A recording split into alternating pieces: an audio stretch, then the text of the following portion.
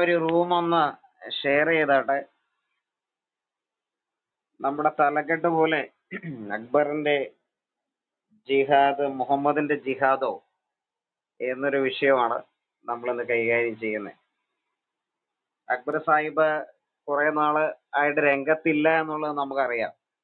വലിയ കാര്യമായ പരിപാടികളൊന്നും അദ്ദേഹം നടത്തുന്നില്ല. എന്നാൽ ഒളിഞ്ഞും തെളിഞ്ഞൊക്കെ ചില വീഡിയോ ചില ഡിസ്കഷൻ ഒക്കെ അദ്ദേഹം ചെയ്യുന്നു. പഴയ ചില വീഡിയോസ് എടുത്തിടുന്നു. അങ്ങനെ ചില പരിപാടികളാണ് അദ്ദേഹം ചെയ്യുന്നത് അപ്പം ഈ അടുത്തിടയ്ക്ക് അദ്ദേഹം അദ്ദേഹത്തിന്റെ ഒരു പഴയ വീഡിയോ എടുത്തിട്ടുണ്ട്. അത് കുറച്ച് ദിവസം മുമ്പാ. ജിഹാദ് എങ്ങനെ ചെയ്യണം? ജിഹാദ് എന്താണ്? എങ്ങനെ ചെയ്യണം? എന്നൊക്കെ പറഞ്ഞുകൊണ്ടുള്ള ഒരു ഒരു വീഡിയോ അദ്ദേഹം അപ്ലോഡ് ചെയ്തിട്ടുണ്ട്. അപ്പൊ ഞാൻ അത് കഴിഞ്ഞ ദിവസം ഇങ്ങനെ കേട്ടപ്പോൾ വലിയ കോമഡി ആയിട്ട് തോന്നി. കാര്യം വേറൊന്നുമല്ല. ഇദ്ദേഹം രംഗത്തില്ല. അപ്പൊ സ്നേഹ സംവാദങ്ങൾ എന്ന് പറഞ്ഞ കുറെ പരിപാടികൾ അക്ബർ ഒരുപാട് കാലമായി ചെയ്തിരുന്നു. അപ്പൊ ഞാനതിന്റെ ഇടയിൽ അടിയിലെ കമന്റ് ഒക്കെ ഒന്ന് പോയി നോക്കിയപ്പോ ഒരാൾ പറയുവാണ് അക്ബറിക്ക നിങ്ങൾ സ്നേഹ സംവാദം ഒന്നുകൂടി നടത്തണം. അത് നടത്താത്തതുകൊണ്ട് വലിയ ക്ഷീണം നിങ്ങൾക്കുണ്ട്. ആളുകൾ നിങ്ങളെ അങ്ങനെ ഒരു രീതിയിലാണ് ഇപ്പൊ കാണുന്നതെന്നൊക്കെ പറയുന്നുണ്ട്. പഴയ സ്നേഹ സംവാദം പരിപാടി തുടങ്ങണമെന്നാണ് പറയുന്നത് സത്യത്തിൽ ഇവരെല്ലാവരും ഇന്ന് രംഗം വിട്ട ഒരു കാര്യം നമുക്കറിയാം. അക്ബർ ഏകദേശം രംഗം വിട്ടു. അക്ബറാണ് പിന്നെ ഇടയ്ക്കിടയ്ക്ക് എന്തെങ്കിലുമൊക്കെ ചെറിയ വീഡിയോസ് ഒക്കെ ഇട്ട് കുറച്ച് പരിപാടികൾ ചെയ്യുന്നത് മുഹമ്മദ് ഈസ ഏകദേശം രംഗം വിട്ട നിലയിലാണെന്ന് പറഞ്ഞാൽ പഴയ ഒരു തീവ്രതയോ പഴയ ഒരു ആ, എരിവൊന്നും മുഹമ്മദ് ഈസയെ കാണുന്നില്ല. മാസത്തിൽ ഒരിക്കലെങ്കിലും ഒരു വീഡിയോ മുഹമ്മദ് യൂസഫ് ചെയ്യാറുള്ളതാ. എന്തെങ്കിലും ഒരു വിഷയം പറഞ്ഞു. അപ്പൊ ഇപ്പൊ മൂന്ന് മാസം നാല് മാസം ഒക്കെ കൂടുമ്പോഴാണ് അദ്ദേഹം ഒരു വീഡിയോ ചെയ്യുന്നത്. ക്ലബ് ഹൗസിൽ ആക്റ്റീവ് അല്ല സോഷ്യൽ മീഡിയയിലൊന്നും പഴയ പോലെ അദ്ദേഹം ആക്റ്റീവായിട്ട് കാണുന്നില്ല.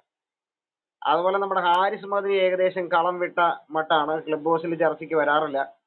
അദ്ദേഹം വീഡിയോ ചെയ്യാറില്ല. മുജാ- മുജാഹിദ് ബാലുശ്ശേരിയെ കാണാനേയില്ല. അങ്ങനെ അങ്ങനെ ഇവരാരെയും കാണാതെ കാണാനില്ല ഇവരാരും സംവാദത്തിന് വരുന്നില്ല. ഇവരാരും ചർച്ചയ്ക്കില്ല. തമ്മിൽ ഭേദം തൊമ്മൻ എന്ന് പറയുന്നത് പോലെ അക്ബറാണ് പിന്നെയും ഭേദം. ഇടയ്ക്കിടയ്ക്ക് ചില കാര്യങ്ങൾ അദ്ദേഹം ഓർമ്മിപ്പിക്കുന്നുണ്ട്. എന്നാൽ അദ്ദേഹത്തിന് ഒരു സംവാദത്തിന് നമ്മൾ വിളിക്കാന്ന് വെച്ചാൽ അദ്ദേഹം വരത്തുമില്ല. അത്തരം സംവാദങ്ങൾക്കൊന്നും ഇനി വരാനുള്ളൊരു സാധ്യത അക്ബറിൽ നമ്മൾ കാണുന്നില്ല. എങ്കിലും പഴയ കാര്യങ്ങൾ ഞാൻ പറഞ്ഞ പഴയ കാര്യങ്ങൾ അദ്ദേഹം പറഞ്ഞ പഴയ കാര്യങ്ങൾ അദ്ദേഹം എന്ത് ചെയ്യുന്നുണ്ട്? ഓർപ്പിക്കുന്നുണ്ട്. ചില വീഡിയോകൾ ചെയ്ത് ചില കാര്യങ്ങൾ പറഞ്ഞുകൊണ്ട് അദ്ദേഹം ഇങ്ങനെ ഓർപ്പിക്കുന്നുണ്ട്.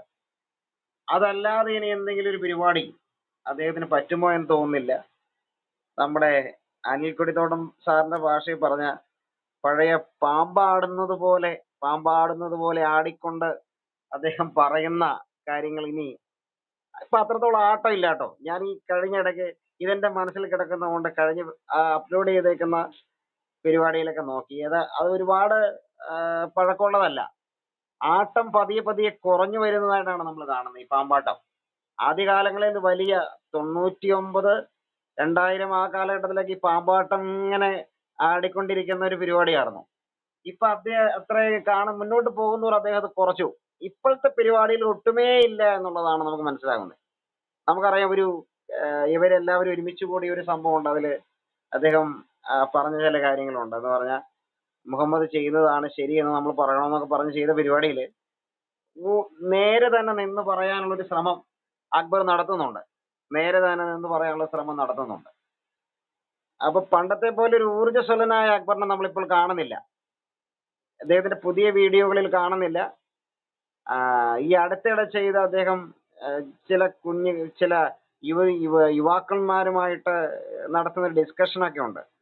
കേരള സ്റ്റോറിയോടനുബന്ധിച്ച് അതിലൊന്നും ആ പഴയൊരു ഊർജസ്വലത നമ്മൾ കാണുന്നില്ല. എന്തൊക്കെയാണെങ്കിലും ജിഹാദ് എന്താണെന്നും പറഞ്ഞ് അദ്ദേഹം ഒരു വീഡിയോ അപ്ലോഡ് ചെയ്തിട്ടുണ്ട്. നമ്മൾ അത് അതുകൊണ്ടാണ് ഇന്ന് ഒരു പ്രോഗ്രാം ചെയ്യാൻ കാരണമായത്. അതിൽ അദ്ദേഹം പറയുന്ന കുറച്ച് കാര്യങ്ങളുണ്ട്. അദ്ദേഹം പറയുന്ന ചില കാര്യങ്ങൾ ജിഹാദ് എന്ന് പറഞ്ഞാൽ സത്യത്തിൽ ഒരു ത്യാഗ ത്യാഗ പരിശ്രമമാണ് ത്യാഗ അക്ബർ പറയുന്നത്. എന്ന് മാത്രമല്ല ജിഹാദിനെ പറ്റിയുള്ള ഒരുപാട് ആയത്തുകൾ ഖുറാനിൽ ഉണ്ട് ഇസ്ലാമിക പണ്ഡിതന്മാർ അതിനെ വർഗീകരിച്ചാണ് പഠിക്കുന്നത് എന്ന് പറഞ്ഞിട്ടുണ്ടെന്നൊക്കെ അദ്ദേഹം പറയുന്നുണ്ട്. പിന്നെ അദ്ദേഹം പറയുന്നത് ഒരു കാര്യം നേടിയെടുക്കുന്നതിന് ഒരു ഡെഫിനിഷൻ മലയാളത്തിൽ പറയാൻ അദ്ദേഹം ശ്രമിക്കുന്നുണ്ട്. ഒരു കാര്യം നേടിയെടുക്കുന്നതിന് പ്രയാസപ്പെട്ട് പരമാവധി ശ്രമിക്കുന്നതിനാണ്. അപ്പൊ ഐ എസ് ഐ എസും അൽഖ്വയ്ദയും ലഷ്കർ ഇ തോയിബയൊക്കെ പരമാവധി പ്രയാസപ്പെട്ടുകൊണ്ടാണ് ചെയ്യുന്നത്. ആ അർത്ഥത്തിൽ അദ്ദേഹം പറഞ്ഞ ശരിയാണ്. ഒരു കാര്യം നേടിയെടുക്കുന്നതിന് പ്രയാസപ്പെട്ട് പരമാവധി ശ്രമിക്കുക. അതാണ് അതിന്റെ അർത്ഥം എന്ന് അദ്ദേഹം പറയുന്നുണ്ട്.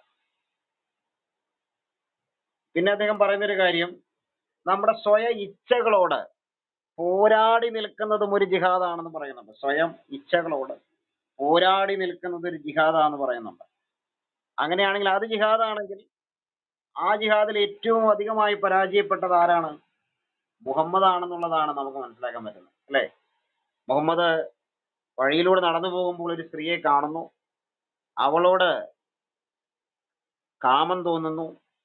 അതിൽ വീട്ടിൽ വരുന്ന വീട്ടിൽ വന്ന തന്റെ ഭാര്യ തോൽപാത്രം കഴുകുകയാണ്. അവളോട് അത് തീർക്കുന്നു. അങ്ങനെയുള്ള ചില സന്ദർഭമൊക്കെ നമ്മൾ കാണുന്നുണ്ട്. അത് മാത്രമല്ല വളർത്തുമകന്റെ വീട്ടിൽ ചെല്ലുമ്പോൾ വളർത്തുമകന്റെ ഭാര്യയെ കണ്ട് അവളുടെ അർദ്ധനഗ്ന വേഷമാണോ അർദ്ധ നഗ്ന ഇതിലാണോ അതോ പൂർണമായ നഗ്നാവസ്ഥയിലാണെന്നൊന്നും ഞാൻ പറയുന്നില്ല. എന്താണെങ്കിലും കാണാൻ പാടില്ലാത്ത രീതിയിൽ അക്ബർ നമ്മുടെ അക്ബർ അല്ല മുഹമ്മദ് കണ്ടു. അങ്ങനെ കണ്ടപ്പോൾ പിന്നെ എന്ത് പറ്റിയില്ല അദ്ദേഹത്തിന് സ്വയം കൺട്രോൾ ചെയ്യാൻ പറ്റാത്തൊരു സാഹചര്യം ഉണ്ടായി. അങ്ങനെയാണ് അള്ളാഹു ആയത്തിറക്കി മുഹമ്മദിനെ സംരക്ഷിക്കുകയും മുഹമ്മദിനെ കൊണ്ട് വളർത്തുമകന്റെ ഭാര്യയെ വിവാഹം കഴിപ്പിക്കുന്നതൊക്കെ തബരി കൃത്യമായിട്ട് പറഞ്ഞിട്ടുണ്ട്. നമ്മൾ ഒരുപാട് തവണ ഇതെല്ലാം പറഞ്ഞു പോയതാ. ഒരുപാട് പറഞ്ഞ് ഒരുപാട് ഈ റെഫറൻസ് കൊട്ടിഘോഷിച്ചിട്ടുള്ളതായത് കൊണ്ട് ഞാൻ ഈ റെഫറൻസ് ഇപ്പൊ പറയുന്നില്ല. അപ്പൊ ഇത്തരം സന്ദർഭങ്ങൾ നമുക്ക് കാണാൻ പറ്റും. അപ്പൊ ഇതിൽ ഏറ്റവും കൂടുതൽ അക്ബർ പറയുന്ന അനുസരിച്ചാണെങ്കിൽ ഏറ്റവും കൂടുതൽ തോറ്റുപോയിട്ടുള്ളത് ഈ ജിഹാദിൽ സ്വയ ജിഹാദ്. സ്വന്തം ഇച്ഛകളെ തെറ്റായിട്ടുള്ള ഇച്ഛകളെ അതിനെ മറികടക്കുന്നത് ഒരു ജിഹാദാണെന്ന് അദ്ദേഹം പറയുന്നത്. അങ്ങനെയാണെങ്കിൽ അതിൽ ഒന്നാം ക്ലാസ്സിൽ ഒന്നാം ക്ലാസ്സിലല്ല എൽ കെ ജിയിൽ തന്നെ തോറ്റുപോയ ആളാണ് മുഹമ്മദ് എന്നുള്ളതാണ് നമുക്ക് മനസ്സിലാക്കാൻ പറ്റുന്നത്. നിങ്ങൾ റൂം പരമാവധി ഒന്ന് ഷെയർ ചെയ്യണേ ആളുകളിലേക്ക് എത്തണം. എന്ന് മാത്രമല്ല പിന്നെ അക്ബർ പറയുന്നൊരു കാര്യം സ്ത്രീകളെ മോഹത്തോടെ നോക്കുന്നതിൽ അങ്ങനെ നോക്കാതിരിക്കുന്നത് സ്ത്രീകൾ ഒരു സ്ത്രീ നടന്നു പോകുന്നത് കണ്ടാൽ അവളെ മുഖത്തോടെ നോക്കരുത് അങ്ങനെ നോക്കാതിരിക്കുന്നത് ഒരു ജിഹാദാണെന്ന് പറയുന്നത്. അവിടെ സ്വയം ഇച്ഛയാണ് പ്രശ്നം. പക്ഷെ അതിൽ ഏറ്റവും പരാജയപ്പെട്ടു പോയത് ആരാണ്? മുഹമ്മദാണ്. ഒരു സ്ത്രീയെ നോക്കി അവളിൽ അത്തരത്തിലുള്ള മോഹമുണ്ടായി അവളെ കരസ്ഥമാക്കി. അത് മുഹമ്മദാണ് ഏറ്റവും ഏറ്റവും കഠിനമായ രീതിയിൽ മുഹമ്മദാണ് ചെയ്തിട്ടുള്ളത്. ദാവീദിനെയൊക്കെ ഇവർ പറയാറുണ്ട് ദാവീദ് അങ്ങനെ ചെയ്തു ദാവീദ് അങ്ങനെ ചെയ്തെങ്കിൽ ദാവീദിനെ കൃത്യമായിട്ട് നിലയിൽ എന്ത് ചെയ്തു? ദൈവം ശിക്ഷിച്ചു. ബൈബിൾ പറയുന്നത് ദൈവം ശിക്ഷിച്ചു. അല്ല അള്ളാഹു അങ്ങനെ ശിക്ഷിക്കുന്നതായിട്ട് നമ്മൾ കാണുന്നില്ല. അള്ളാഹു മുഹമ്മദിന് ഒത്താശ ചെയ്യുന്നതായിട്ടാണ് നമുക്ക് ഖുറാനിൽ കാണാൻ പറ്റുന്നത്. പിന്നെ അദ്ദേഹം പറയുന്നൊരു കാര്യം പ്രബോധനമാണ് ഏറ്റവും വലിയ ജിഹാദ് എന്നുള്ളതാണ്. പ്രബോധനമാണ് ഏറ്റവും വലിയ ജിഹാദെങ്കിൽ ഈ ഐ എസ് ഐ എസിനോടും ലഷ്കർ എ തൊയ്ബയോടും ഒക്കെ ഇത് പറഞ്ഞ് മനസ്സിലാക്കാൻ പറ്റില്ലേ? ഇന്ന് നിലവിലുള്ള തീവ്രവാദ സംഘടനകളോടൊക്കെ ഇത് പറഞ്ഞ് മനസ്സിലാക്കാൻ പറ്റാത്തത് എന്താ? ഐ എസ് ഐ എസിനൊക്കെ കത്തെഴുതിയിട്ടുണ്ട് ഈജിപ്തിലെയൊക്കെ പണ്ഡിതന്മാർ. നൂറ്റി നാൽപ്പതിലധികം സ്കോളേഴ്സ് ഒരുമിച്ചിരുന്ന ഒരു ലെറ്ററൊക്കെ എഴുതി കൊടുത്തിട്ടുണ്ട്. അവരതിനെ പുച്ഛത്തോടെ തള്ളിക്കളഞ്ഞു. ഞാനും ഹദീസും പറയുന്ന കാര്യമാണ് ഞങ്ങൾ ചെയ്യുന്നത്. ഡി പെൺകുട്ടികളെ അടിമകളാക്കുന്നത് അതൊക്കെ ശരിയാണ്. കാരണം എന്താണ്? ഖുറാനും ഹദീസും പറയുന്ന കാര്യങ്ങളാണ് ഞങ്ങൾ ചെയ്യുന്നത് എന്നവർ കൃത്യമായിട്ട് പറഞ്ഞു. അപ്പൊ അങ്ങനെയുള്ള കാര്യങ്ങളുണ്ട്. പിന്നെ അദ്ദേഹം പറയുന്ന ഒരു കാര്യം ആയുധം ഉപയോഗിച്ചുള്ള ജിഹാദ് ഉണ്ട്. അത് എപ്പോഴാണെന്ന് പറഞ്ഞാൽ ഒരാൾ ഇസ്ലാമിലേക്ക് കൺവേർട്ട് ചെയ്യാൻ തീരുമാനിച്ചിട്ടും അതിനെ ആരെങ്കിലും തടഞ്ഞാൽ അതിനെതിരായ ആയുധമെടുത്ത് രാഷ്ട്രം എന്ന നിലയിൽ പോരാടാം. രാഷ്ട്രം എന്ന നിലയിൽ പോരാടാം ഇസ്ലാമിക രാഷ്ട്രം അതിന് പോരാടണം എന്നാണ് അദ്ദേഹം പറയുന്നത്. ആയുധം എടുത്തുള്ള ജിഹാദുണ്ട് അപ്പൊ ഒരാൾ ഇസ്ലാമിലേക്ക് കൺവേർട്ട് ചെയ്യണം തീരുമാനിച്ചിട്ട് അത് കഴിയാതെ വന്നാൽ അതിനുള്ള സാഹചര്യം ഇല്ലാതെ വന്നാൽ രാഷ്ട്രം എന്ന നിലയിൽ ഇസ്ലാമിക രാഷ്ട്രം ആയുധമെടുത്ത് പോരാടണം എന്ന് അദ്ദേഹം പറയുന്നുണ്ട്. അതിന് ഉദാഹരണം അദ്ദേഹം പറയുന്ന മുഹമ്മദ് മുഹമ്മദിന് മക്കയിൽ വെച്ച് ഒരുപാട് പീഡനങ്ങൾ ഉണ്ടായി. അദ്ദേഹം മദീനയിലേക്ക് പോയി മദീനയിൽ രാഷ്ട്രം സ്ഥാപിതമായി. എന്നിട്ട് മക്കാരുമായിട്ട് യുദ്ധം ചെയ്യുകയാണ്. ഇത്തരം സാഹചര്യങ്ങളാണ് അതിന് കാരണമായതെന്നുള്ളതാണ്. മറ്റൊരു കാര്യം ഇദ്ദേഹം പറയുന്നത് സ്വന്തം നാട്ടിൽ നിന്നുകൊണ്ട് നാടിനെതിരെ യുദ്ധം ചെയ്യാൻ പാടില്ല എന്ന് പറയുന്നത്. മറ്റൊരു നാട്ടിൽ പോയി അതിന് അവിടെ നിന്നുകൊണ്ട് വേണമെങ്കിൽ യുദ്ധം ചെയ്യാം. മുഹമ്മദ് അങ്ങനെയാണല്ലോ ചെയ്തത് മദീനയിൽ ചെന്നു. മദീനയിൽ നിന്നുകൊണ്ട് മക്കൾക്കെതിരെ യുദ്ധം ചെയ്തു എന്നതുപോലെ നമുക്ക് അങ്ങനെ ചെയ്യാം. ഒരു ഇസ്ലാമിക രാഷ്ട്രത്തിൽ നിന്നുകൊണ്ട് ചെയ്യാം എന്നാണ് അക്ബർ പറയുന്നത്. അപ്പം നമ്മളിപ്പോ ഇന്ത്യയിൽ ജീവിക്കുന്നവരാണ്. ഇന്ത്യക്കെതിരെ ഇവിടെ നിന്നുകൊണ്ട് ചെയ്യാൻ പാടില്ല എന്ന് പറയുന്നത്. മറ്റൊരു രാജ്യത്ത് പോയി ഇന്ത്യക്കെതിരെ വേണമെങ്കിൽ ഭീകരവാദ പ്രവർത്തനങ്ങൾ ചെയ്യാം എന്നല്ലേ ഈ പറഞ്ഞു വരുന്നത്? മുഹമ്മദ് അതല്ലേ ചെയ്തേ? അദ്ദേഹം പറഞ്ഞു വരുന്നത് എന്നാന്ന് പറഞ്ഞാൽ രാഷ്ട്രത്തെ സംരക്ഷിക്കേണ്ട ബാധ്യത മുഹമ്മദിനുണ്ടായി. എന്ത് ബാധ്യത? പതിയിരുന്ന കുറേശി കൂട്ടങ്ങളെ ആക്രമിച്ച് കൊലപ്പെടുത്തിയതാണോ? വ്യക്തിപരമായ വൈരാഗ്യത്തിന്റെ പേരിൽ പക തീർക്കുന്നതിന്റെ പേരിൽ ആളുകളെ കൊന്നതാണോ? അതാണോ രാഷ്ട്ര സംരക്ഷണം? അതിനുവേണ്ടിയാണോ മുഹമ്മദ് യുദ്ധം ചെയ്തത് അത് നമ്മൾ മനസ്സിലാക്കിയിരിക്കേണ്ട കാര്യമാണ്. അപ്പൊ ഈ അക്ബർ പറയുന്ന ജിഹാദ് മുഹമ്മദിന്റെ ജിഹാദ് അല്ല എന്നുള്ള കാര്യം ഞാൻ പറയും. അക്ബർ പറയുന്ന ഈ ജിഹാദ് അല്ല മുഹമ്മദ് പ്രായോഗികമാക്കിയത്. ആ ജിഹാദ് വേറെയാണ്. അക്ബർ പറയുന്ന ജിഹാദും മുഹമ്മദ് പ്രാവർത്തികമാക്കിയ ജിഹാദും വേറെ വേറെയാണ്. ഒന്നെങ്കിൽ അക്ബർ പറയുന്നതാകണം ശരി അല്ലെങ്കിൽ മുഹമ്മദ് ചെയ്തതാകണം ശരി. ഇത് ഏതെങ്കിലും ഒന്ന് രണ്ട് ശരി ഉണ്ടാകത്തില്ല. രണ്ട് ശരി ഒരിക്കലും പറ്റത്തില്ലല്ലോ. പിന്നെ പറയുന്ന അദ്ദേഹം പറയുന്നുണ്ട് മുഹമ്മദിനെ എല്ലാവരും ചേർന്ന് മദീനയിൽ ചെന്നപ്പോൾ എല്ലാവരും ചേർന്ന് രാജാവാക്കി ആര് രാജാവാക്കി മുഹമ്മദിനെ പിടിച്ചടക്കി. കൂട്ടക്കൊല ചെയ്ത് പിടിച്ചടക്കിയതല്ലേ? അല്ലാതെ ആര് മുഹമ്മദിനെ രാജാവാക്കി? അക്ബർ പറയുന്ന കാര്യം ഞാൻ ഈ പറയുന്നുണ്ടോ പിന്നെ പറയുന്നുണ്ട് നാടിനോട് യുദ്ധം ചെയ്യാതെ ഞാൻ പറഞ്ഞു.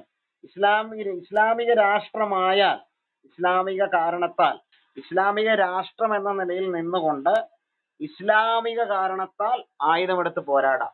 അപ്പൊ ഒരു രാഷ്ട്രം ഇസ്ലാമിക രാഷ്ട്രം ആയിക്കഴിഞ്ഞാൽ ആയുധം എടുത്തുകൊണ്ട് പോരാടാം. അത് ഇസ്ലാമിക കാരണമാകണം. അപ്പൊ ആദ്യം പറഞ്ഞ പോലെ ഒരു കാരണമാണ്. എന്ത് കാരണം? ഒരാൾ മതപരിവർത്തനം ചെയ്യണം. ഒരാൾ മതപരിവർത്തനം ചെയ്യാൻ റെഡി ആയിട്ടും അയാൾക്ക് ചെയ്യാൻ പറ്റുന്നില്ലെങ്കിൽ അതിനെതിരെ എന്ത് ചെയ്യണം? പോരാടണം എന്നാണ് പറയുന്നത്. അപ്പോൾ ഒരു മുസ്ലിം രാഷ്ട്രമായി കഴിഞ്ഞാൽ ഇപ്പൊ നിങ്ങൾ ചിന്തിച്ചു നോക്കപ്പ നമ്മുടെ ഈ ഇന്ത്യയിലെ ഭരണഘടന ജനാധിപത്യ ജനാധിപത്യപരമാണ് നമുക്ക് അറിയാം.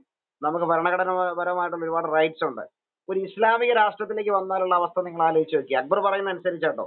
ഇപ്പൊ ഇസ്ലാമിക രാഷ്ട്രങ്ങളെല്ലാം ഭയങ്കര ലിബറലായി മാറിക്കൊണ്ടിരിക്കുകയാണ്. സൗദി അതുപോലെ മറ്റ് മിഡിൽ ഈസ്റ്റിലേക്ക് ഇസ്ലാമിക രാജ്യങ്ങൾ ലിബറലായിട്ട് മാറുകയാണ് ഈ ഇറാനിലും ഇറാഖിലും പോലും വലിയ മാറ്റങ്ങളാണ് വന്നുകൊണ്ടിരിക്കുന്നത് സൗദിയിൽ വലിയ മാറ്റങ്ങൾ വരുന്നു. മറ്റ് ചില രാഷ്ട്രങ്ങളിലാണ് അല്ലാതെ ഇസ്ലാമിക നിയമങ്ങൾ ഇപ്പോഴും സ്ട്രിക്റ്റ് ആയിട്ട് അനുസരിക്കുന്നത് അപ്പൊ അക്ബർ പറയുന്നതിനനുസരിച്ച് ഇസ്ലാമിക കാരണത്താൽ ഒരു രാഷ്ട്രം ഇസ്ലാമിന് വേണ്ടി യുദ്ധം ചെയ്യാമെന്നാണ് പറയുന്നത്. ഇസ്ലാമിക കാരണത്താൽ യുദ്ധം ചെയ്യാം. അപ്പോ ഒരു ഇസ്ലാമിക രാഷ്ട്രം ഉണ്ടായാൽ അക്ബർ പറയുന്നതിനനുസരിച്ച് ഒരു ഇസ്ലാമിക രാഷ്ട്രം ഉണ്ടായാൽ ഈസി ആയിട്ട് ജിഹാദ് ചെയ്യാം. ഒരാൾ മതപരിവർത്തനം ഒരാൾ മതപരിവർത്തനം ചെയ്യാൻ തയ്യാറായി. അയാൾക്ക് ഏതെങ്കിലും കാരണവശാൽ മതപരിവർത്തനം ചെയ്യാൻ പറ്റുന്നില്ല അതിന്റെ കുടുംബാംഗങ്ങൾ അതിന് എതിരെ നിൽക്കുകയാണ് അങ്ങനെ ഏതെങ്കിലും തരത്തിലുള്ള സന്ദർഭം ഉണ്ടായി കഴിഞ്ഞാൽ ആ രാഷ്ട്രത്തിന് അതിനെതിരെ നടപടിയെടുക്കാം അവരെ വധിക്കാം അവരെ കൊല്ല അവരെ മറ്റേതെങ്കിലും തരത്തിലുള്ള ശിക്ഷാവിധിയിലൂടെ കടത്തിവിടാം. അതൊരു ഇസ്ലാമിക രാഷ്ട്രത്തിന് ചെയ്യാമെന്നല്ലേ അദ്ദേഹം പറഞ്ഞു വരുന്നത് എന്തായാലും ആയുധമെടുത്തുള്ള ജിഹാദിനെ അതിന് ഇസ്ലാമിക രാഷ്ട്രത്തിന്റെ പിന്തുണയുണ്ടെന്നും ഖുറാന്റെ പിന്തുണയുണ്ടെന്നും അതുപോലെ ഹദീസുകളുടെ പിന്തുണയുണ്ടെന്നുമാണ് അക്ബർ പറയുന്നത് ആയുധമെടുത്തുള്ള ജിഹാദ് അല്ല വലിയ ജിഹാദ്. പ്രബോധനത്താലുള്ള ജിഹാദാണ് വലിയ ജിഹാദ് എന്നാണ് ആര് പറഞ്ഞു വരുന്നത് അക്ബർ പറഞ്ഞു വരുന്നത് പക്ഷെ അക്ബർ പറയുന്ന ഈ സംഭവം അല്ല മുഹമ്മദ് നടപ്പിലാക്കിയത് എന്നുള്ളത് നമുക്ക് കൃത്യമായിട്ട് മനസ്സിലാക്കാം. എന്തൊക്കെയാണത്? ജിഹാദ് വാളുകൊണ്ടാണ് അല്ലെങ്കിൽ കൈകൊണ്ട് അല്ലെങ്കിൽ കോപത്തോടു കൂടി കാഫിറുകൾക്കെതിരെ പോരാടുന്നതാണ് ജിഹാദ് എന്ന് കൃത്യമായിട്ട് പറയുന്നുണ്ട്. സിവനാൻ ഇബ്നു മാജ രണ്ടായിരത്തി തൊള്ളായിരത്തി ഒന്ന് രണ്ടായിരത്തി എഴുന്നൂറ്റി എൺപത്തി മൂന്ന് അതുപോലെ തിരുമതി പറയുന്നുണ്ട് മൂവായിരത്തി മുന്നൂറ്റി എഴുപത്തി ആറ് സുനൻ നസായിൽ പറയുന്നുണ്ട് അതുപോലെ തന്നെ ഖുറാൻ ഒമ്പതിന്റെ എഴുപത്തി മൂന്നിൽ പറയുന്നുണ്ട്. അതുപോലെ തന്നെ ഇബിന് കതീറിൽ പറയുന്നുണ്ട്. ഖുറാൻ ഒമ്പതിന്റെ നൂറ്റി പതിനൊന്നിൽ പറയുന്നുണ്ട്. എന്താണ്? ആയുധമെടുത്തുകൊണ്ട് വാളുകൊണ്ട് പോരാടുന്നതാണ് കാഫിറുകൾക്കെതിരെ വാളുകൊണ്ട് പോരാടുന്നത് തന്നെയാണ് ജിഹാദ് എന്ന് കൃത്യമായിട്ടും ഖുറാൻ പറയുന്നു ഹദീസുകൾ പറയുന്നു. അതുപോലെ തന്നെ ആദ്യകാല മുഹമ്മദിന്റെ ആദ്യകാല ബയോഗ്രാഫീസിൽ നമ്മൾ പരിശോധിക്കുമ്പോൾ അത് കാണുന്നുണ്ട്. വ്യാഖ്യാനങ്ങളിൽ നമ്മൾ പരിശോധിക്കുമ്പോൾ അത് കാണുന്നു. ഇബിന് കദീറൊക്കെ കൃത്യമായിട്ട് അത് പറയുന്നു. മുഹമ്മദ് പറഞ്ഞിട്ടുണ്ട് സ്വർഗം വാളുകളുടെ തണലിലാണെന്നറിയുക. ബുഖാരി രണ്ടായിരത്തി എണ്ണൂറ്റി പതിനെട്ട് സ്വർഗം വാളിന്റെ തണലിലാണെന്നാണ് മുഹമ്മദ് പറഞ്ഞത്. അപ്പൊ ഇത് ഏതർത്ഥത്തിലാണ് ഈ പറയുന്നത്? അത് സ്വർഗം എന്നത് വാളിന്റെ തണലിലാണെങ്കിൽ ഈ വാളുകൊണ്ട് വെട്ടിപ്പിടിക്കുന്നതല്ലേ ഇസ്ലാം? ഈ വാളുകൊണ്ട് പ്രചരിക്കുന്നതല്ലേ ഇസ്ലാം? വാൾ എന്നത് ഒരു ഒരു വാളാണ് ഏറ്റവും വലിയ കാര്യം എന്നുള്ളതാണ് മുഹമ്മദ് പറയുന്നത്. അല്ലാതെ അക്ബർ പറയുന്നത് പോലെ ആശയ പ്രചരണമാണ് ഏറ്റവും വലിയ ജിഹാദ് എന്നല്ല മുഹമ്മദ് പറയുന്നത്. പിന്നെയോ വാളുകൊണ്ടുള്ള പ്രചരണമാണ് ഏറ്റവും വലിയ ജിഹാദ്. ഏറ്റവും നല്ല ജിഹാദും ഏറ്റവും വിലയേറിയ ജിഹാദും ഏറ്റവും മഹത്വകരമായ ജിഹാദും അത് വാളുകൊണ്ടുള്ള ജിഹാദാണ് എന്നാണ് മുഹമ്മദ് പറഞ്ഞത്. അപ്പൊ അക്ബർ പറയുന്ന ജിഹാദും മുഹമ്മദ് പറയുന്ന ജിഹാദും വേറെ വേറെയാണെന്നുള്ളത് നമുക്ക് മനസ്സിലാക്കാം. ഇസ്ലാമിൽ വാൾ സമാധാനം നൽകുന്നു. ബുക്കാരി ഏഴായിരത്തി മുന്നൂറ്റി എട്ട് കണ്ടോ? വാളാണ് സമാധാനം നൽകുന്നത്. സ്വർഗം വാളുകളുടെ തണലിലാണ്. അപ്പൊ അള്ളാഹുവും മുഹമ്മദും യഥാർത്ഥത്തിൽ ഉദ്ദേശിച്ചിരിക്കുന്നത് എന്താണ്? അവരുദ്ദേശിച്ചത് വാളുകൊണ്ട് വെട്ടിപ്പിടിക്കുക എന്നുള്ളത് തന്നെയാണ്. വാളുകൊണ്ട് സാമ്രാജ്യം ഉണ്ടാക്കുക. വാളുകൊണ്ട് ഇസ്ലാമിക രാഷ്ട്രം ഉണ്ടാക്കുക. വാളുകൊണ്ട് വാളുകൊണ്ട് പ്രചരിക്കുക. ഇത് തന്നെയാണ് അള്ളാഹുവും മുഹമ്മദ് ഉദ്ദേശിച്ചത്. അക്ബറിന് അക്ബർ പറയുന്ന ജിഹാദ് അല്ല അല്ലെങ്കിൽ അക്ബർ പറയുന്ന ഇസ്ലാം അല്ല യഥാർത്ഥത്തിലുള്ള ഇസ്ലാം അക്ബർ പറയുന്ന ജിഹാദ് അല്ല യഥാർത്ഥത്തിലുള്ള ജിഹാദ്. അക്ബർ എന്ത് ചെയ്യുകയാണ് ഇതിന് വെള്ള പൂശാൻ നോക്കുകയാണ്. ജിഹാദിനെ വെള്ള പൂശാനാണ് അക്ബർ നോക്കുന്നത്. പിന്നെയോ മുഹമ്മദ് പിന്നെയും പറയാണ് അല്ലാ ഇലാഹ ഇല്ലല്ല അള്ളാഹു അല്ലാതെ മറ്റൊരു ദൈവവും ഇല്ല എന്ന് പറയുന്നത് വരെ ആ മുസ്ലിങ്ങളോട് പോരാടണം അവരെ കൊല്ലണം. അള്ളാഹു അല്ലാതെ മറ്റൊരു ദൈവം ഇല്ലെന്ന് പറയുന്നത് വരെ അവരോട് പോരാടണം അവരെ കൊല്ലണമെന്ന് ആരാണ് പറഞ്ഞേ? മുഹമ്മദാണ് പറയുന്നത് അത് തെർമിതിയിലെ വേണം രണ്ടായിരത്തി അറുന്നൂറ്റി ഏഴ് അതുപോലെ നസായി മൂവായിരത്തി തൊള്ളായിരത്തി എഴുപത്തിരണ്ട് ബുക്കാരി നാലായിരത്തി അഞ്ഞൂറ്റി അമ്പത്തി ഏഴ് കണ്ടോ? അള്ളാഹു അല്ലാതെ മറ്റൊരു ദൈവമില്ല എന്ന് പറയുന്നത് വരെ ആ മുസ്ലിങ്ങളോട് പോരാടണം അവരെ കൊല്ലണം. ഇവിടെ ഇതിലെവിടെയാണ് രാഷ്ട്ര സംരക്ഷണം ഇതിലെവിടെയാണ് വിധവാ സംരക്ഷണം? ഇതിലെവിടെയാണ് ഏതെങ്കിലും തരത്തിലുള്ള സംരക്ഷണം ഇതിലുണ്ടോ? ഇല്ല. തികച്ചും മതാധിഷ്ഠിതമാണ്. മതത്തിന്റെ പേരിൽ തന്നെയാണ് ജിഹാദ്. മതം സ്വീകരിക്കാത്തവരെ കൊല്ലണമെന്ന് തന്നെയാണ് ഹദീസുകൾ കൃത്യമായിട്ട് പറയുന്നത്. അക്ബർ അതിന് വെള്ളപൂശാൻ എത്ര നാൾ വെള്ളപൂശാൻ നോക്കി? ആദ്യം അദ്ദേഹം ക്രൈസ്തവ വിശ്വാസത്തെ ഇങ്ങനെ ആക്ഷേപിച്ചുകൊണ്ടിരിക്കുകയായിരുന്നു.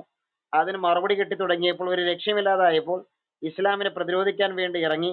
ഇപ്പോൾ അതും പറ്റാത്തൊരവസ്ഥയിലേക്ക് ആരെത്തുകയാണ് അക്ബർ എത്തുകയാണ്. കാരണം അക്ബർ കാണാത്ത ഹബീസുകളാണ് ആളുകൾ മുന്നിലേക്ക് ഇട്ട് കൊടുക്കുന്നത്. അതാണ് പ്രശ്നം.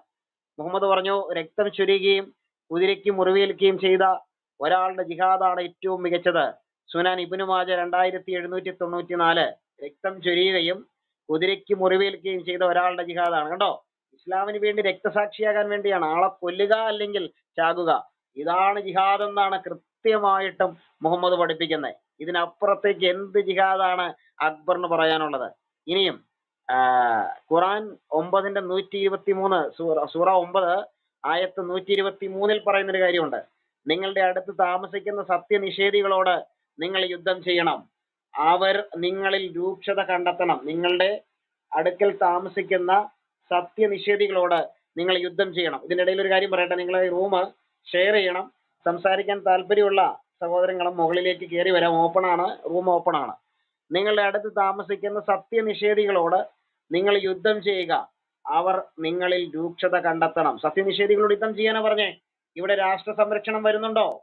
ഒരു തരത്തിലുള്ള രാഷ്ട്ര സംരക്ഷണവും അവിടെ വരുന്നില്ല. പിന്നെ എന്താണ് അവിടെ ഉള്ളത് അവിടെ ഉള്ളത് മതത്തിന്റെ പേരിലുള്ള യുദ്ധം തന്നെയാണ്. ഇനിയും വേദം നൽകപ്പെട്ടവരുടെ കൂട്ടത്തിൽ അള്ളാഹുവിലും അന്ത്യദിനത്തിലും വിശ്വസിക്കാതിരിക്കുകയും അള്ളാഹുവും അവന്റെ ദൂതനം നിഷിദ്ധമാക്കിയത് നിഷിദ്ധമായി ഗണിക്കാതിരിക്കുകയും സത്യമതത്തെ മതമായി സ്വീകരിക്കാതിരിക്കുകയും ചെയ്യുന്നവരോട് സത്യമതത്തെ ഇസ്ലാമിനെ മതമായി സ്വീകരിക്കാതിരിക്കുകയും ചെയ്യുന്നവരോട് നിങ്ങൾ യുദ്ധം ചെയ്തു കൊള്ളുക.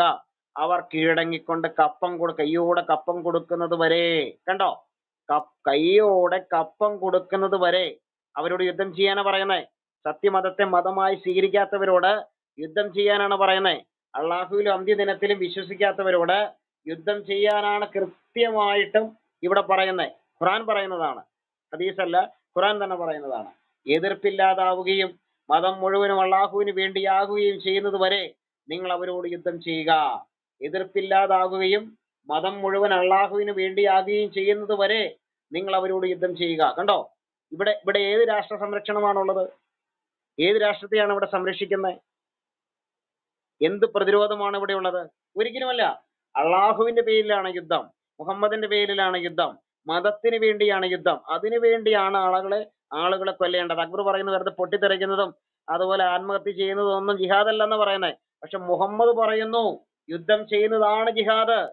ആളുകളെ കൊല്ലുന്നതാണ് ജിഹാദ്. അതുപോലെ തന്നെ അന്യമതസ്ഥനെ കൊല്ലുന്നതാണ് ജിഹാദ്. പൊട്ടിത്തെറിക്കുന്നത് തന്നെയാണ് ജിഹാദ്. വാളുകൊണ്ട് പോരാടുന്നത് തന്നെയാണ് ജിഹാദ്. അല്ലാതെ മറ്റൊരു ജിഹാദ് അതാണ് ഏറ്റവും വലിയ ജിഹാദ്. അതാണ് മുഹമ്മദ് പറയുന്നത്. അക്ബർ പറയുന്നത് അതൊന്നും ജിഹാദ് അല്ലെന്ന് പറയുന്നത്. ആളുകളെ കൊല്ലുന്നത് ജിഹാദ് അല്ലെന്ന് അക്ബർ പറയുന്നത്. ആളുകളെ കൊല്ലുന്നതാണ് ജിഹാദ് എന്ന് ആര് പറയുന്നു? മുഹമ്മദ് പറയുന്നു. അപ്പൊ മുഹമ്മദിന്റെ ജിഹാദും അക്ബറിന്റെ ജിഹാദും രണ്ടും രണ്ടാണ്. അതാണ് നമുക്ക് കൃത്യമായിട്ട് മനസ്സിലാക്കാൻ പറ്റുന്നത്.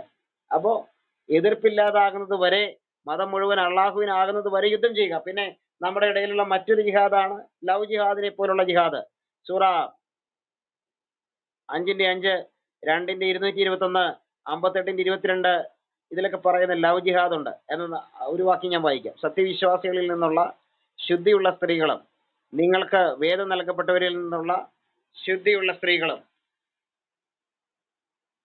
ശുദ്ധിയുള്ള സ്ത്രീകളും വിവാഹത്തിന് അനുവദനീയമാണ് എന്നാണ് പറയുന്നത്.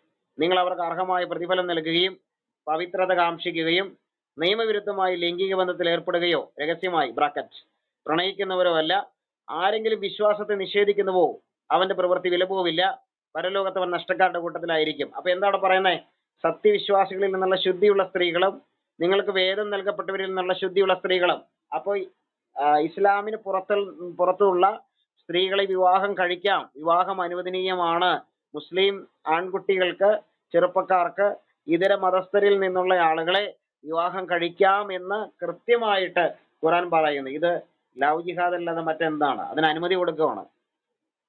കാഫിറുകളെ വിവാഹം കഴിക്കാനുള്ള അനുമതി ഖുറാൻ തന്നെ കൊടുക്കുകയാണ്. അപ്പോ അപ്പൊ മുഹമ്മദ് അക്ബർ പറയുന്ന ജിഹാദ് അല്ല ശരിക്കുള്ള ജിഹാദ്.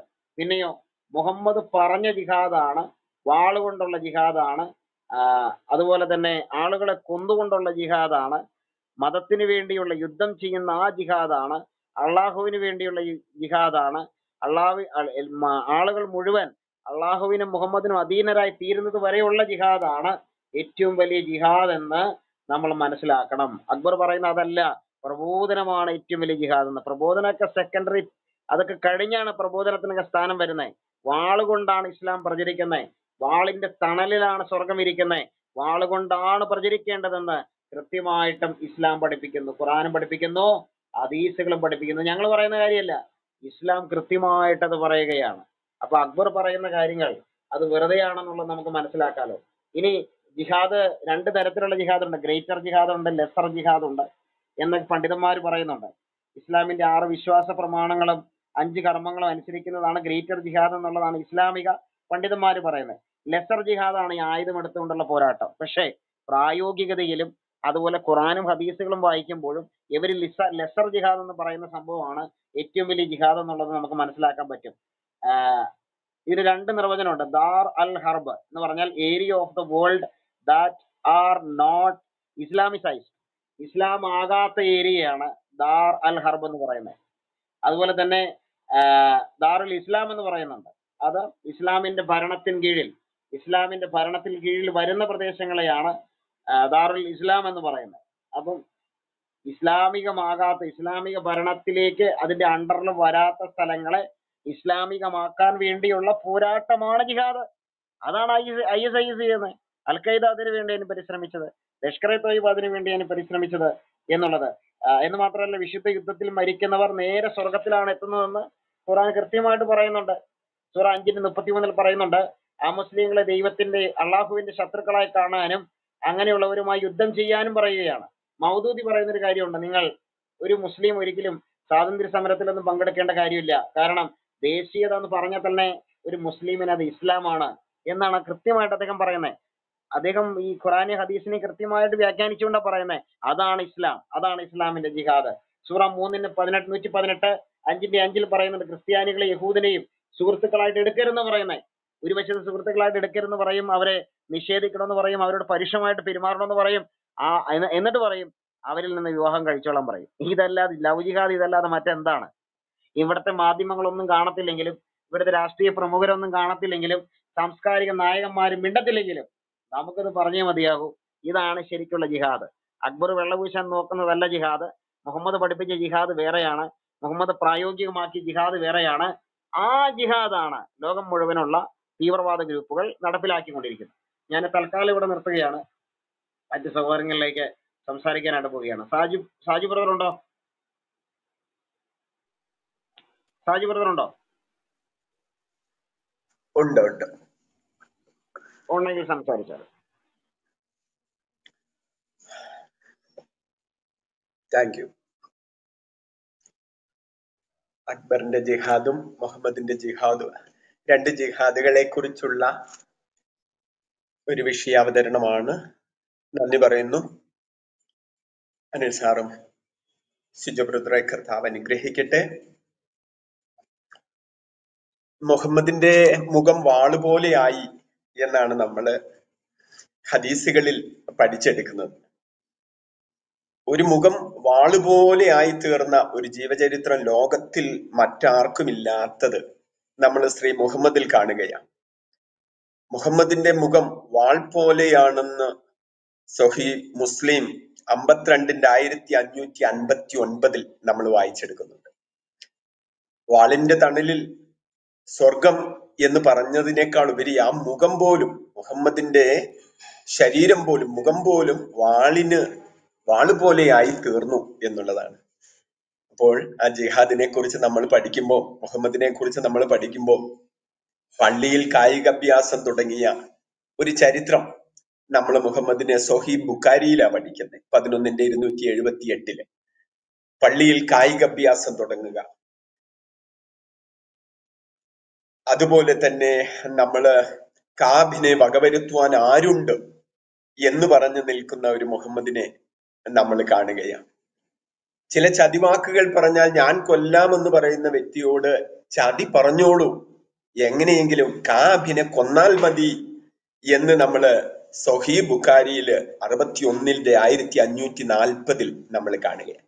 അപ്പോൾ ചതി പറഞ്ഞാണെങ്കിലും അവരനെ കൊല്ലുവാൻ അവരെ മതക്കാരെ കൊല്ലുവാൻ മുഹമ്മദിന്റെ ജീവചരിത്രത്തിൽ തന്നെ അതിനുള്ള ഏടുകൾ നമ്മൾ കണ്ടെത്തുന്നുണ്ട്. പിന്നെ നമ്മൾ മുഹമ്മദിന്റെ ചരിത്രങ്ങൾ നമ്മൾ പരിശോധിക്കുമ്പോൾ ആ ജിഹാദിന്റെ വ്യത്യസ്തമായ മാനങ്ങൾ നമ്മൾ കാണുന്നുണ്ട്. വിഷയാവതരണത്തിൽ പ്രിയാസി ജോബ്രദർ ആ വഴികളിലൂടെ ഒക്കെ കടന്നുപോയത് കൊണ്ട് ആ ഭാഗങ്ങളിലേക്ക് അധികം പോകുവാൻ ഞാൻ ആഗ്രഹിക്കുന്നില്ല. പക്ഷെ വാളും മുഹമ്മദും ആയുധവും മുഹമ്മദും യുദ്ധവും മുഹമ്മദും തമ്മിലുള്ള ഒരു അവാച്യമായ ബന്ധം നമുക്ക് ഹദീസുകൾ വളരെ വ്യക്തമായി നമുക്ക് തരുന്നുണ്ട്. സൂറ ഒമ്പതിലൊക്കെ നമ്മൾ നിരന്തരമായി വായിച്ചെടുക്കുന്നത് അവിശ്വാസികളുമായുള്ള യുദ്ധം സത്യനിഷേധികളുമായുള്ള യുദ്ധം ഇങ്ങനെ മുൻ വേദക്കാരുമായിട്ടുള്ള യുദ്ധം. ഈ യുദ്ധങ്ങൾ വിഗ്രഹാരാധികളുമായാലും അവിശ്വാസികളുമായാലും അതല്ല മുൻ വേദക്കാരോടാണെങ്കിലും ഒക്കെയുള്ള ആ യുദ്ധങ്ങൾ ആ ജിഹാദിസം വിശുദ്ധ യുദ്ധം വളരെ വ്യക്തമായിട്ട് നമുക്കത് പഠിച്ചെടുക്കാൻ സാധിക്കുന്നുണ്ട്. അള്ളാഹുവിന്റെ നാമത്തിൽ യുദ്ധം. മറ്റിതര മത യുദ്ധങ്ങളോ അല്ലെങ്കിൽ മറ്റ് രാഷ്ട്രപരമായ വിഷയങ്ങളുടെ ഒക്കെ ഉപരിയായിട്ട് ഇസ്ലാമിന്റെ ഈ വിശുദ്ധ യുദ്ധം എപ്പോഴും മുന്നിൽ നിൽക്കുകയാണ്.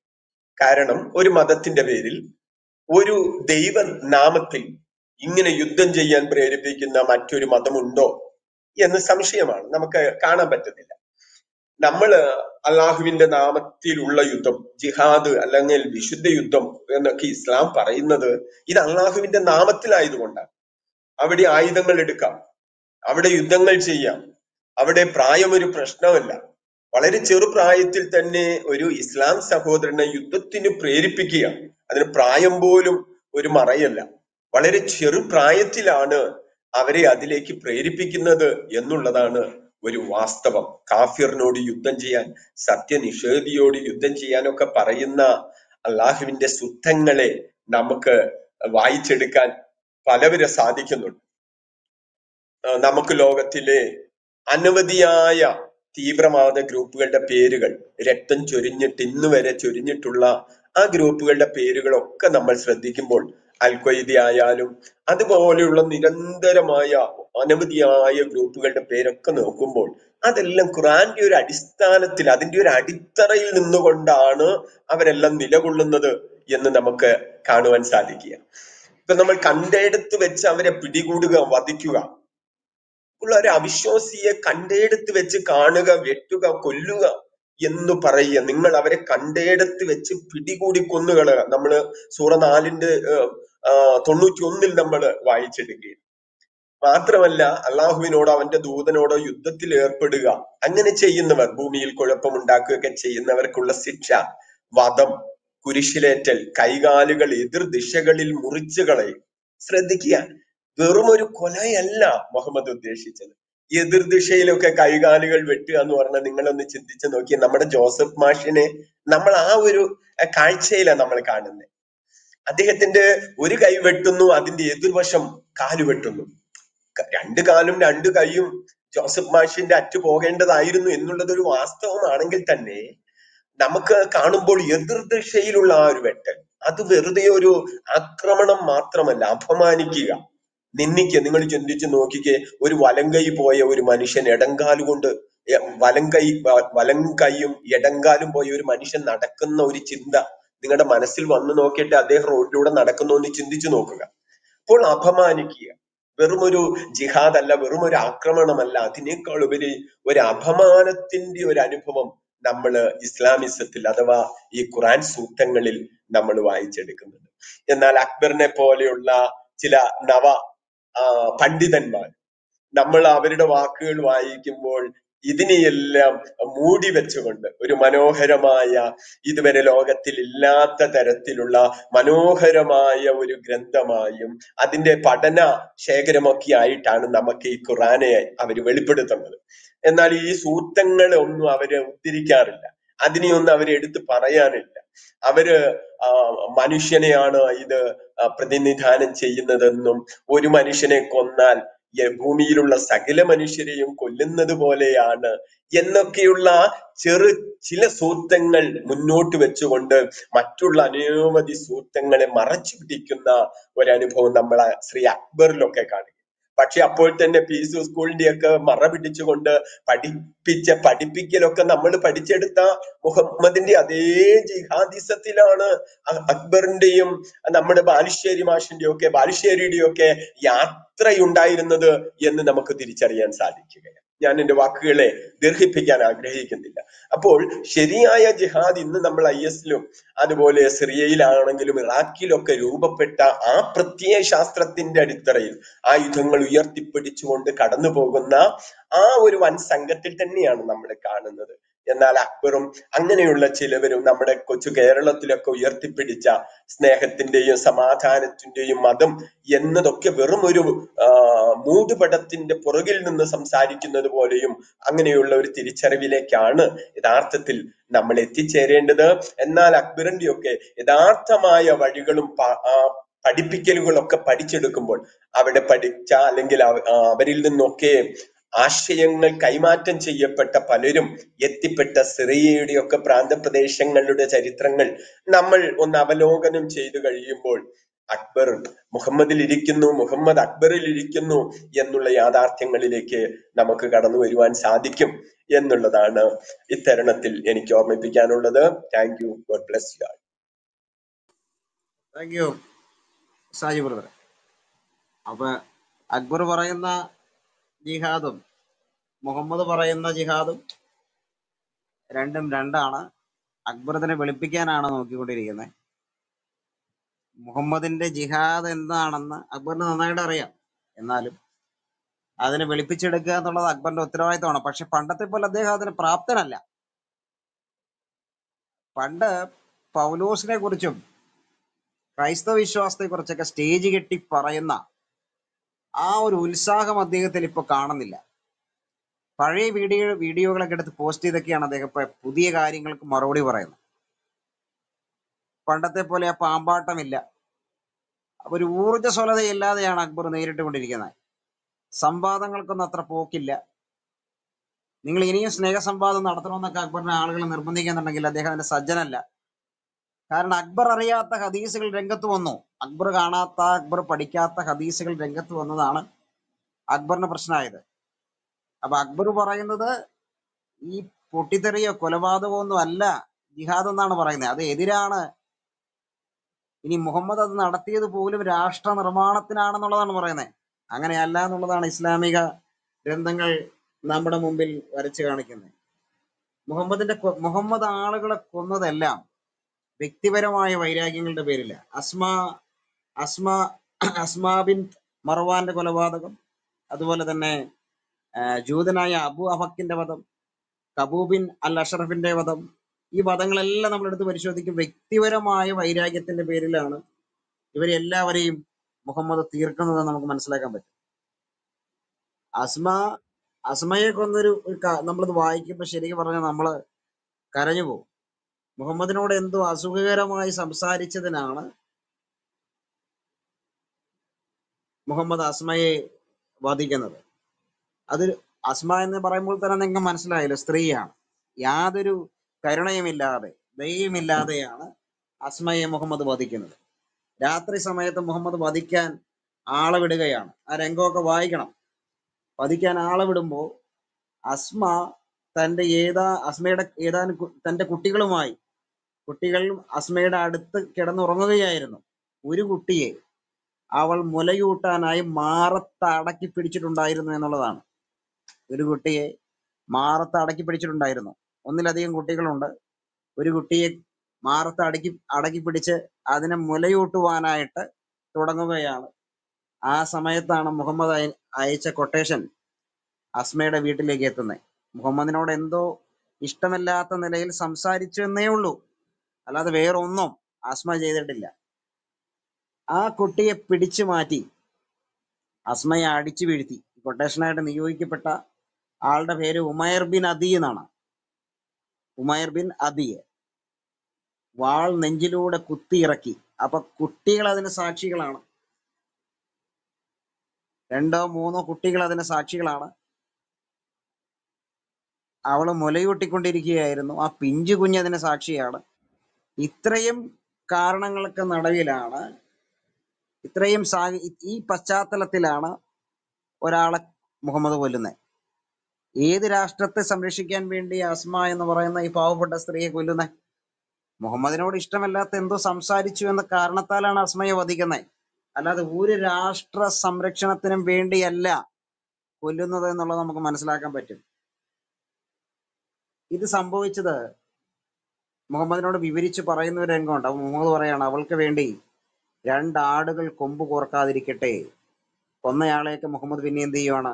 അനുമോദിക്കുകയാണ്. അപ്പൊ തികച്ചും വ്യക്തിപരമാണ് കൊലപാതകങ്ങൾ എന്നുള്ളത് നമുക്ക് മനസ്സിലാക്കാൻ പറ്റും ഇവിടെ ഞാൻ പറഞ്ഞു വരുന്നത് അക്ബർ പറയുന്ന ജിഹാദ് അല്ല മുഹമ്മദിന്റെ ജിഹാദ്. അത് നമ്മൾ കൃത്യമായിട്ട് മനസ്സിലാക്കണം. അക്ബറിന് അറിയാം ഏതാണ് ജിഹാദ് എന്ന് പക്ഷേ അക്ബർ അതിനെ വെളുപ്പിക്കാൻ നോക്കുകയാണ്. പുതിയ വീഡിയോകൾ ഇട്ടുകൊണ്ടല്ല പഴയ വീഡിയോകൾ ഇട്ടുകൊണ്ടാണ് അദ്ദേഹം വെളുപ്പിക്കുന്നത്. അപ്പൊ അദ്ദേഹം അങ്ങനെ ചെയ്യുമ്പോൾ ഇടയ്ക്കിടയ്ക്ക് ഇങ്ങനെ തല പൊക്കുമ്പോൾ നമ്മളിങ്ങനെ ഈ പാമ്പ് ഇങ്ങനെ തല പൊക്കുമ്പോൾ ഇടയ്ക്ക് ഒരു അടി കൊടുത്ത് അതിന്റെ താഴ്ത്തി കിടത്തുന്നത് പോലെ ഇടയ്ക്കിടയ്ക്ക് ഓരോന്ന് കൊടുത്തുകൊണ്ടിരിക്കണ്ടേ? അതുകൊണ്ടാണ് അത് പറഞ്ഞുകൊണ്ടിരിക്കുന്നത്. അടുത്തത് ജൂതനായ അബു അഫക്കിന്റെ വധം. അഫക്കിനെ വധിക്കാൻ മുഹമ്മദ് സാലിം ബിൻ ഉമയറിനെ നിയോഗിക്കുകയാണ്. അഫക്കിന് നൂറ്റി ഇരുപത് വയസ്സായിരുന്ന സമയത്ത്. അയാൾ തന്റെ കവിതയിലൂടെ മുഹമ്മദിനെ പരിഹസിക്കുമായിരുന്നു. അതാണ് അയാൾ ചെയ്ത കുറ്റം. താൻ കവിത എഴുതി മുഹമ്മദിനെ പരിഹസിക്കുമായിരുന്നു. ഒരു വേനൽക്കാല രാത്രിയിൽ തന്റെ വീട്ടുമുറ്റത്ത് കിടക്കുകയായിരുന്നു അഫക്കിനെ. മുഹമ്മദ് ആളയച്ച് പഴയ പോലെ അസ്മയുടെ അടുത്ത് അയച്ച ആ ആളെ തന്നെയല്ല അയച്ചത് വേറെ ആളെ. സാലിമിനെ അയച്ചു. തന്റെ വാളുകൊണ്ട് കരളിൽ കുത്തി അങ്ങനെ അദ്ദേഹം മരിച്ചു. കുറ്റം എന്താണ്? മുഹമ്മദിനെ പരിഹസിച്ചു എന്നുള്ളത് മുഹമ്മദിനെ വിമർശിച്ചു.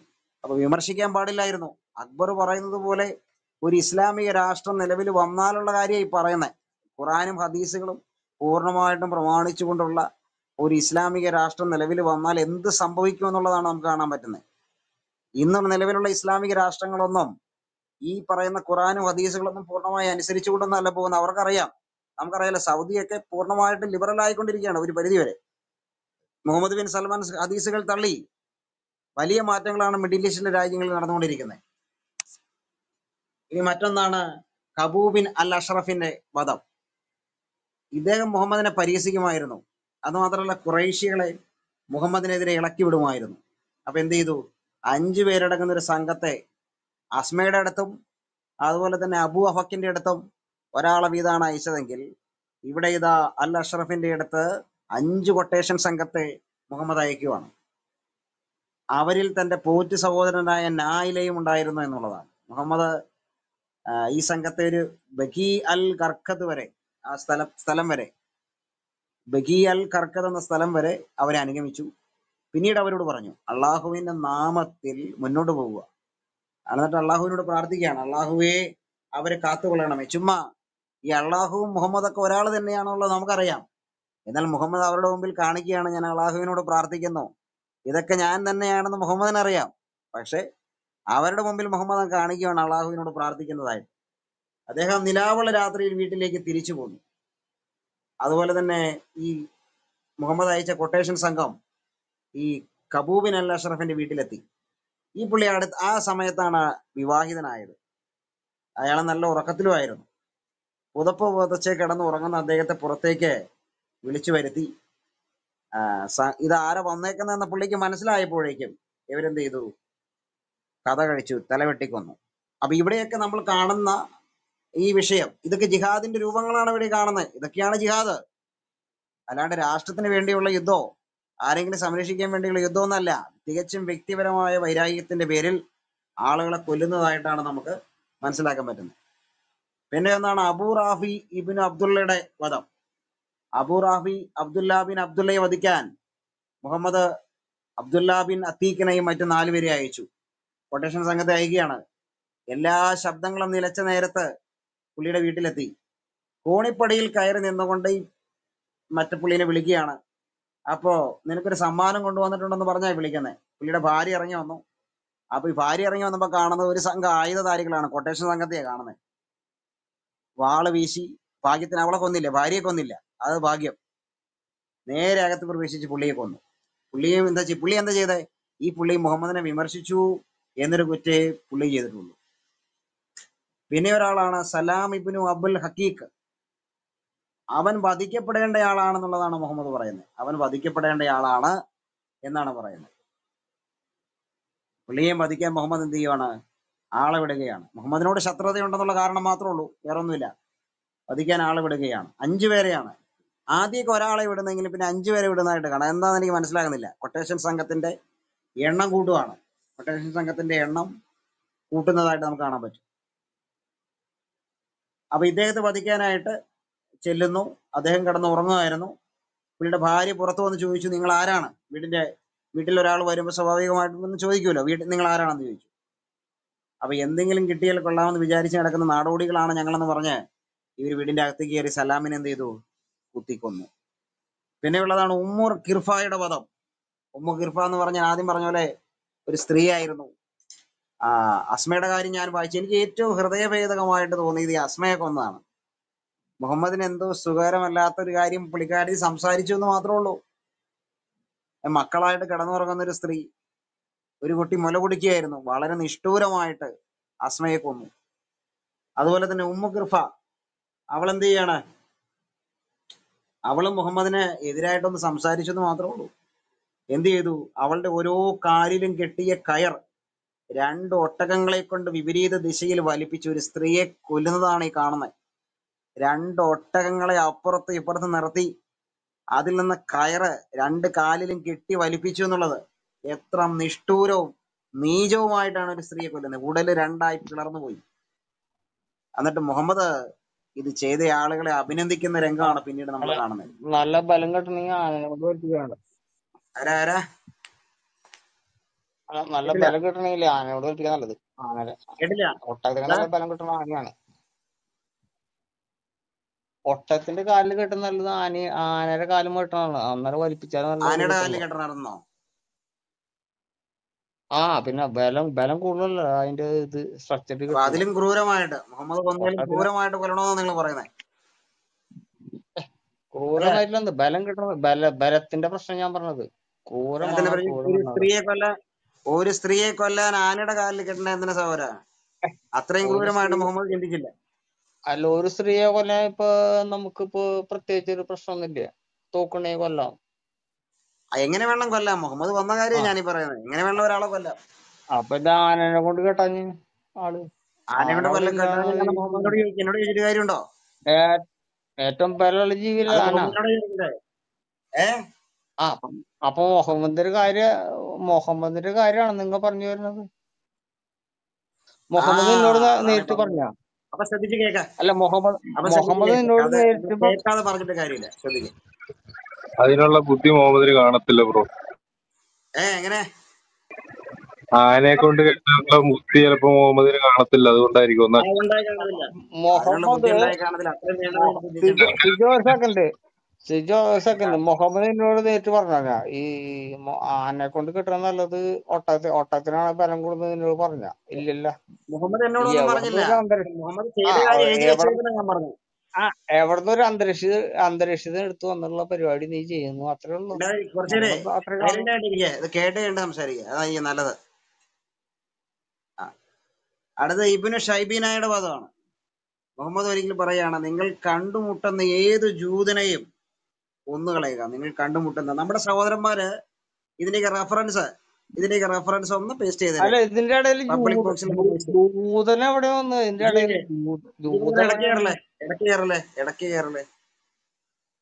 സംസാരിക്കാൻ അവസരം തരാം. അവ ഇബിന് ഷൈബീനയുടെ പദം മുഹമ്മദ് ഒരിക്കൽ പറയാണ് നിങ്ങൾ കണ്ടുമുട്ടുന്ന ഏത് ബിജുവിനെ താഴേക്ക് വേണ്ടി വരുമോ അത് കുഴപ്പമില്ല. താഴേക്ക് വിട്ടാൽ നന്ദിയുള്ളൂ? കാരണം നമ്മൾ ഡിബേറ്റ് ചെയ്യാൻ പറയാൻ പറ്റില്ല. ബിജു ശ്രദ്ധിച്ച് കേക്ക്. എന്നിട്ട് പറ. ബിജുവിന് കൃത്യമായിട്ട് റെഫറൻസ് നമ്മുടെ സഹോദരന്മാര് തരും. Okay okay. കമന്റ് ബോക്സിൽ ഓക്കെ. കമന്റ് ഒന്നും നമുക്ക് നോക്കേണ്ട കാര്യമില്ല. നമ്മൾ റിയലുള്ള കാര്യങ്ങൾ നമ്മൾ റിയൽ നമ്മൾ ചോദിച്ചു ചോദിച്ചോണ്ടിരിക്കും ഇടയ്ക്ക് സംസാരിച്ച് അലങ്കോലപ്പെടുത്താതിരിക്കും ഒരു കാര്യം. മൈക്ക് മൂട്ടയല്ല ഒരു കാര്യം. നമ്മൾ റിയൽ കാര്യങ്ങൾ നമ്മളെ ചോദിച്ചുകൊണ്ടിരിക്കും സംശയങ്ങൾ ആ, അതിൽ പ്രശ്നം അതിൽ പ്രശ്നം പറഞ്ഞു അതിൽ തീർന്നിട്ട് അല്ല അതിൽ അല്ല പ്രശ്നം പറഞ്ഞു ഉണ്ടോ തീർന്നിട്ട് ഇല്ലയോ സംശയം എന്നാണ് നമുക്ക് ചോദിച്ചോ? അറിയേണ്ടത് അതിന് പ്രശ്നമില്ല. സമയം പറഞ്ഞു തീർന്നിട്ട് ആ. ചോദിച്ചോ? ഓക്കെ ആ പറഞ്ഞു കേട്ടോ ചോദിക്കുള്ളൂ സംശയങ്ങൾ നമുക്ക് കുറെ കാര്യങ്ങളുണ്ട് ഓക്കെ. നിങ്ങൾ നിങ്ങൾ പറഞ്ഞോണ്ട് നിങ്ങൾ റേഡിയോ റേഡിയോ ആയിട്ട് വർക്ക് ചെയ്തു? അത് ബിജുവിന് തോന്നണ റേഡിയോ അല്ല. ഞങ്ങൾ മാറി മാറി സംസാരിച്ചോണ്ടിരിക്കാറുണ്ട് റേഡിയോ ആവണ എങ്ങനെയാ? ഒരു എതിർ ശബ്ദം വരാൻ വേണ്ടിയാണ്. അത് പറഞ്ഞു തീർന്നിട്ട് ബിജുവിന് ചോദിക്കാം. അത്രേ ഉള്ളൂ. കേട്ടോ? അത്ര നേരം ബിജു സഹിഷ്ണുതയോടെ ഇരിക്കും. ഇബിന് ഷൈബീനായുടെ പദം. മുഹമ്മദ് പറയാണ് നിങ്ങൾ കണ്ടുമുട്ടുന്ന ഏത് ജൂതനെയും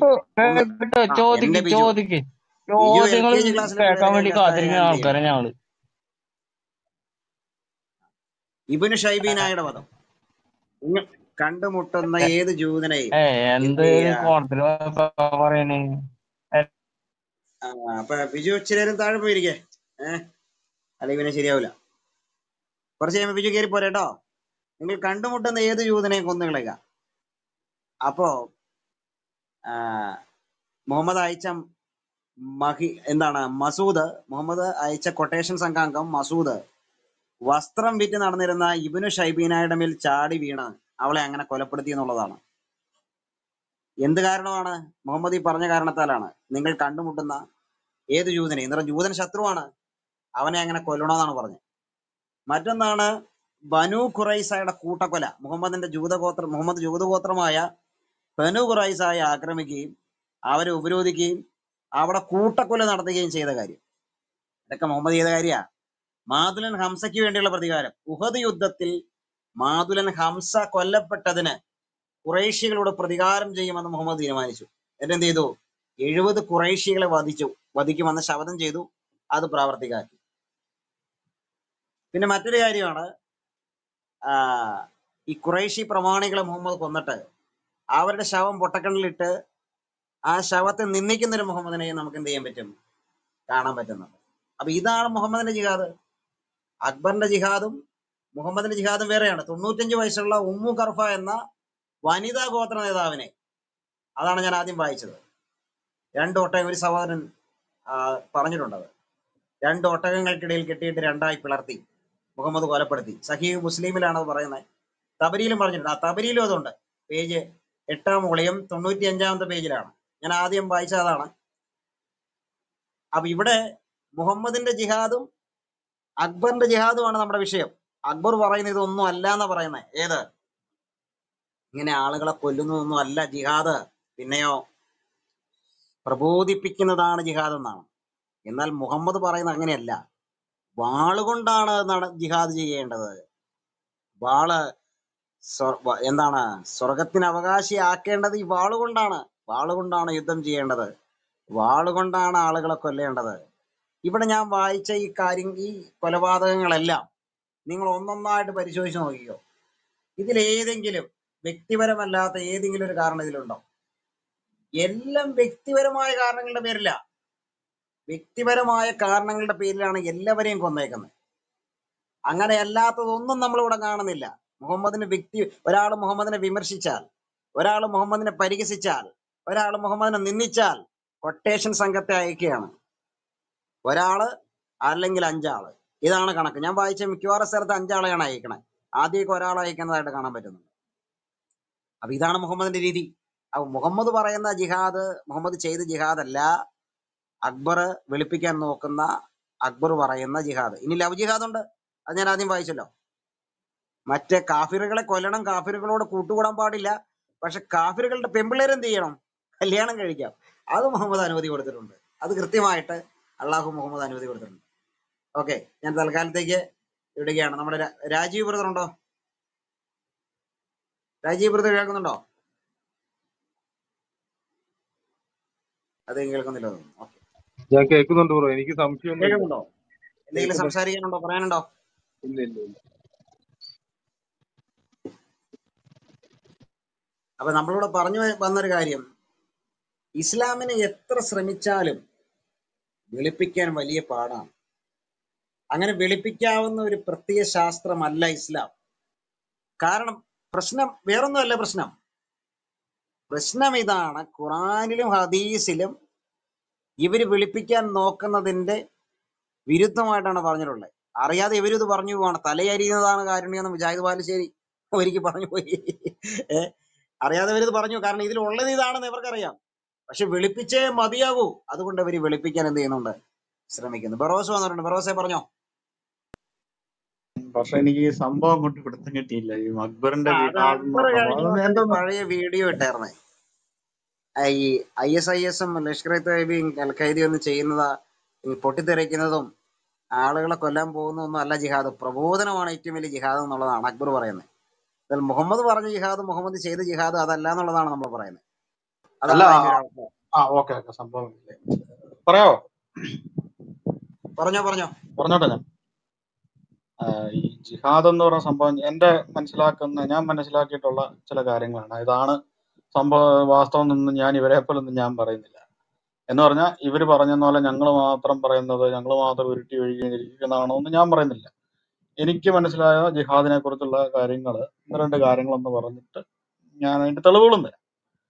ഒന്നാമതായി പറയാനുള്ളത് ഈ ജിഹാദ് എന്ന് പറഞ്ഞ പറഞ്ഞ സംഭവം പൊതുവെ നമ്മൾ ധരിച്ചിട്ടുള്ള ഒരു തെറ്റിദ്ധാരണയും കൂടെ ഞാൻ പറയാം. അപ്പൊ അത് നിങ്ങൾക്ക് മനസ്സിലാവുമെന്ന് വിചാരിക്കുന്നു.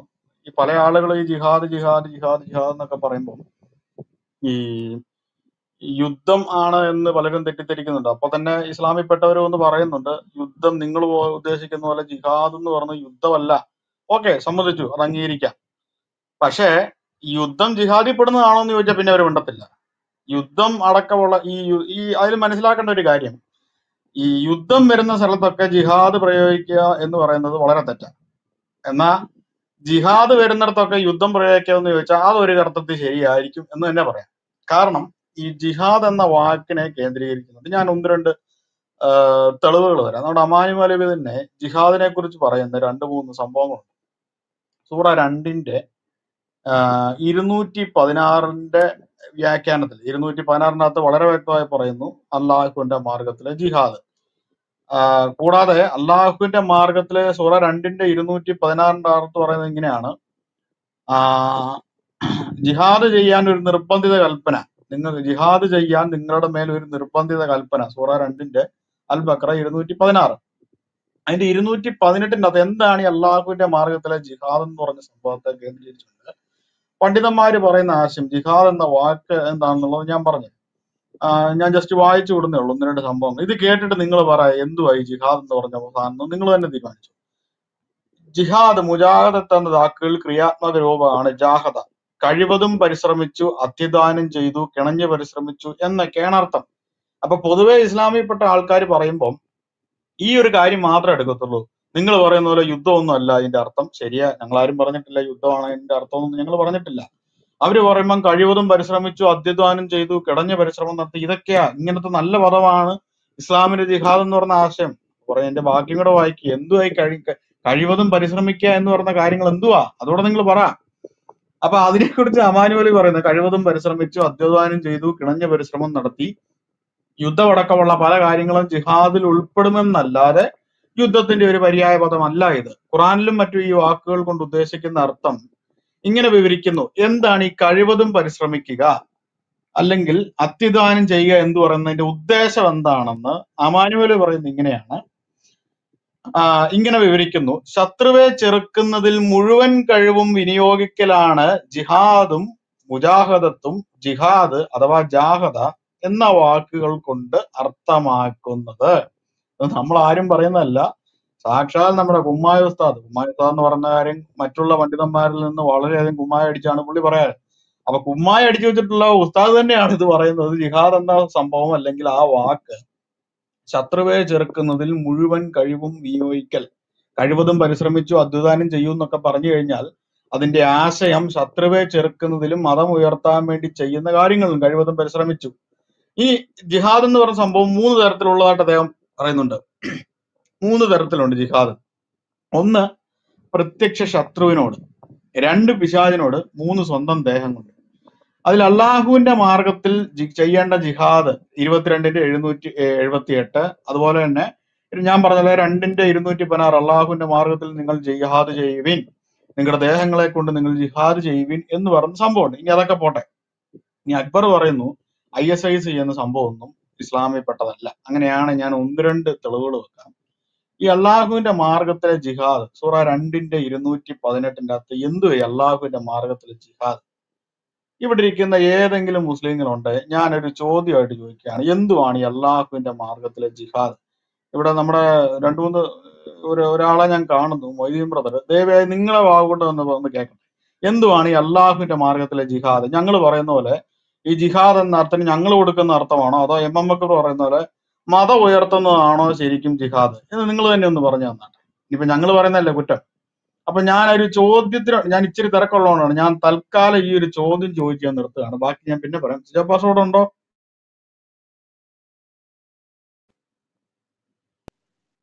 കേൾക്കുന്നുണ്ടോ? ഞാൻ പറഞ്ഞു ഹലോ? ഓക്കെ. അപ്പൊ എന്റെ ചോദ്യം ഇതാണ്. അള്ളാഹുവിന്റെ മാർഗത്തിലെ ജിഹാദ് എന്ന് പറഞ്ഞാൽ എന്താണ്? ഇവിടെ ഇരിക്കുന്ന ഏതെങ്കിലും മുസ്ലിം സഹോദരന്മാരുണ്ടെങ്കിൽ കയറി ഒന്നൊന്ന് പറയണേ ഈ പറയുന്ന അക്ബറിന്റെ അക്ബർ പറയുന്ന ജിഹാദ് ആണോ അതോ എന്തുവാണ് അള്ളാഹുവിന്റെ മാർഗത്തിലെ ജിഹാദ്? അതാണ് എന്റെ ചോദ്യം. ഹലോ. കേക്കാം ഹലോ. ഹലോ. കേക്കുന്നുണ്ടോ കേക്കാം അതെ ഞാനേ എനിക്ക് ഇതിനെക്കുറിച്ച് ആധികാരികമായി പറയാനൊന്നും അറിയില്ല. ഞാൻ ജസ്റ്റ് ക്ലബ് ഹൗസിൽ ഒന്ന് കയറിയപ്പോൾ ഇത് ഈ ചർച്ച നടക്കുന്ന കണ്ടാണ്. കേൾക്കുന്നുണ്ടോ എന്നെ? കേൾക്കാം പറഞ്ഞോളൂ. താങ്കൾക്ക് അറിയാവുന്ന പറഞ്ഞാൽ അപ്പൊ ഈ ആ ആ, ഈ അള്ളാഹുവിന്റെ മാർഗം എന്ന് ഉദ്ദേശിച്ചാൽ ഒത്തിരി മാർഗങ്ങളുണ്ടല്ലോ നമ്മളിപ്പം കർത്താവിന്റെ മാർഗങ്ങൾ എന്ന് പറഞ്ഞാൽ ഒറ്റയടിക്കാൻ പറയാൻ പറ്റില്ല. അള്ളാഹുവിന്റെ മാർഗത്തിലെ ജിഹാദാണ് ഞാൻ ചോദിച്ചത്. അള്ളാഹുവിന്റെ മാർഗമല്ല ഞാൻ ചോദിച്ചത്. അള്ളാഹുവിന്റെ മാർഗത്തിലെ ജിഹാദ്. അതെന്താണ് മാർഗം അള്ളാഹുവിന്റെ മാർഗത്തെ ജിഹാദ് എന്ന് പറഞ്ഞാൽ ഇപ്പൊ ഒരാൾ ഹജ്ജിന് പോകാൻ തീരുമാനിച്ചു. അപ്പം ഹജ്ജിന് പോകാൻ തീരുമാനിച്ചപ്പം അതിന് അവിടെ വന്നപ്പോൾ അവിടെ ഒരു പൊതുവഴിയുണ്ട് അത് യാത്രായോഗ്യമല്ല. അങ്ങനെ വരുമ്പോൾ ആ പൈസ മുടക്കി അവൻ ആ പണി ആ റോഡ് പണിത് കൊടുക്കുക എന്നുള്ളതാണ് ജിഹാദ്. അവന് ആ ഹജ്ജ് ചെയ്തതിന്റെ കൂലി അവിടെ നൽകപ്പെടും എന്നാണ്. ഇത് ഇതുപോലെ അനേക പിന്നെ ജിഹാദുകളുണ്ട്. പിന്നെ നമ്മളുടെ സ്വയം എന്ന് പറഞ്ഞു കഴിഞ്ഞാൽ നമ്മൾ ചെയ്യേണ്ട നമ്മൾ എടുപ്പ് നടപ്പ് കൊടുപ്പ് ഇതെല്ലാം അത് ആ മതം അനുവദിച്ച രീതിയിൽ നടന്ന അതൊരു ജിഹാദാണ്. ഒന്ന് നിന്റെ അടുത്ത് കിടക്കുന്നവൻ പട്ടിണി കിടക്കുമ്പോൾ നീ വയർ നിറച്ച് കഴിച്ചാൽ അത് ജിഹാദിൽ പെടില്ല അവനോട് നീ പങ്ക് കൊടുത്താൽ അത് ജിഹാദിൽ പെടും പിന്നെ അനാഥ കുഞ്ഞിനെ അനാഥ കുഞ്ഞിന്റെ അടുത്ത് നിന്റെ കുഞ്ഞിനെ നീ ഓമനിപ്പിക്കുകയോ കളിപ്പിക്കുകയോ വാത്സല്യം കൊടുക്കുകയോ ചെയ്യുമ്പോൾ അത് ജിഹാദിൽ പെടില്ല. അവനെയും കൂടെ കൂടി നീ ചെയ്യണം. ഇങ്ങനെ കുതിര അനേകമുണ്ട്. പറഞ്ഞു വരുന്ന അള്ളാഹുവിന്റെ മാർഗം എന്ന് പറഞ്ഞാൽ അനേകമുണ്ട്. പക്ഷെ എനിക്കിത് മനസ്സിലായ എന്താണെന്നറിയോ? നിങ്ങൾ ആദ്യം ബൈബിളിൽ എന്തേരം നന്മകളുണ്ട്. ആ നന്മകൾ പറഞ്ഞ് നിങ്ങളുടെ സമൂഹത്തെ നിങ്ങൾ ഉദ്ബോധിപ്പിക്കുക. അപ്പോൾ തന്നെ നിങ്ങളുടെ ആൾക്കാർ നിങ്ങളുടെ കൂടെ ഉറച്ചു നിൽക്കും. കൂടാതെ നിങ്ങളിലേക്ക് കൂടുതൽ പേർ ആകർഷിക്കപ്പെടും. നമ്മളിപ്പോ ഒരു ഇതിനെ ഇപ്പൊ നമ്മൾ കണ്ടിരിക്കുന്നത് ഒരു രണ്ട് വലിപ്പമുള്ള ഒരു ഒരു തൂണ് നിൽക്കുക അപ്പൊ ഒന്നിന് വലുതാകണം. അതിനടുത്ത് നിൽക്കുന്ന തൂണിനെ വെട്ടിക്കളയല്ല ചെയ്യേണ്ടത് അതിൽ കാര്യമില്ല. നമ്മൾ നമ്മുടെ തൂണിനെ വളർത്തുക. അത് ചെയ്യുക. ഈ വിദ്വേഷവും വെറുപ്പും കൊണ്ട് ഞാൻ എന്റെ അനുഭവം ഞാൻ പറയാണ്. എനിക്ക് കൂടുതൽ ഇങ്ങനെ സംസാരിക്കൊന്നും അറിയില്ല കേട്ടോ.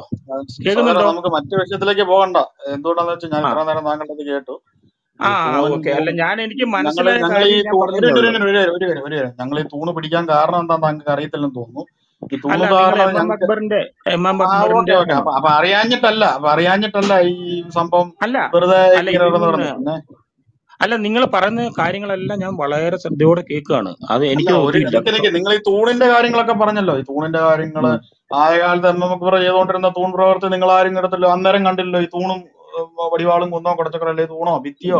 അന്നേരം ഒന്നും മുഹമ്മദ് ഞാൻ പറയട്ടെ. മുഹമ്മദ് മുജാഹിദ് ബാലുശ്ശേരിയെ ഉള്ളവരൊക്കെ മറ്റുള്ളവന്റെ തൂൺ പിടിക്കാൻ പോയപ്പോഴൊന്നും ഈ തൂൺ പരിപാടി അന്നേരം കണ്ടില്ല. ഇതിപ്പോ ഞങ്ങൾ എടുത്തപ്പോ മാത്രം എന്താന്ന് മനസ്സിലായില്ല. അതവിടെ നിശ്ചയം. ഇതൊന്നുമല്ല നമ്മുടെ വിഷയം. എന്റെ ചോദ്യം കേക്ക്. അള്ളാഹുവിന്റെ മാർഗത്തിലെ ജിഹാദ് എന്താണെന്നാണ് എന്റെ ചോദ്യം. താങ്കൾ അള്ളാഹുവിന്റെ മാർഗത്തിലെ ജിഹാദുകൾ അനേകമാണ്. ഒരു ഒരു ജിഹാദ് അല്ല അള്ളാഹുവിന്റെ മാർഗത്തിലുള്ളത് ജിഹാദ് എന്ന് പറയുന്നതിന് അതിന് കൃത്യമായ അർത്ഥങ്ങളും ഉണ്ട്. അതിനുള്ള വിശദീകരണം ജിഹാദി പലതുണ്ട് സുഹൃത്തെ. അത് ഞങ്ങൾക്ക് അറിയാം ജിഹാദിലെ ഒരു ജിഹാദാണ് അള്ളാഹുവിന്റെ മാർഗത്തിലെ ജിഹാദ്. പലതുണ്ട്. ദേഹം കൊണ്ട് ചെയ്യുന്നുണ്ട് നാവ് കൊണ്ടുള്ള ജിഹാദുണ്ട് സ്വന്തത്തോടെ ചെയ്യുന്നുണ്ട് ശത്രുവിനോടുണ്ട് പ്രത്യേകം അങ്ങനെ പല ജിഹാദുകളുണ്ട്. എന്റെ ചോദ്യം അള്ളാഹുവിന്റെ മാർഗത്തിലെ ജിഹാദ് എടുത്തു പറഞ്ഞ ജിഹാദ് എന്താണെന്നാണ് എന്റെ ഒരു യുദ്ധമുഖത്തിൽ നിൽക്കുമ്പോൾ ഒരു യുദ്ധമുഖത്തിൽ നിൽക്കുമ്പോൾ ഒരു രാജ്യം ഇപ്പം റഷ്യ ഉക്രൈനെ ആക്രമിക്കുന്നു. ആ റഷ്യ എന്നാ നമ്മൾ ബൈബിൾ നോക്കിയിട്ട് നമ്മുടെ സഹോദരങ്ങളല്ല എന്ന് പറഞ്ഞിട്ട് ആക്രമിക്കാതിരിക്കുകയല്ലോ. കാരണം യുദ്ധമുഖമാണത്. അവിടെ അത് തെറ്റല്ലായിരിക്കും മതപരമായിട്ട്. കാരണം യുദ്ധമുഖത്ത് നിൽക്കുകയാണോ ശരിയാണോ എന്നൊന്നും ഞാൻ ചോദിച്ചില്ല സുഹൃത്ത്. അള്ളാഹുവിന്റെ മാർഗത്തിലെ ജിഹാദ് എന്താണെന്ന് വ്യക്തമായി അള്ളാഹുവിന്റെ മാർഗത്തിലെ ജിഹാദ് ഞാൻ പറഞ്ഞതെല്ലാം അള്ളാഹുവിന്റെ മാർഗത്തിലുള്ള ജിഹാദാണ്. ഒരു യുദ്ധമുഖത്ത് നിൽക്കുമ്പോൾ ശത്രുവിനെ ആക്രമിക്കുക എന്നുള്ള ജിഹാദാണ്. അതുപോലെ തന്നെ അള്ളാഹുവിന്റെ മാർഗത്തിലെ ജിഹാദ് ആണെന്നാണ് തെളിവ് അതൊക്കെ അള്ളാഹുവിന്റെ മാർഗത്തിലെ ജിഹാദ് ആണെന്നുള്ള എന്റെ തെളിവ് അത് പിന്നെ അത് എനിക്ക് മനസ്സിലായത് നിങ്ങൾ പറഞ്ഞത് എന്താന്ന് ജിഹാദ് അല്ല നിങ്ങൾ ഈ പറഞ്ഞ പ്രകാരം നിങ്ങൾ ഈ പറഞ്ഞ അയൽക്കാരൻ പട്ടി കിടക്കുമ്പോൾ സ്നേഹിക്കുന്നതൊക്കെ അള്ളാഹുവിന്റെ മാർഗത്തിലെ ജിഹാദ് എന്നൊക്കെ പറയുന്നത് ഇതാണെന്നുള്ളതിന്റെ തെളിവ് ഇങ്ങോട്ട് നിങ്ങളുടെ വാക്കല്ല ഞങ്ങൾക്ക് വേണ്ട. ഞങ്ങൾക്ക് നിങ്ങളുടെ തഫ്സീർ ആവശ്യമില്ല. നിങ്ങളുടെ വ്യാഖ്യാനങ്ങൾ ആവശ്യമില്ല. ഞങ്ങൾക്ക് വേണ്ടത് ആധികാരികമായ പ്രമാണങ്ങളുടെ അടിസ്ഥാനത്തിൽ ഈ പറഞ്ഞ അതല്ല അള്ളാഹുവിന്റെ മാർഗത്തിലെ ജിഹാദ് ഞാൻ ആദിക തെളിയിക്കുക നിങ്ങൾക്ക് ഞാനൊരു പണ്ഡിതനല്ല ഒന്നാമത് പറയട്ടെ സുഹൃത്തെ ഞാൻ ഒരു പണ്ഡിതൻ. ഞാൻ നിങ്ങളെ ശത്രുഭാഗത്തല്ല കാണുന്നത്. അത് നിങ്ങൾ മനസ്സിലാക്കുക. നിങ്ങളെ ഞാൻ മൊത്തം കേട്ടോണ്ടിരിക്കുകയാണ് നിങ്ങൾ പറയുന്ന നന്മകളൊക്കെ ഞാൻ കേട്ടോണ്ടിരിക്കുകയാണ് അതിനകത്ത്. പക്ഷേ എനിക്ക് പറഞ്ഞു വരുമ്പോൾ ഞാൻ കാണുന്ന ഒരു എനിക്ക് ഇന്നത്തെ സാമൂഹ്യ സ്ഥിതി മനസ്സിലായ കാര്യം എന്റെ അനുഭവങ്ങളിലൂടെ ഞാൻ പറയാണ്. ക്രിസ്ത്യൻ സഹോദരങ്ങൾ ഞങ്ങളുടെ ഇഷ്ടം പോലെ ഞങ്ങൾക്കുണ്ട് അപ്പൊ അവരെല്ലാം നമ്മളെക്കുറിച്ച് പഠിക്കാൻ വരുന്നത് എന്തുകൊണ്ടാണെന്ന് നിങ്ങൾക്ക് മനസ്സിലായിട്ടില്ല. നിങ്ങൾ വിമർശിക്കും തോറും ഇത് എന്താണെന്ന് അറിയാൻ വേണ്ടി ആളുകൾ ചെയ്യുക യൂട്യൂബിൽ തപ്പുവാണ്. നിങ്ങൾ നോക്കിക്കോ. അങ്ങനെയാണ് ഈ ആൾക്കാരെല്ലാം ഇതിലേക്ക് വന്നത്. കാരണം പണ്ട് ഇസ്ലാം മതത്തിനെ കുറിച്ച് ആർക്കും അറിയത്തില്ല. അറബി കുറെ വാക്യങ്ങളുണ്ട്. ഈ സമയത്ത് കോമഡി അടിക്കില്ലേ?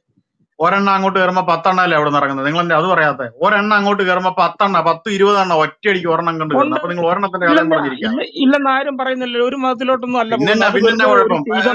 ക്രിസ്ത്യാനികളെല്ലാം ഒരു സംഘം തന്നെ അങ്ങോട്ട് കയറുന്നു അന്നേരം അവിടുന്ന് പത്തെണ്ണം ഇങ്ങോട്ട് ഇറങ്ങുക. അന്നേരം നിങ്ങൾ ഒരെണ്ണത്തിന്റെ കാര്യം പറയുക അത് വിട്. നമ്മുടെ എന്റെ ചോദ്യം പറയാം. അത് സത്യമാണ്.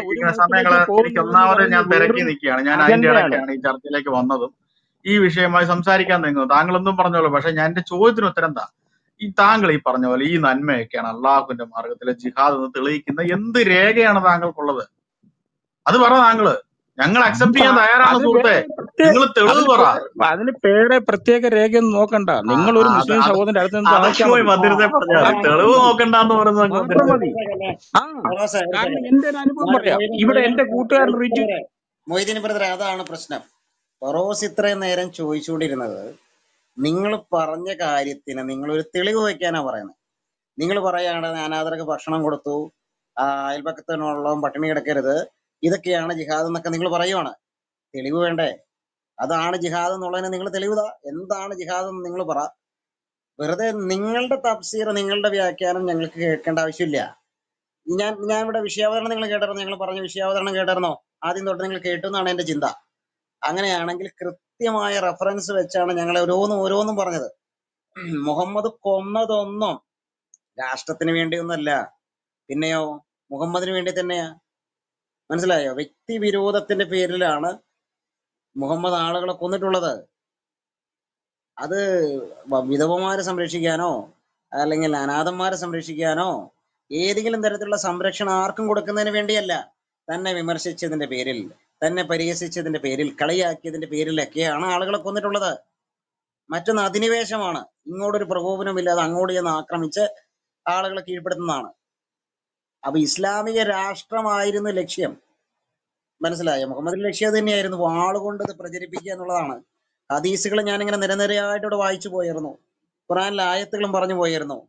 ഗ്രേറ്റർ ജിഹാദ് ജിഹാദ് ഉണ്ട് ലെസർ ജിഹാദ് ഉണ്ടെന്നൊക്കെ നിങ്ങളുടെ പണ്ഡിതന്മാർ പറയുന്നുണ്ട്. പക്ഷെ തത്വത്തിൽ വരുമ്പോൾ പ്രായോഗികതയിൽ വരുമ്പോൾ ലെസർ ജിഹാദാണ് എന്താണ്? ഗ്രേറ്റർ ജിഹാദായിട്ട് മാറുന്നത് വലിയ ജിഹാദായിട്ട് മാറുന്നത്. അതിന്റെ കൂടെ ലവ് ജിഹാദും മറ്റ് ജിഹാദുകളൊക്കെ വരുന്നുണ്ട്. എല്ലാ ജിഹാദിന് പല തല പല തരത്തിലുള്ള ജിഹാദുണ്ട് അത് ശരിയാണ്. ഇതിൽ ഏറ്റവും മുൻപന്തിയിൽ നിൽക്കുന്ന ഒരു ജിഹാദാണ് വാളുകൊണ്ട് വാളുകൊണ്ട് അങ്ങനെ ആളെ തീർക്കുന്ന അല്ലെങ്കിൽ വാളുകൊണ്ട് തോക്കുകൊണ്ടോ ബോംബ് കൊണ്ടൊക്കെ ആളെ തീർക്കുന്ന ഇല്ലാതാക്കുന്ന ഉന്മൂലനം ചെയ്യുന്ന ഇസ്ല- ഇസ്ലാമിക രാഷ്ട്ര സ്ഥാപനത്തിന് വേണ്ടി ഉന്മൂലനം ചെയ്യുന്ന ആ ജിഹാദാണ് ഐ എസ് ഐ എസും ലഷ്കർ തൊയ്ബയും അൽ ഖൈദയൊക്കെ പ്രാവർത്തികമാക്കിക്കൊണ്ടിരിക്കുന്നത് അതിനെക്കുറിച്ചാണ് ഞങ്ങളിവിടെ പറഞ്ഞത്. മനസ്സിലായോ? മുഹമ്മദ് അത് ചെയ്തത് ഒരു മുഹമ്മദിന്റെ വ്യക്തിപരമായ നേട്ടങ്ങൾക്ക് വേണ്ടിയും തന്നെ വ്യക്തിപരമായി കളിയാക്കിയതിന്റെ പേരിലും നിന്ദിച്ചതിന്റെ പേരിലും പരിഹസിച്ചതിന്റെ പേരിലൊക്കെയാ ചെയ്തേ. ഞാൻ പറയുന്നതല്ല ഹദീസുകൾ പറയുന്നു ഖുറാൻ പറയുന്നു നിങ്ങളുടെ തഫ്സീറുകൾ പറയുന്നു അത് ഉദ്ധരിച്ചുകൊണ്ടാണ് പറഞ്ഞത് പിന്നെ നിങ്ങൾ പറഞ്ഞല്ലോ എന്താണ് വിദ്വേഷവും അതുപോലെ തന്നെ പകയും വിതറലേന്ന് ആരാ അത് വിതറിയത്? ഞങ്ങളിവിടെ ടൈറ്റിൽ ഇട്ടേക്കുന്ന അക്ബറാണ് ക്രൈസ്തവരെയൊക്കെ സംവാദത്തിന് ക്ഷണിച്ച് സ്റ്റേജ് കെട്ടി ക്രൈസ്തവ വിശ്വാസത്തെയും ക്രൈസ്തവ വിശ്വാസത്തിന്റെ ആധികാരിക ഗ്രന്ഥമായ ബൈബിളിനെയൊക്കെ പരിഹസിച്ച് അവഹേളിച്ച് സ്നേഹസംവാദം എന്ന് പറഞ്ഞ പേരിൽ പ്രകസന പരിപാടികൾ നടത്തിയ അക്ബർ ഞങ്ങളതിന് റഫറൻസ് വെച്ച് മറുപടി കൊടുക്കാൻ തുടങ്ങിയപ്പോൾ ആശാൻ എന്ത് ചെയ്തു? മാളത്തിനുള്ളിൽ കയറി. നിങ്ങൾ പറയുന്നതിൽ ക്ഷമിക്കണം. പൊട്ടക്കിണറ്റിന്റെ ഉള്ളിൽ കിടക്കുന്ന തവളയായതുകൊണ്ടാണ് നിങ്ങൾ ഇങ്ങനെ പറയുന്നത് അക്ബറാണ് തുടക്കം കുറിച്ചത്. ഞങ്ങൾ ഇസ്ലാം ഇസ്ലാം എന്ന പ്രത്യയ ശാസ്ത്രത്തിനാണെതിരെ അതിന്റെ ആശയത്തിനാണെതിരെ അല്ലാണ്ട് മുസ്ലിങ്ങളോടല്ല മുസ്ലിം സഹോദരങ്ങളോടല്ല ഞങ്ങൾ എതിരെ പക്ഷേ അക്ബർ തുടങ്ങി വെച്ച ഈ കാര്യം ഉണ്ടല്ലോ അതിന് ഞങ്ങൾ മറുപടി പറഞ്ഞുകൊണ്ടിരിക്കുകയാണ്. മനസ്സിലായി? ഇനി അക്ബർ നിർത്തിയാലും നിർത്താൻ പറ്റാത്ത അവസ്ഥയുടെ കാര്യങ്ങളെത്തി. ഇത് ഒരു തരത്തിലുള്ള നവോ ഒരു നവോത്ഥാനത്തിന്റെ ബാക്കി പത്രമാണ്. നവോത്ഥാനത്തിന്റെ ഭാഗ്യപത്രമാണ്. സാമൂഹ്യ പുനരുദ്ധാരണം കൂടിയാണിത്. മനസ്സിലായി? ഇസ്ലാമിലെ എന്താണ്? അതിന്റെ ഉച്ചനീചത്വങ്ങളെ അതുപോലെ തന്നെ സ്ത്രീകൾക്കെതിരെയുള്ള പ്രശ്നങ്ങളെ അതുപോലെ തന്നെ ഇസ്ലാം ഇങ്ങനെ പ്രാവർത്തികമാക്കും എന്നുള്ളതിന്റെ പ്രശ്നങ്ങളെയൊക്കെ ഞങ്ങൾ ഉയർത്തി കാണിക്കുന്നത് ഈ ഇരുപത്തി ഒന്നാം നൂറ്റാണ്ടിൽ ഒട്ടും പ്രായോഗികമല്ലാത്ത ഇരുപത്തിയൊന്നാം നൂറ്റാണ്ടിൽ ഒരിക്കലും അനുകരിക്കാൻ പറ്റാത്ത ഒരു പ്രത്യയ ശാസ്ത്രമാണ് ഇസ്ലാം എന്നാണ് ഞങ്ങൾ മനസ്സിലാക്കുന്നത് അതാണ് ഞങ്ങൾ പറഞ്ഞുകൊണ്ടിരിക്കുന്നത്. സ്ത്രീ സ്വാതന്ത്ര്യമില്ലാത്ത സഹിഷ്ണുതയില്ലാത്ത അന്യനെ വിദ്വേഷിക്കാൻ പഠിപ്പിക്കുന്ന ക്രിസ്ത്യാനി യഹൂദനെയും പുറത്താക്കാൻ പഠിപ്പിക്കുന്ന അന്യമതസ്ഥനെ കൊല്ലാൻ പഠിപ്പിക്കുന്ന അതൊക്കെ എന്ത് രാഷ്ട്ര സ്ഥാപനമാണ്? അള്ളാഹുവിനും മുഹമ്മദിനും മൊത്തം കീഴടങ്ങുന്നത് വരെ അവരെ സ്വീകരിക്കുന്നത് വരെ കൊല്ലാനാണ് പറയുന്നത്. അല്ലെങ്കിൽ അവസാനം എന്ത് ചെയ്യ- ചെയ്യേണ്ടി വരും? കപ്പം കൊടുക്കേണ്ടി വരും എന്ന് പറയുന്നത്. ഇവിടെ എവിടെയാണ് പൊളിറ്റിക്സ്? മതമാണ്. മതത്തിന്റെ പേരിലാണ് ആളുകളെ കൊല്ലാൻ പറഞ്ഞിരിക്കുന്നത്. അത് തന്നെയാണ് ഏറ്റവും ടോപ്പായിട്ട് നിൽക്കുന്ന ജിഹാദ്. അല്ല അനാഥനെയും വിധവയെ സംരക്ഷിച്ച് അല്ലെങ്കിൽ വഴിയിലൂടെ ആരെങ്കിലും പോകുമ്പോൾ എഴുന്നേറ്റ് നിന്നൊക്കെ പറയുന്ന ഒന്നല്ല സഹോദര ജിഹാദ്. നിങ്ങൾ അങ്ങനെയാണെങ്കിൽ അത് തെളിവ് വയ്ക്കേ. ഞാൻ ചോദിച്ച ചോദ്യം ഇതൊന്നും തരുന്നു അതൊക്കെ ജിഹാദൊക്കെ ആയിക്കോട്ടെ. എന്റെ ചോദ്യം അള്ളാഹുവിന്റെ മാർഗത്തിലെ ജിഹാദ് എന്തോ? കാരണം അതാണല്ലോ ഉത്തമമായ ജിഹാദിൽപ്പെട്ട അഞ്ചെണ്ണത്തിൽ ഏറ്റവും ശ്രേഷ്ഠ അള്ളാഹുവിന്റെ മാർഗത്തിലെ ജിഹാദാന്നാ പറയുന്നത് അതെന്തുവാന്നാ ഞാൻ ചോദിച്ചുള്ളൂ. അതിന് പറഞ്ഞത് നാട്ടുകാരെ സഹായിക്കുന്നു. ഇതൊക്കെ ഇതിന്റെയൊക്കെ തെളിവ് പുള്ളി പോയോ? മൊയ്തീൻ ബ്രദർ പോയോ? മൊയ്തീൻ സഹോദരൻ പോയെന്ന് തോന്നുന്നു. അതേ മിണ്ടുന്നില്ലല്ലോ. അതേ ഒന്നും മിണ്ടുന്നില്ല. എനിക്ക് തോന്നുന്നു അദ്ദേഹം ഞാൻ മിണ്ടുന്നുണ്ട്. അതായത് ഹിരോഷിമയിലും നാഗസാക്കിയിലും ഒക്കെ നടന്ന ഏത് യുദ്ധമാണ്? ഏത് വിശുദ്ധ യുദ്ധം അത്? ഞങ്ങൾ ഏത് മ- അടിസ്ഥാനത്തിലാണ് ആ യുദ്ധം നടന്നത്? ഈ ഞങ്ങളൊക്കെ അത് വിശുദ്ധ യുദ്ധം എന്ന് കോടിക്കണക്കിന് പറഞ്ഞോ? ഒരു മിനിറ്റ് ഒരു മിനിറ്റ് മൊയ്തീൻ ബ്രദറെ യുദ്ധവും വാറും ഒക്കെ തന്നെ എന്ന് എല്ലാ കാലത്തും വേണ്ട എന്നുള്ള ആശയം തന്നെ ഞങ്ങൾക്കും ഉള്ള സുഹൃത്തെ. ചേട്ടാ ഇത് നീതി നിങ്ങൾ കേട്ടതൊന്നും ഞങ്ങൾ ആരെങ്കിലും ഇതിനെ കുട്ടിക്കോഷിച്ചോ? ഇല്ല ആരും പറഞ്ഞിട്ടില്ലല്ലോ. നിങ്ങളുടെ ചോദ്യത്തിൽ നിങ്ങൾ ദയവായി ചോദ്യത്തിൽ നിന്ന് ഒഴിഞ്ഞു മാറില്ല. എന്റെ ചോദ്യം അള്ളാഹുവിന്റെ മാർഗത്തിലെ ജിഹാദ് എന്താണെന്നായിരുന്നു. അതിന്റെ ഉത്തരം രേഖകളുടെ അടിസ്ഥാനത്തിൽ തരാൻ കഴിയുമെങ്കിൽ തരണം. ചുമ്മാ വേറെ ഇതിലേക്കൊക്കെ പോകാം. നിങ്ങൾ പറയുന്ന നിങ്ങൾ വേറെ ഇതിനകത്തോട്ട് നിങ്ങൾ പറഞ്ഞതാണ് ശരിയായിട്ടുള്ള ജിഹാദ് എന്ന് തെളിവുകൾ വെച്ച് നിങ്ങൾ പറയുക. ഹിരോഷിമയിലും ഒക്കെ നടന്ന സംഭവങ്ങൾ ഞങ്ങൾ എവിടെയാ ന്യായീകരിച്ചേ അത് മതത്തിന്റെ പേരിലല്ല എന്നുള്ളത് കൃത്യമായിട്ട് പറയട്ടെ പറയട്ടെ. വേറെ ആരും ആരും ഒരിടത്തും ന്യായീകരിക്കുന്നില്ല. നിങ്ങൾ മാത്രമേ ന്യായീകരിക്കുന്നുള്ളൂ. നിങ്ങൾ മാത്രം അന്യ വേറെ ആരും ഒന്നും പറഞ്ഞിട്ടില്ല. ആയിരത്തി നാനൂറ് വർഷം മുമ്പ് തെറ്റിദ്ധരിക്കുന്ന ഞങ്ങൾക്ക് ഈ യുദ്ധമൊക്കെ അല്ലേ? അമേരിക്ക അതെല്ലാം നിങ്ങൾ ഈ ലോകത്തി മൊത്തം അശാന്തി പടർത്തിക്കൊണ്ട് പറയട്ടെ. അമേരിക്ക ജപ്പാനെ ആക്രമിച്ചതും അതുപോലെ ജർമ്മനിയെ സഖ്യകക്ഷികൾ സഖ്യകക്ഷികളും തമ്മിൽ യുദ്ധം ഉണ്ടായതും ആയുധ കച്ചവടത്തിന് വേണ്ടി മനുഷ്യരെ കൊന്നൊടുക്കിക്കൊണ്ട് റേഡിയോ പോലെ ആകല്ലേ? ഞാൻ പറഞ്ഞതിന് ശേഷം പറയും.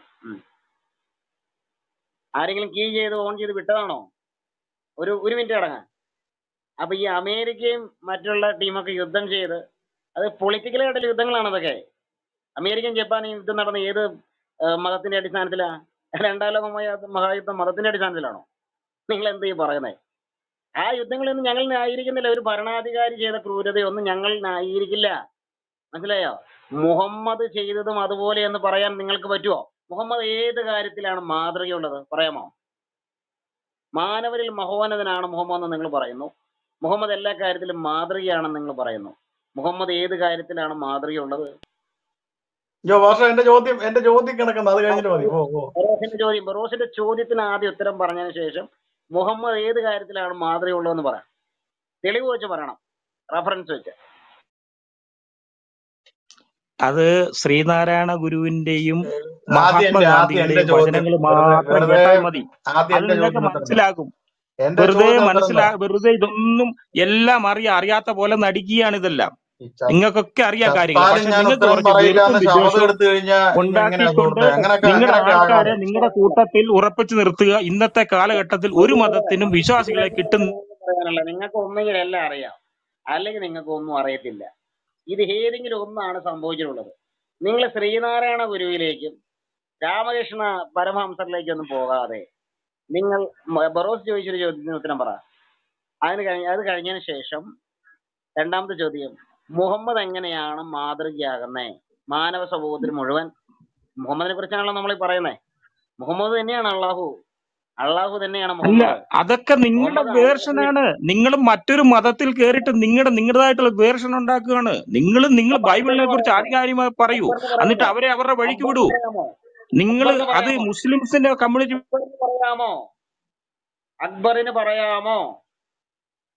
നിങ്ങൾ ബാലുശ്ശേരിക്ക് പറയാമോ നിങ്ങൾ മറ്റൊരു മതത്തിൽ പറയാമോ? പറയാമോ? എന്ത് ഞങ്ങൾ പറയുമ്പോ എന്താ പ്രശ്നം? ഞങ്ങൾ റെഫറൻസ് വെച്ചാണ് പറയുന്നത്. നിങ്ങൾ എന്തിനാണ് നിങ്ങളുടെ നന്മ പറയൂ?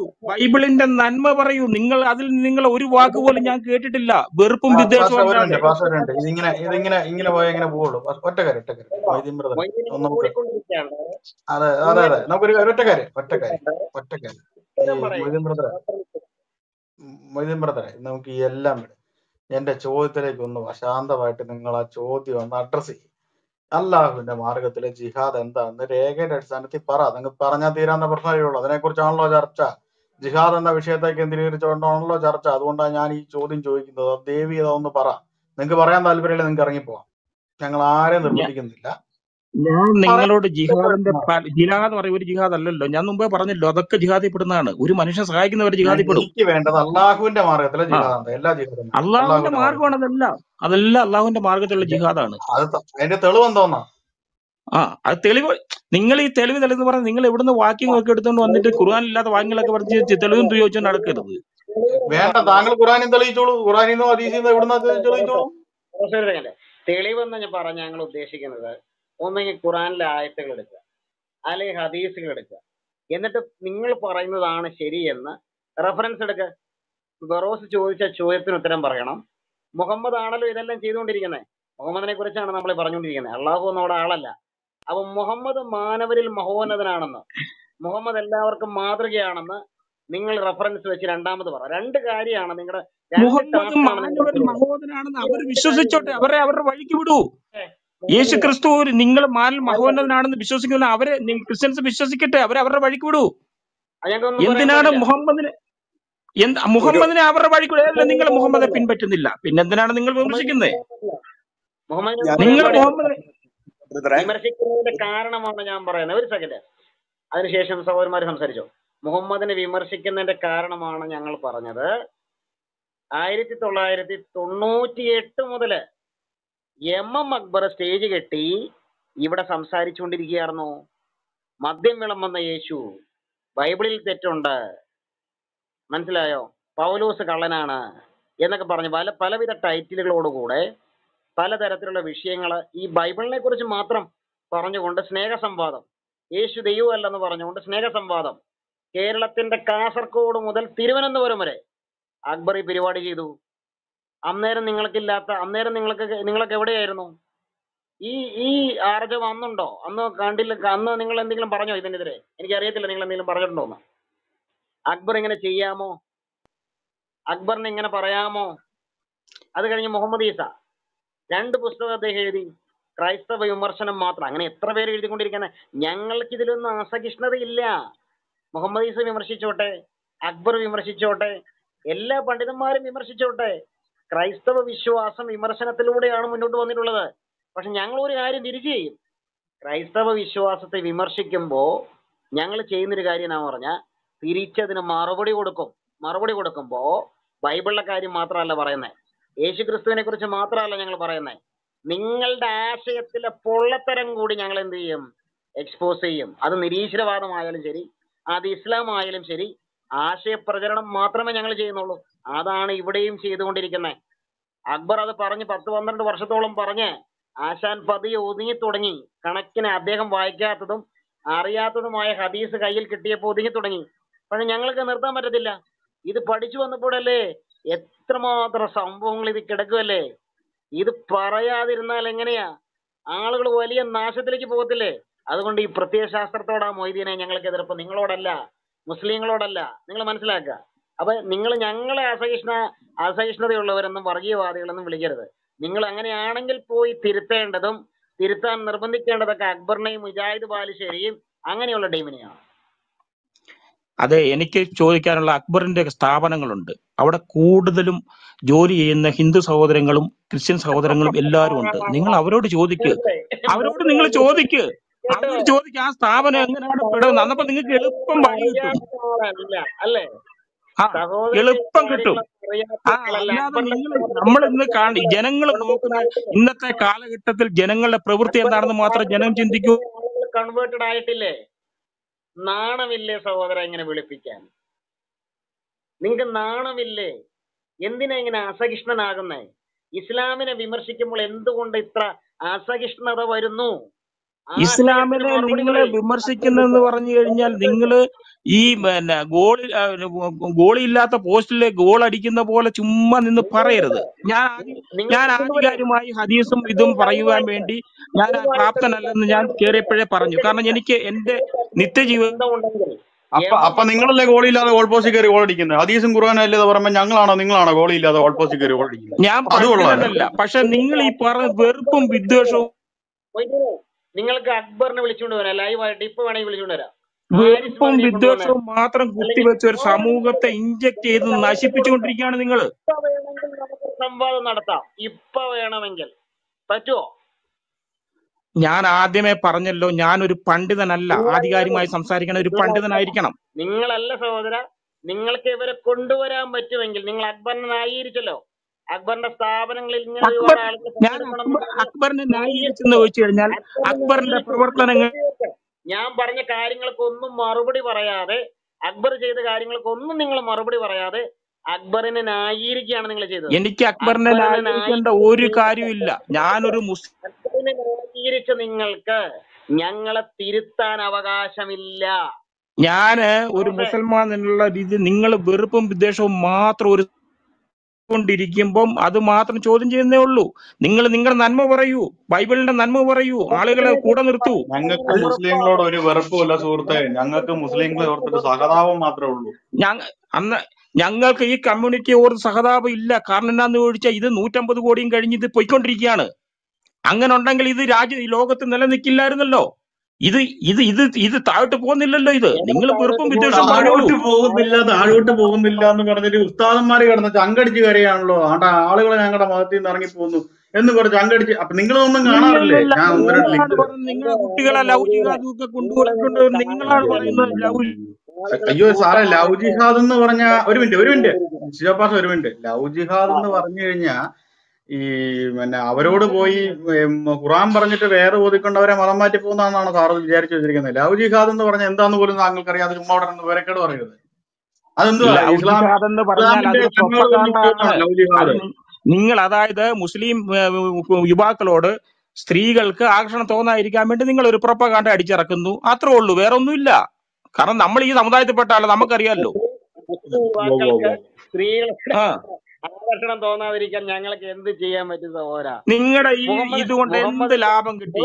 എത്രയോ സ്ത്രീകൾ പറയുന്നത് നിങ്ങൾ വായിച്ചിട്ടുണ്ടോ? മുഹമ്മദ് തന്റെ വളർത്തുമകന്റെ വീട്ടിൽ ചെല്ലുമ്പോ വളർത്തുമകന്റെ ഭാര്യയെ വിവസ്ത്രയായിട്ട് കാണുന്നു. അവളോട് അനുരാഗം തോന്നുന്നു കാമം തോന്നുന്നു. അന്നേരം എന്ത് സംഭവിക്കുന്നു? അള്ളാഹു ആയത്തിറക്കി കൊടുക്കുന്നു അവളെ സ്വന്തമാക്കുന്നു. ഇതാണ് മുഹമ്മദ് ഈ സ്വഭാവം ഈ സ്വഭാവം ഞങ്ങൾക്ക് എങ്ങനെ നിർത്താൻ പറ്റും? പക്ഷെ ഞങ്ങൾക്ക് ഈ പറയുന്ന കള്ളങ്ങളെല്ലാം നിങ്ങൾ അത് മറുമരുന്നുണ്ട്. അതെന്താണെന്നറിയാമോ? അത് യേശു ക്രിസ്തു ആണ് യേശു ക്രിസ്തുവിനെ ഒരു നിങ്ങളുടെ നന്മ പറയൂ നിങ്ങളുടെ നന്മ പറയൂ. അങ്ങനെ ബൈബിൾ യേശു ക്രിസ്തുവിനെ ഒരു മനുഷ്യൻ കണ്ടുമുട്ടിക്കഴിഞ്ഞാൽ ആ വ്യക്തിക്ക് പരിവർത്തനം ഉണ്ടാകും ഇത്തരത്തിലുള്ള ജഡ സ്വഭാവങ്ങളിൽ നിന്ന് പാപ സ്വഭാവങ്ങളിൽ നിന്ന് വിമുക്തി ഉണ്ടാകും. യേശു ക്രിസ്തുവിനാൽ സ്വതന്ത്രമായി തീരെ സ്വതന്ത്രനായിട്ട് മാറും. മുഹമ്മദും യേശു ക്രിസ്തുവിനെ കണ്ടുമുട്ടിയിരുന്നെങ്കിൽ ഇസ്ലാം ഉണ്ടാകത്തില്ലായിരുന്നു. ഞാൻ ഒരു ഒരു മിനിറ്റ് മൊയ്തീൻ ബ്രദറെ ഒരു മിനിറ്റ്. ഒരു മിനിറ്റ് ഞാൻ അതെ മൊയ്തീൻ ബ്രദറെ ഞങ്ങൾ ക്രൈസ്തവരെ സംബന്ധിച്ചേ ഞങ്ങൾ അവിടവിടങ്ങളിൽ ഞങ്ങളുടെ കർത്താവിനെ ഉയർത്തിയും മനുഷ്യന് നന്മയുള്ള കാര്യങ്ങളൊക്കെ അവരെ ഓർമ്മിപ്പിച്ചും മുന്നോട്ട് പോയ ഒരു സമൂഹമാ.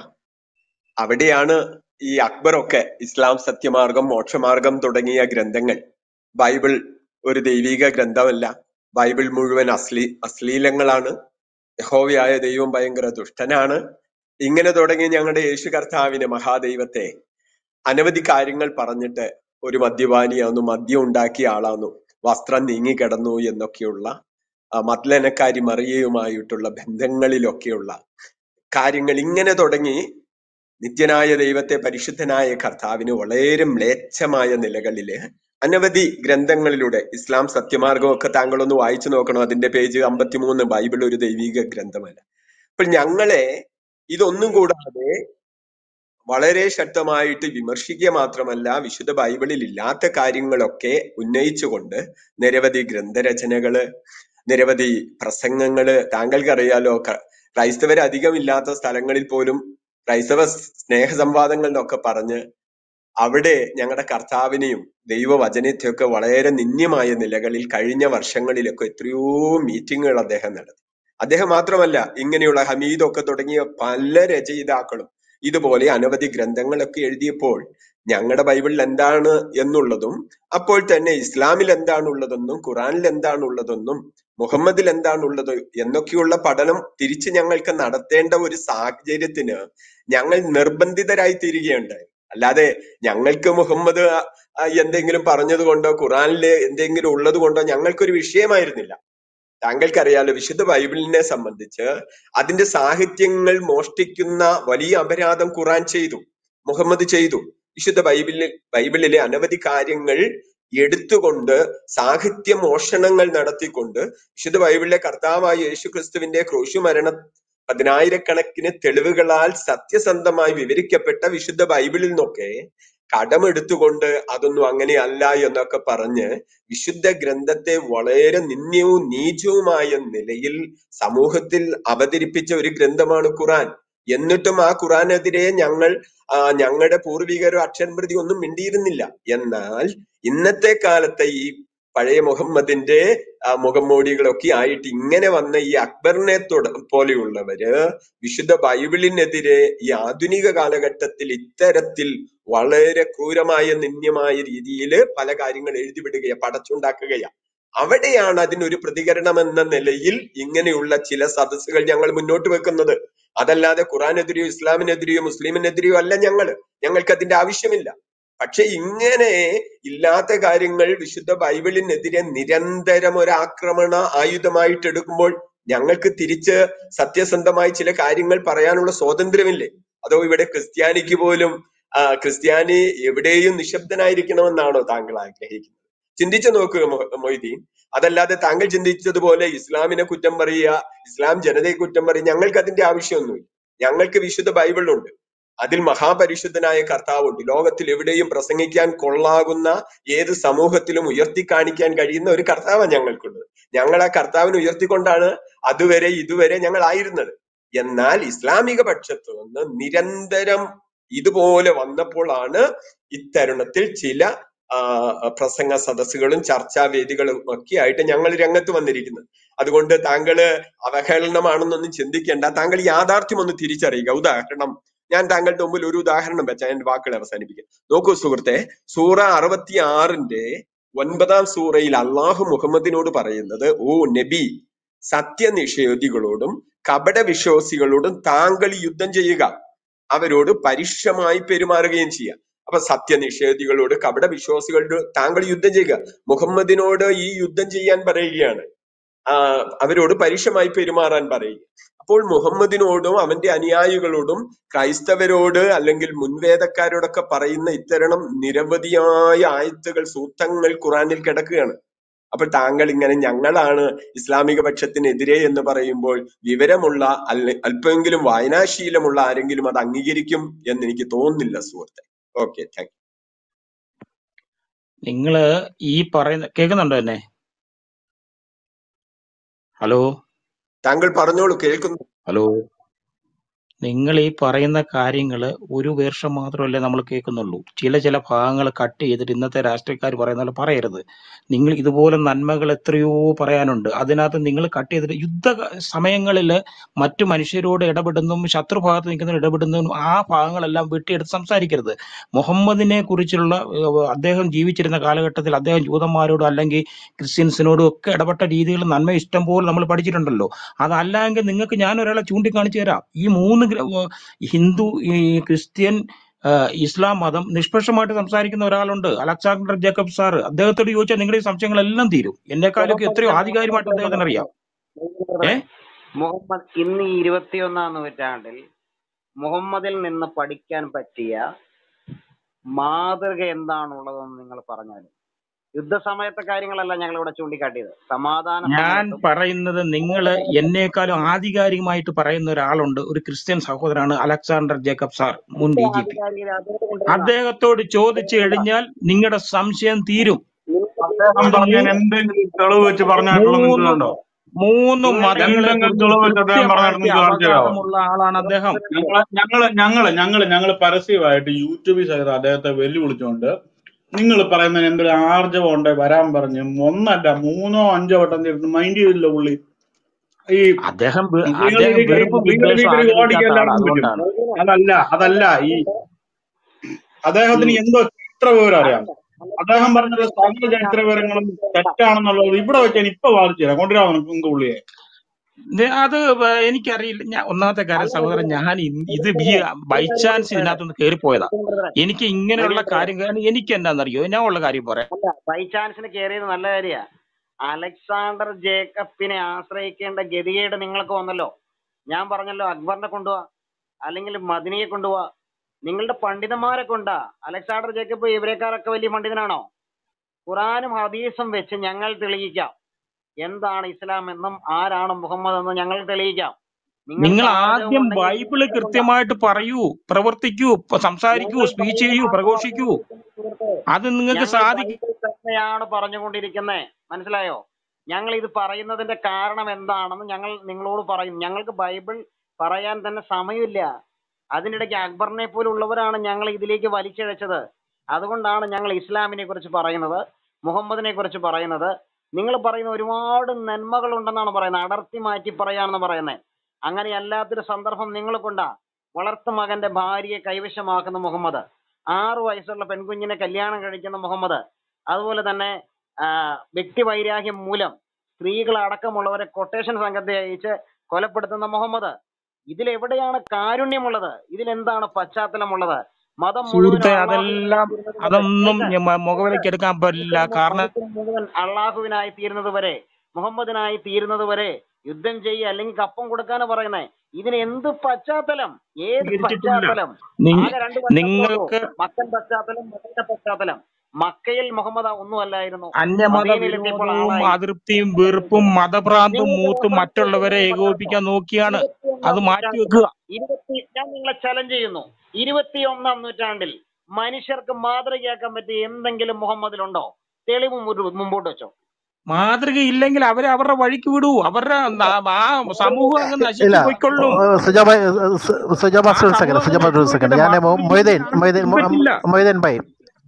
സുജാബ സുജ- ഒന്ന് ഹോൾഡ് ചെയ്യണം. ഞാൻ മൊയ്തീൻ ഭായി നമുക്ക് ഞാനൊന്ന് സംസാരിച്ച് നോക്കണേ. അത് ഇവരെ വേറെ ലെവലിലാണ് ഞാൻ അത്രയ്ക്കും പഠിച്ചിട്ടില്ല പക്ഷേ അതുകൊണ്ട് ഞാൻ നമ്മൾ ഞാനും മൊയ്തീനൊക്കെ ഏതാണ്ട് ഒരേ ലെവലിൽ വരും. ഞാൻ മൊയ്തീൻ ഒരു ക്ലാരിഫിക്കേഷൻ ഞാൻ താങ്കളോട് ചോദിക്കട്ടെ. കാരണം സ്പെസിഫിക്കായിട്ട് ഉത്തരം പറയാൻ ശ്രമിച്ചാട്ട് അതിൽ നമുക്ക് നമുക്ക് സമാധാനമായിട്ടും സ്നേഹമായിട്ടും സംസാരിക്കാം. ഇവിടെ ചൂണ്ടിക്കാണിക്കപ്പെട്ട വസ്തുതകൾ ഈ അതിൽ ഖുറാനിൽ നിന്ന് ചൂണ്ടിക്കാണിക്കപ്പെട്ട ഏതെങ്കിലും വസ്തുതകൾ ഖുറാനിൽ ഇല്ലാത്തതാണ് എന്ന് താങ്കൾക്ക് ആരോപണമുണ്ടോ? ഇവിടെ ഞങ്ങൾ പറയാൻ ശ്രമിക്കുന്നത് ഇതെല്ലാം ഖുറാനിൽ ഉള്ളതാണ് നിങ്ങളുടെ പുസ്തകത്തിലുള്ളതാണ്. നിങ്ങളുടെ പുസ്തകത്തിൽ ഇല്ലാത്തതാണ് എന്ന് താങ്കൾക്ക് എന്തെങ്കിലും വാദമുണ്ടോ എന്നാണ് ഇതിന്റെ ചോദ്യം.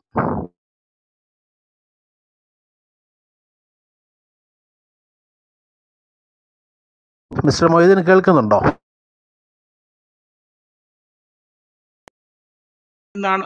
കേൾക്കുന്നുണ്ടോ? കേൾക്കുന്നുണ്ടോ?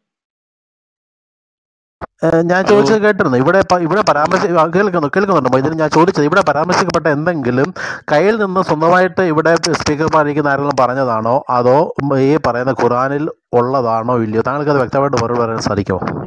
അതെല്ലാം അതൊക്കെ വ്യാഖ്യാനിച്ചാക്കുന്നതാണ്. അതൊന്നും അതൊന്നും അല്ല അതിന്റെ അത് ഓരോ സന്ദർഭങ്ങൾ അടർത്തി മാറ്റി യുദ്ധമുഖങ്ങളിലൊക്കെ നിൽക്കുമ്പോൾ ശത്രുവിനെ എങ്ങനെ കാണണം എന്നുള്ളതൊക്കെ അടർത്തി മാറ്റിയിട്ട് അതൊക്കെ ഇട്ട് ഇന്നത്തെ രാഷ്ട്രീയക്കാർ പറയുന്നത് പറയുന്നതാണ്. എനിക്ക് എന്റെ ഒരു ഒരു ഒറ്റ ഒരു ക്വസ്റ്റ്യൻ ഉള്ളു. സിമ്പിൾ ക്വസ്റ്റ്യൻ നിങ്ങൾ ഇന്നത്തെ കാലഘട്ടത്തിൽ ഈ മുഹമ്മദിനെ ടാർഗറ്റ് ചെയ്യാതെ യേശുവിന്റെ നന്മകൾ പറയൂ. അത് മൊ- പറയാമേ അത് മുഹമ്മദ് പറയാം. അത് പറയാം. അത് പറയാം. അത് പറയാം. അത് അത് മൊയ്തീൻ അത് പറയാം. അത് പറയാം. ഞാൻ- ഞാൻ- മുഹമ്മദിനെ താങ്കൾ സമ്മതിക്കരുത്. മുഹമ്മദിനെ ഇല്ല പിൻ- താ- തീർച്ചയായിട്ടും മുഹ- മൊഹീദ് ശ്രദ്ധിച്ചാണ് താങ്കൾ കേക്കട്ടെ ഞാൻ താങ്കൾ പറയൂ പറയും. ഞാൻ ഞാനൊരു കാര്യം പറഞ്ഞോട്ടെ. അപ്പോൾ താങ്കൾ നമ്മൾ ഒരു ഒരു കാര്യം വളരെ അത് അത് ആ ഒരു സബ്ജക്റ്റ് സബ്ജക്റ്റ് സംസാരിച്ച് കംപ്ലീറ്റ് ചെയ്ത് പോകുമ്പോൾ നമുക്ക് ഒരു ക്ലാരിറ്റി വരും. ഇല്ലെങ്കിൽ നമ്മൾ എന്തെങ്കിലുമൊക്കെ പറഞ്ഞുകൊണ്ടിരിക്കും താങ്കൾ സമ്മതിച്ചു കഴിഞ്ഞു. നിങ്ങളുടെ പുസ്തകത്തിലുണ്ട് ഔട്ട് ഓഫ് കോണ്ടസ്റ്റ് പറഞ്ഞു. ആ അതൊരു ഡെവലപ്മെന്റ് ആണ്. അപ്പോൾ നിങ്ങൾ പറഞ്ഞതൊന്നും ഇല്ല എന്നുള്ള വാദമല്ല. ഇതെല്ലാം നിങ്ങളുടെ പുസ്തകത്തിലുള്ളതാണ്. ഇത് ഔട്ട് ഓഫ് കോണ്ടസ്റ്റ് എന്നാണ് താങ്കൾ പറയാൻ ശ്രമിച്ചത്. ഔട്ട് ഓഫ് കോണ്ടസ്റ്റ് ആണോ? അതോ പ്രോപ്പർ കോണ്ടസ്റ്റ് ആണോ എന്നുള്ളത് സെക്കൻഡറി ശത്രു ശത്രുവാണ്. യുദ്ധമുഖത്ത് നിൽക്കുമ്പോൾ ശത്രു ശത്രുവാണ്. എന്റെ പ്രിയ സുഹൃത്തെ ഞാൻ പറയാൻ ശ്രമിക്കുന്നത് നമ്മൾ തമ്മിലുള്ളത് ഇപ്പോൾ വളരെ സിമ്പിളാണ് ഇപ്പം ഇവിടെ നമ്മൾ സ്ഥാപിക്കാൻ ശ്രമിച്ചതും പറഞ്ഞതും താങ്കൾ എഗ്രി ചെയ്തതും ഇതെല്ലാം ഔട്ട് ഓഫ് കോണ്ടസ്റ്റ് പറഞ്ഞിരിക്കുന്നുള്ളതാണ് അതൊരു വലിയൊരു ഡെവലപ്മെന്റ് ആണ് സുഹൃത്ത്. അപ്പം നിങ്ങളുടെ പുസ്തകത്തിൽ ഇങ്ങനെ എഴുതിയിട്ടുണ്ട്.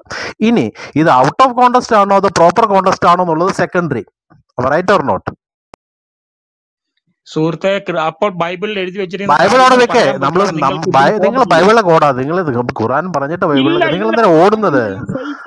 മുമ്പേ സംസാരിച്ചതെല്ലാം ഫേക്ക് ആണ് ഒരു വേർഷൻ ഒരാൾ വന്ന് ഗോൾ ഇല്ലാത്ത പോസ്റ്റിൽ ഗോൾ അടിച്ചുകൊണ്ടിരിക്കുന്നത് മാത്രം നടക്കുകയാണ്. അത് വെറുപ്പും വിദ്വേഷവും പുതിയ നിങ്ങൾ ഇപ്പൊ പറഞ്ഞ വാദം തെളിയിക്കാൻ പറ്റും. പിൻപറ്റാൻ പറ്റുന്നില്ല. മുഹമ്മദിനെ എന്റെ നിങ്ങൾക്ക് ഉത്തരം കിട്ടുന്ന കിട്ടുമെന്ന് ഉദ്ദേശിച്ചാണെങ്കിൽ വെറുതെ ഞാൻ ഞാൻ ഈ സ്പീക്കർ പാനിലേക്ക് കയറി വന്നിട്ട് ഞാൻ ഒരൊറ്റ ചോദ്യമേ ചോദിച്ചുള്ളൂ വേറെ ഒന്നിലേക്ക് ഞാൻ പോകണ്ടെന്ന് കൃത്യം പറഞ്ഞിട്ട് നിങ്ങൾക്ക് തോന്നുന്നുണ്ട് ഇദ്ദേഹം നിങ്ങളുടെ ചോദ്യത്തിൽ അല്ല ഇവ നമ്മളെ പൊട്ടന്മാരൊക്കെ അവരെ സമ്മതിക്കരുത്. ഇവരുടെ ഇവന് കറക്റ്റ് ആണ് ചോദിച്ചാൽ ഉത്തരം വിട്ടുപോനോടും നോക്കിക്കോളൂ ഇത് ഇതങ്ങനെയാന്നേ കാലാകാലങ്ങളെ നമ്മൾ ജസ്റ്റ് ഒരൊറ്റ ചോദ്യം വാക്യങ്ങൾ എടുത്തു ഞാൻ പ്രിപ്പയർ ആയി വാക്യങ്ങൾ അവിടെ ഹദീസ് ആണെന്ന് പറഞ്ഞ് എടുത്തുകൊണ്ട് വന്നിട്ടുണ്ട്. അതെല്ലാം എന്നിട്ട് പറഞ്ഞിട്ട് നിങ്ങൾ ആ ചോദിച്ചു ഞാൻ പ്രിപ്പയർ അല്ല. ഞാനിത് ബൈ ചാൻസ് ഇതിനകത്ത് കയറുന്നത് ഞാൻ പ്രിപ്പയർ അല്ല. ഞാൻ കോമൺ ആയിട്ടും ജനറൽ ആയിട്ടുള്ള കാര്യങ്ങളാണ് പറയുന്നത്. മുഹമ്മദിനെ ഇന്നത്തെ കാലഘട്ടത്തിന് നമുക്ക് പ്രാപ്യമാക്കാൻ പറ്റുന്ന ഒരു സംഹിത അല്ലെങ്കിൽ ആ മുഹമ്മദിനെ പിന്നെ അതങ്ങ് ഞങ്ങൾ ഇവിടെ വായിച്ചത് സഹിഹായ ഹദീസ് അല്ലെന്ന് തെളിയിക്കാമോ? അവരെ അവരുടെ വഴിക്ക് വിടൂ. മുഹമ്മദിനെ ഞങ്ങളിവിടെ വായിച്ചത് ഖുറാനിൽ നിന്നല്ല ഫേക്കാണ് ഞങ്ങളിവിടെ വായിച്ചത് സഹീഹായ ഹദീസിൽ നിന്നല്ല ഫേക്ക് ആണ്. ഞങ്ങളിവിടെ വായിച്ചത് തബരിയിൽ നിന്നല്ല ഇബിന് കത്തീറിൽ നിന്നല്ല ഫേക്ക് ആണ് എന്നുള്ളത് നിങ്ങൾക്ക് തെളിയിക്കാമോ? ഞാൻ നിങ്ങളോട് പറഞ്ഞിട്ടുണ്ട് എന്നേക്കാൾ ആധികാരികമായിട്ട് സംസാരിക്കാൻ. ആരാ? അലക്സാണ്ടർ ജേക്കബ് സാർ അദ്ദേഹത്തോട് ചോദിച്ചാൽ അത് കൃത്യം പറയും. സാറേ ചുമ്മാ ചുമ്മാതിരി സാർ അലക്സാണ്ടർ ജേക്കബ് എന്നോട്ടെ നിങ്ങളുടെ പണ്ഡിതനായ ചുമ്മാ ഇസ്ലാം നിലനിൽക്കുന്നത് അലക്സാണ്ടർ ജേക്കബിൽ ആശ്രയിച്ചാണെന്ന് പറയുന്നത് തന്നെ എത്ര കഷ്ടമാണ്. സുഹൃത്തെ ഇസ്ലാം അങ്ങനെ അതിന്റെ അതിന്റെ ഇസ്ലാമിനെ മുഹമ്മദിനെ പിൻപറ്റാൻ പറ്റാത്തതാണെങ്കിൽ ഇന്നത്തെ കാലഘട്ടത്തിൽ പറ്റാത്തതാണ്. ആ മുഹമ്മദ് സമൂഹം അങ്ങ് നശിച്ചു പൊക്കട്ടെ അതിനെ അതിന്റെ വഴിക്ക് മൊയ്തീൻ ഞാൻ മൊയ്തീൻ ബ്രദറിന്റെ ഒരു സാമാന്യമായ ഒരു കാര്യം സിജോ ഒറ്റ കാര്യം. ഒരു സെക്കൻഡ്. അത് പറഞ്ഞോ? ഞാനത് പറഞ്ഞു പറഞ്ഞു. അലക്സാണ്ടർ ജേക്കബിനെ മുഹമ്മദ് പോലും മുഹമ്മദ് അള്ളാഹുവും പോലും താങ്ങി നിൽക്കുന്നത് അലക്സാണ്ടർ ജേക്കബിലാണെന്നാണോ താങ്കൾ പറഞ്ഞു വരുന്നത് അലക്സാണ്ടർ ജേക്കബ് എന്ന് പറയുന്ന ആൾ എല്ലാവരും ഒരുപോലെ ആദരിക്കുന്ന ഒരാളിനെ ഞാൻ കോട്ട് ചെയ്തതേ ഉള്ളൂ. അതിന്റെ ഒന്നും ആവശ്യമില്ലെന്ന് നിങ്ങൾക്കും അറിയാം. ഞങ്ങൾക്കും അറിയാം. ഈ മതം നിങ്ങൾ എത്ര ഡോളർ എത്ര ബില്യൺ ചെലവാക്കിയാലും ഈ മതവോ ക്രിസ്തു മതവോ ഇസ്ലാം മതമോ ഒന്നും നശിക്കുകയില്ല. അത് വെറുതെ അലക്സാണ്ടർ ജേക്കബ് ഇസ്ലാമിക പണ്ഡിതനാണോ? ഇസ്ലാം മതമോ ക്രിസ്തു മതമോ ഹിന്ദു മതമോ നിങ്ങൾ എത്ര ബില്യൺ ചെലവാക്കിയാലും നശിക്കുകയില്ല. അത് നിലനിൽക്കും. അത് നിങ്ങൾ ജേക്കബ് ഇസ്ലാമിക പണ്ഡിതനാണോ? ആദ്യം നിങ്ങൾ അത് മനസ്സിലാക്കുക. ഈ അലക്സാണ്ടർ ജേക്കബിനെ ഞാൻ മാനിക്കുന്ന ഒരാളാണ്. നിങ്ങൾക്ക് അലക്സാണ്ടർ ജേക്കബ് ഇസ്ലാമിക പണ്ഡിതനാണോ? അദ്ദേഹം എല്ലാ മതങ്ങളെ കുറിച്ചും കാര്യങ്ങൾ എന്നെക്കാളും അറിവുള്ള ഒരാളാണ് അദ്ദേഹം. അദ്ദേഹത്തെ ഞാൻ മാനിക്കുന്നു. അദ്ദേഹത്തെ ഞാൻ മാനിക്കുന്നു. നിങ്ങൾക്ക് എന്താ അദ്ദേഹത്തോട് ഇത്ര വെറുപ്പ്? നിങ്ങൾക്ക് അലക്സാണ്ടർ ഇത്രയും നേരമായിട്ടും നിങ്ങൾ ഒരു ഇസ്ലാമിക പണ്ഡിതന്റെ പേര് പോലും പറഞ്ഞില്ല. ഞങ്ങൾ എത്ര എത്ര ഇസ്ലാമിക പണ്ഡിതന്മാരുടെ പേരാ പറഞ്ഞേ? നിങ്ങൾ എന്നെയാളെ കൊണ്ടുവരാൻ ഞങ്ങൾ പറഞ്ഞു. നിങ്ങൾ ആകെ പറയുന്ന ഈ ഒരു പ്ലാറ്റ്ഫോമിൽ ഇതുവരെ വന്നിട്ടില്ലാത്ത ആളെ എനിക്കറിയില്ല ഇങ്ങനെ ഈ ഇസ്ലാമിന്റെ പണ്ഡിതനാണോ? ഞാൻ ഈ ഇങ്ങനെയുള്ള സംവാദങ്ങളിലും മറ്റും ഞാൻ പങ്കെടുത്തിട്ടുള്ള ആളല്ല. എനിക്ക് ഇങ്ങനെയുള്ള അറിയില്ല. അത് നിങ്ങൾ പെട്ടെന്ന് ഒരാളെ കൊണ്ടുവരാൻ പറഞ്ഞു എനിക്ക് അറിയില്ല ഖുറാൻ വായിച്ചിട്ടുണ്ടോ? ഖുറാൻ വായിച്ചിട്ടുണ്ടോ? ഇങ്ങനെ ഖുറാൻ ഒന്നും കണ്ടിട്ട് പോലുമില്ല അതാണ് കാര്യം. ഞാൻ സഹിഹായ എത്ര ഹദീസ് ഉണ്ടോ? ഞാൻ സഹജി ഞാൻ എനിക്ക് ജീവിക്കുന്ന ഞാൻ ഇസ്ലാമിന്റെ പ്രാക്ടീസ് ചെയ്യുന്ന അനുസരിച്ച് ഞാൻ അത്ര റിലീജിയസ് മാൻ അല്ല. പക്ഷെ നിങ്ങൾ വെറുപ്പും വിദ്വേഷവും പറയുമ്പോൾ എനിക്ക് പെട്ടെന്ന് മനസ്സിലാകും. എന്റെ പൊന്നു സുഹൃത്തെ ഒറ്റ ചോദ്യത്തിനെങ്കിലും താങ്കൾ ചോദിക്കുന്നതിന് ഉത്തരം പറയും. ഇത് എന്തോന്ന് ചക്കാന്ന് ചോദിക്കുമ്പോൾ ചുക്കെന്ന് പറയല്ലേ സുഹൃത്തെ? ഒറ്റ ചോദ്യത്തിനെങ്കിലും നിങ്ങൾ ഉത്തരം താ എനിക്ക് എന്റെ ഞാൻ ഞാൻ ഒറ്റ അഭ്യർത്ഥനയും പറഞ്ഞിട്ട് ഞാൻ പോവുകയാണ്. ഖുറാൻ എന്താന്ന് പഠിപ്പിക്കണം ഹദീസുകൾ എന്താണെന്ന് പഠിപ്പിക്കണം. ഈ നിങ്ങൾ വെറു എല്ലാ കാര്യം പഠിപ്പിച്ചാൽ സംസാരിപ്പിക്കാൻ പറ്റുള്ളൂ. ഞാൻ ഞങ്ങൾ എന്ത് ചെയ്യാൻ പറ്റും? ഞാൻ എനിക്ക് ഒറ്റ ഒരു ഇതേ ഉള്ളൂ. ഈ വെറുപ്പും വിദ്വേഷവും മതഭ്രാന്തും മാറ്റി വെക്കുക സമൂഹത്തെ ഒന്നായി കാണുക. വേറൊന്നുമില്ല. എന്തുകൊണ്ട് നിങ്ങൾ അക്ബറിനോട് പറയുന്നില്ല? എന്തുകൊണ്ട് മുജാഹിദ് ബാലുശ്ശേരിയോട് പറയുന്നില്ല? പുള്ളി പോയോ? പോയി എന്റെ ഭാഷ ഇതുപോലത്തെ ഒരു സാധനത്തെ ഞാൻ എന്റെ അടുത്തെങ്കിലും കണ്ടിട്ടില്ല കേട്ടോ. അപ്പൊ എത്ര ചോദ്യം? എന്ത് ബുദ്ധിമുട്ടാന്ന് തോന്നി ഒരു ചോദ്യത്തിന് ഉത്തരം പറയാൻ നോക്കിയേ ഇതുപോലെ ബറോസ് ഭായ് സിജോ ഏഹ് സിജോ പാസ്റ്റർ ഒരു കാര്യം ഞാൻ പറഞ്ഞോളൂ നമ്മൾ ഇവരോട് സംസാരിക്കുമ്പോൾ ഞാൻ ഞാൻ കുറേ ശ്രദ്ധിക്കാറുണ്ട്. അപ്പോൾ നമ്മൾ ഇവർ പറയുമ്പോൾ നമ്മളൊരു ഒരു കറക്റ്റായിട്ട് ചോദ്യം ചോദിക്കുമ്പോൾ അതിൽ നിന്ന് തെന്നി മാറും. തെന്നി മാറുന്നതിനകത്തോട്ട് അവർ മനഃപൂർവം തെന്നി മാറുന്നതാണ്. തെന്നി മാറി അവർ പെട്ടെന്ന് സബ്ജക്ട് ഡൈവേർട്ട് ചെയ്യുമ്പോൾ നമ്മൾ അതിലേക്ക് ഒരിക്കലും പോകരുത്. നമ്മൾ ആ ഒരൊറ്റ ചോദ്യത്തിൽ തന്നെ നിർത്തി കഴിഞ്ഞാൽ തന്നെ അമ്മമാർ അതിൽ നിന്ന് ഉത്തരവില്ലാതെ മനസ്സിലാക്കിയത് പോക്കോളൂ. നമ്മളൊരു ഈ ഞാനത് പറയുന്നത് ഞാൻ രണ്ട് മിനിറ്റ് ഇറങ്ങുകയാണ്. ഞാനത് പറയുന്നത് വെച്ചാൽ നമുക്ക് ഈ പറയുന്നത് ക്രിസ്ത്യൻ അപ്പോളജിസ്റ്റിക് വർക്കിൽ നിൽക്കുന്ന എല്ലാവർക്കും പറ്റുന്നുണ്ട് നമ്മൾ പ്രധാനമായിട്ടും പറ്റുന്ന ഈ നമ്മുടെ സെബാസ്റ്റിനാണ് സെബാസ്റ്റിനോട് ഇങ്ങനെയുള്ള കാര്യങ്ങൾ സംസാരിക്കുന്ന സമയത്ത് പുള്ളി പെട്ടെന്ന് ഇവരുടെ ട്രാപ്പിൽ വിടും പെട്ടെന്ന് സബ്ജക്റ്റ് മാറും. ഇവരുടെ ഒരൊറ്റ ചോദ്യത്തിൽ നിർത്തിയിട്ട് ആ ചോദ്യത്തിന്റെ മുൾമുനയിൽ തന്നെ നിർത്തണം. അതിൽ പിന്ന് ചെയ്യണം. ആ ഒരൊറ്റ ഉത്തരം പറയാതെ അവർ വിടരുത്. അപ്പൊ അതിൽ ഉത്തരം പറയുന്നില്ലെങ്കിൽ അതിലേക്ക് തന്നെ നമ്മൾ മടങ്ങി ഒന്ന് കോൺസെൻട്രേറ്റ് ചെയ്യുമ്പോൾ അവർക്ക് മനസ്സിലാവും ഇവർ പറഞ്ഞാൽ ശരിയാവില്ല. ഈ വന്ന സഹോദരനെ ഇല്ല. നമ്മൾ ഒരു സ്ഥലത്ത് തന്നെ പിൻ ചെയ്യാൻ നോക്കി കഴിഞ്ഞാൽ അദ്ദേഹം അവിടെ നിൽക്കൂല. അദ്ദേഹം പല സ്ഥലങ്ങളിലേക്ക് പോവാണ്. പിന്നെ നമ്മൾ എന്ത് ചെയ്യാൻ പറ്റും? അങ്ങനെ പോയിക്കൊണ്ടിരിക്കുന്ന ആളെ പോയെടുത്ത് വെച്ച് പിടിക്കാൻ പറ്റുള്ളൂ. അതാണ് വിഷയം. ആ നിങ്ങൾ സംസാരിച്ചോളൂ.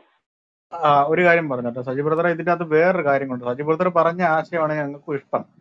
ഇതിൽ വേറൊരു വശം കൂടെ ഞാൻ പറയാം. ഇനിയിപ്പോ ഇത്രയൊക്കെ വന്ന് ഇവർ എത്രയൊക്കെ ഡൈവേർട്ട് ചെയ്ത് പോയാലും ഉണ്ടല്ലോ. ഒരു കാര്യം താഴെ ഇരിക്കുന്നവർക്ക് മനസ്സിലാവും.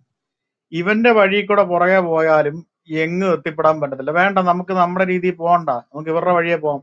ഇവൻ ഈ ഇവൻ അടുത്തേലേക്ക് ചാടിക്കോട്ടെ. ഓക്കെ നമ്മൾ അന്നേരം അവന്റെ പുറകെ പോകും അതി നിൽക്കുന്നുണ്ട്. ഇല്ല അന്നേരം അതി കിടന്ന് കുഴഞ്ഞു പറഞ്ഞ അടുത്തേലേക്ക് പോകും നമ്മൾ അതിന്റെ പുറകെ വീണ്ടും പോകും എന്ന് പറഞ്ഞാൽ ചാടി ചാടി ചാടി പോകും. നമ്മളിങ്ങനെ വിടാതെ ഇങ്ങനെ പിടിക്കും. പോയാലും ശരി ഇവരെവിടെ ചെന്നാലും കല ഉടയ്ക്കും. പക്ഷെ എന്റെ ചോദ്യം വളരെ വിശക്തമായിരുന്നു എനിക്ക് അടുത്ത ആൾ വരുന്നുണ്ട്. പോയി പോയി. ശരി പോരട്ടെ പോരട്ടെ. ആര് വേണമെങ്കിലും വരട്ടെ എന്റെ ചോദ്യം ഇത്ര ഉണ്ടായിരുന്നുള്ളൂ. ഈ അക്ബർ പറഞ്ഞ് ഇതൊന്നുമല്ല ജിഹാദ് ഐ എസ് ഐ ചെയ്യുന്നൊന്നുമല്ല ജിഹാദ്. ഈ മറ്റുള്ളവരോട് മുഹമ്മദിന്റെ മാതൃകയൊക്കെ പറയുന്നതാണ് ജിഹാദ് എന്ന് പറയുന്നതിന്റെ സംഭവം. അങ്ങനെയാണെങ്കിൽ എന്റെ ചോദ്യം ഖുറാൻ ഏതായാലും ഖുറാന്റെ അപ്പുറം ഇവർ ഗ്രന്ഥമായിട്ട് വേറൊന്നും കരുതുന്നില്ലല്ലോ. ഖുറാൻ രണ്ടിന്റെ ഇരുന്നൂറ്റി പതിനെട്ടിൽ പറയുന്നു വിശ്വസിക്കുകയും സ്വദേശം വെടിയുകയും അള്ളാഹുവിന്റെ മാർഗത്തിൽ ജിഹാദ് ചെയ്ത് ചെയ്യുന്നതിൽ ഏർപ്പെടുകയും ചെയ്യുന്നവരാവോ? അവരാകുന്നു അള്ളാഹുവിന്റെ കാരണം പ്രതീക്ഷിക്കുന്നവർ. അതായത് വിശ്വസിക്കുകയും സ്വദേശം വിടുകയും അള്ളാഹുവിന്റെ മാർഗത്തിൽ നിങ്ങൾ ജിഹാദും ചെയ്യണം. അതിന്റെ തൊട്ട് മേളിലത്തെ വാക്ക് ഇരുന്നൂറ്റി പതിനാറിനകത്ത് പറയുന്നത്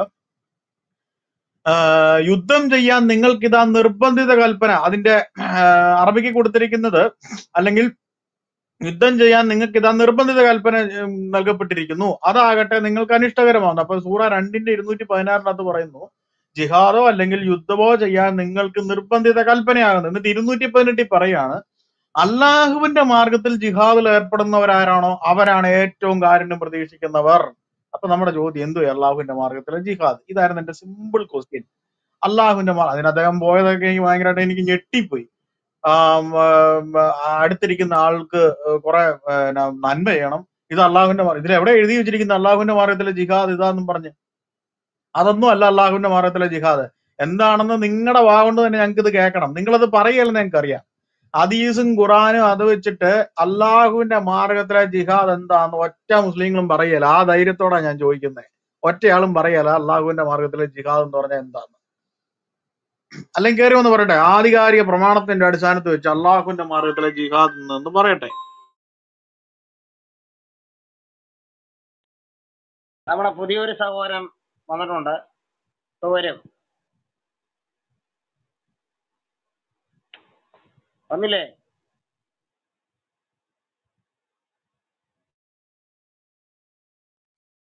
ആരും കാണുന്നില്ല. കാണുന്നില്ല. ഒരു സഹോദരൻ റിക്വസ്റ്റ് അയച്ചായിരുന്നു. ഞാൻ ഇൻവിറ്റേഷൻ കൊടുത്തത് കയറി വരുന്നില്ല. ആ പോട്ടെ. ബൊറോസ് താഴെ പോയോ? പറ്റി താജ് ബ്രദർ എന്താ പറയാൻ വന്നു പറഞ്ഞോളൂ. അല്ല അദ്ദേഹം പറഞ്ഞത് നമ്മൾ വെറുപ്പിന്റെയും വിദ്വേഷത്തിന്റെയും ആ കട ഇവിടെ തുറന്നു വെച്ചിരിക്കുക എന്നാണ് പുള്ളിക്കാരൻ ചിന്തിച്ചത്.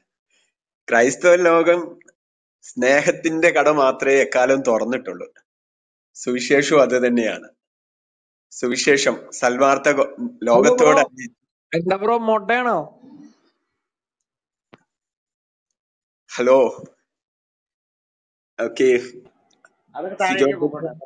വിഷ്ണു വന്നിട്ടുണ്ട്. അദ്ദേഹം സംസാരിച്ചോട്ടെ അതിന് ശേഷം ഞാൻ സംസാരിച്ചോളാം. വിഷ്ണു വേറെ തെറി എന്തോ പറയുന്നത്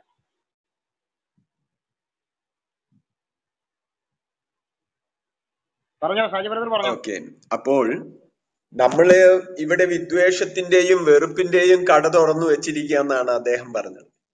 ക്രൈസ്തവ ലോകം സ്നേഹത്തിന്റെയും സമാധാനത്തിന്റെയും കടയാണ് ഈ കഴിഞ്ഞ രണ്ടായിരം വർഷമായിട്ട് ലോകത്തിൽ തുറന്നു വെച്ചത്.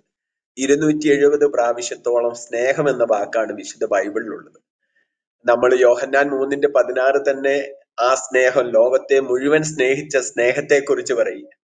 അപ്പോൾ സ്നേഹത്തിന്റെയും സമാധാനത്തിന്റെയും ഏകദേശം അഞ്ഞൂറിനടുത്ത് പ്രാവശ്യം സമാധാനം എന്ന വാക്കുകൊണ്ട് ബൈബിൾ നിറഞ്ഞിരിക്കും. അപ്പോൾ സ്നേഹത്തിന്റെയും സമാധാനത്തിന്റെയും സന്തോഷത്തിന്റെയും ഒക്കെ കടയാണ് ക്രൈസ്തവ ലോകം ഇവിടെ തുറന്നു വെച്ചിരിക്കുന്നത്. എന്നാൽ സ്നേഹം എന്ന പദമോ സമാധാന പദമോ എന്ന പദമോ ഒന്നും നമ്മൾ ഖുറാനിൽ കാണുന്നില്ല. അതിന്റെ ഒരു വാക്യങ്ങളോ വാചകങ്ങളോ ഒന്നും നമ്മൾ അവിടെ കണ്ടെത്തുന്നില്ല. എന്നാൽ ഇങ്ങനെ അക്ബറും അദ്ദേഹത്തിന്റെ പരിവാരങ്ങളൊക്കെ തുറന്നുവിട്ട ഈ വിഷവിദ്വേഷങ്ങളുടെ ഒരു പ്രതികരണം എന്ന നിലയിലാണ് നമ്മൾ ഇവിടെ ഈ കാര്യങ്ങൾ തുറന്നു വെച്ചിരിക്കുന്നത് അതും ക്രൈസ്തവ സ്നേഹത്തിന്റെ അടിസ്ഥാനത്തിൽ തന്നെയാണ് ഈ കാര്യങ്ങളൊക്കെ നമ്മൾ പങ്കുവയ്ക്കുന്നത്. എന്നാൽ കാര്യങ്ങൾ തുറന്നു പറയുമ്പോൾ മുഖം വാളുപോലെയൊക്കെ ഒരു മനുഷ്യന്റെ ജീവചരിത്രത്തിന്റെ ഏടുകൾ നമ്മൾ പരിശോധിച്ചു പോകുമ്പോൾ ഉള്ള യാഥാർത്ഥ്യങ്ങൾ നമ്മൾ പങ്കുവയ്ക്കുന്നു എന്ന് മാത്രം. അത് ഇസ്ലാമിനെ വേദനിപ്പിക്കാനോ അവരെ ദുഃഖിപ്പിക്കാനോ ഒന്നുമല്ല. സത്യമറിയട്ടെ സത്യം നിങ്ങളെ സ്വതന്ത്രരാക്കും എന്നതാണ് ദൈവവചനം. സത്യവും സ്വാതന്ത്ര്യവും സമത്വവും ഒക്കെ ലോകത്തിന് എന്നും പ്രദാനം ചെയ്യുന്ന സവിശേഷ ഗ്രന്ഥമാണ് രണ്ടായിരം വർഷങ്ങൾക്ക് മുൻപ് ലോകത്തിന് പ്രദാനം ചെയ്ത വിശുദ്ധ ബൈബിളിൽ അത് ഇന്നും അതുപോലെ തന്നെയാണ്. ആ സുവിശേഷമൊക്കെ അങ്ങനെ തന്നെയാണ്. എന്നാൽ ചില മറുപടികളും ഇങ്ങനെയുള്ള ചർച്ചകളൊക്കെ വരുമ്പോൾ ചില കാര്യങ്ങൾ മുഹമ്മദിന്റെ ജീവചരിത്രത്തോട് ബന്ധപ്പെട്ട് യുദ്ധങ്ങളോട് ബന്ധപ്പെട്ട് ഇപ്പൊ സൂറ ഒമ്പതിലൊക്കെ നമ്മുടെ മൊയ്തീൻ കടന്നു അദ്ദേഹം പറഞ്ഞ യുദ്ധത്തിന്റെ സമയത്തുണ്ടായ ആയത്തുകൾ നമ്മൾ ഇങ്ങനെയൊക്കെയുള്ള സമയത്ത് ഉദ്ധരിക്കുന്നു എന്നാണ് അദ്ദേഹം ചിന്തിക്കുന്നത്. അങ്ങനെയല്ല യുദ്ധം ഒന്നും നടക്കാത്ത സമയത്തും ക്രൈസ്തവരെ നികുതി കൊടുക്കണമെന്നും അവർ പരിപൂർണരായി വിനീതമായി കപ്പം കൊടുക്കുന്നത് വരെ അവരെ അവരോട് യുദ്ധം ചെയ്യണമെന്നൊക്കെയുള്ള പറയുന്ന സുറാൻ ആയത്തുകൾ അപ്പൊ ഇതൊന്നും ഏതെങ്കിലും ഒരു യുദ്ധത്തിന്റെ പശ്ചാത്തല പരിസരത്തിൽ നിന്നുള്ള ആയത്തുകളൊന്നുമല്ല. ഇതൊക്കെ ഏത് സമയത്തും ഒരു ക്രൈസ്തവൻ അഭിമുഖീകരിക്കേണ്ട ജീവിത യാഥാർത്ഥ്യങ്ങളാണ്. സൗദി അറേബ്യയിൽ നിന്ന് എല്ലാവരെയും പുറത്താക്കണം യഹൂദനെ പുറത്താക്കണം ക്രൈസ്തവനെ പുറത്താക്കണം എന്നൊക്കെ പറയുന്നത് ഏത് യുദ്ധ പരിസരത്തിലാണ് അവിടെയൊന്നും യുദ്ധമില്ല അവിടെയൊന്നും ഏതെങ്കിലും യഹൂദന് ഇവരായിട്ട് യുദ്ധത്തിന് പോകുന്നില്ല. അവരൊക്കെ കൃഷിക്കാരും അവർക്ക് ദൈവം നൽകിയ ദാനങ്ങൾ ഉപയോഗിച്ചുകൊണ്ട് ജീവിക്കുന്നവരുമായിരുന്നു സാധുക്കളായിരുന്നു. അപ്പൊ അവരോടൊക്കെ യുദ്ധം ചെയ്യുന്ന മേഖലയിൽ ആ മുഹമ്മദിന്റെ തുടർമാനമായ ജീവിത സബരികളാണ് ആ ഓടിപ്പോക്കിലേക്കൊക്കെ കലാശിച്ചത്. അപ്പോൾ എനിക്ക് പറയാനുള്ളത് ഇവിടെ സ്നേഹത്തിന്റെ കടയാണ് ക്രൈസ്തവ ലോകം എക്കാലവും മുമ്പോട്ട് വെച്ചിരിക്കുന്നത്. അത് സുവിശേഷമാണ്. എന്നാലും നമ്മൾ സൂറ മുപ്പത്തിമൂന്നിൽ വായിക്കുമ്പോൾ മുഹമ്മദിനെ കുറിച്ച് സുവിശേഷകൻ എന്ന് വായിക്കുന്നു. അത് വിശുദ്ധ ബൈബിളിൽ നിന്ന് പലതും കടമെടുത്തതുപോലെ സുവിശേഷം എന്ന പദവും കടമെടുത്തിരിക്കുക. മുഹമ്മദ് സുവിശേഷകനാണ്. പക്ഷെ എന്ത് സുവിശേഷമാണ് മുഹമ്മദ് ലോകത്തിന് നൽകിയത്? അദ്ദേഹം ഖുറാനിലൂടെ പറയുന്ന പങ്കുവെക്കുന്ന മാനവ സമൂഹത്തിന് നൽകുന്നത് എന്ത് സുവിശേഷമാണ്? അങ്ങനെ ഒരു സുവിശേഷം മുഹമ്മദ് പങ്കുവെച്ചിട്ടുണ്ടോ ഉണ്ടെങ്കിൽ തീർച്ചയായും നമുക്ക് അറിയേണ്ടതുണ്ട്. കാരണം വിശുദ്ധ ബൈബിളിലെ കർത്താവ് തന്റെ ജീവൻ നൽകിയ സുവിശേഷം ലോകത്തോട് പങ്കുവെക്കുക തന്റെ ജീവനെ ശരീരത്തെ രക്തത്തെ എല്ലാം നൽകുകയാണ്. എന്നാൽ മുഹമ്മദ് എന്ത് സുവിശേഷമാണ് ലോകത്തിന് പ്രദാനം ചെയ്തത്? ഓക്കെ മറ്റൊരു സഹോദരൻ വന്നിട്ടുണ്ട്. അദ്ദേഹം സംസാരിക്കട്ടെ.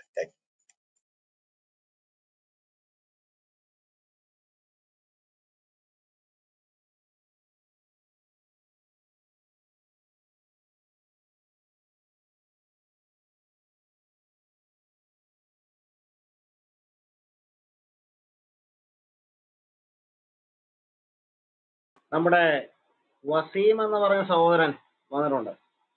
വസീമിനെ ഞങ്ങളിവിടെ സംസാരിച്ചതെല്ലാം കേട്ടിരുന്നോ? ചർച്ച കേട്ടിരുന്നോ? വിഷയാവതരണം കേട്ടിരുന്നോ? നമ്മുടെ വിഷയം മനസ്സിലായോ? വസീം സംസാരിച്ചാൽ. വസീം വസീം കേൾക്കുന്നുണ്ടോ? ഞാൻ ഒടിവിളല്ലേ സാജി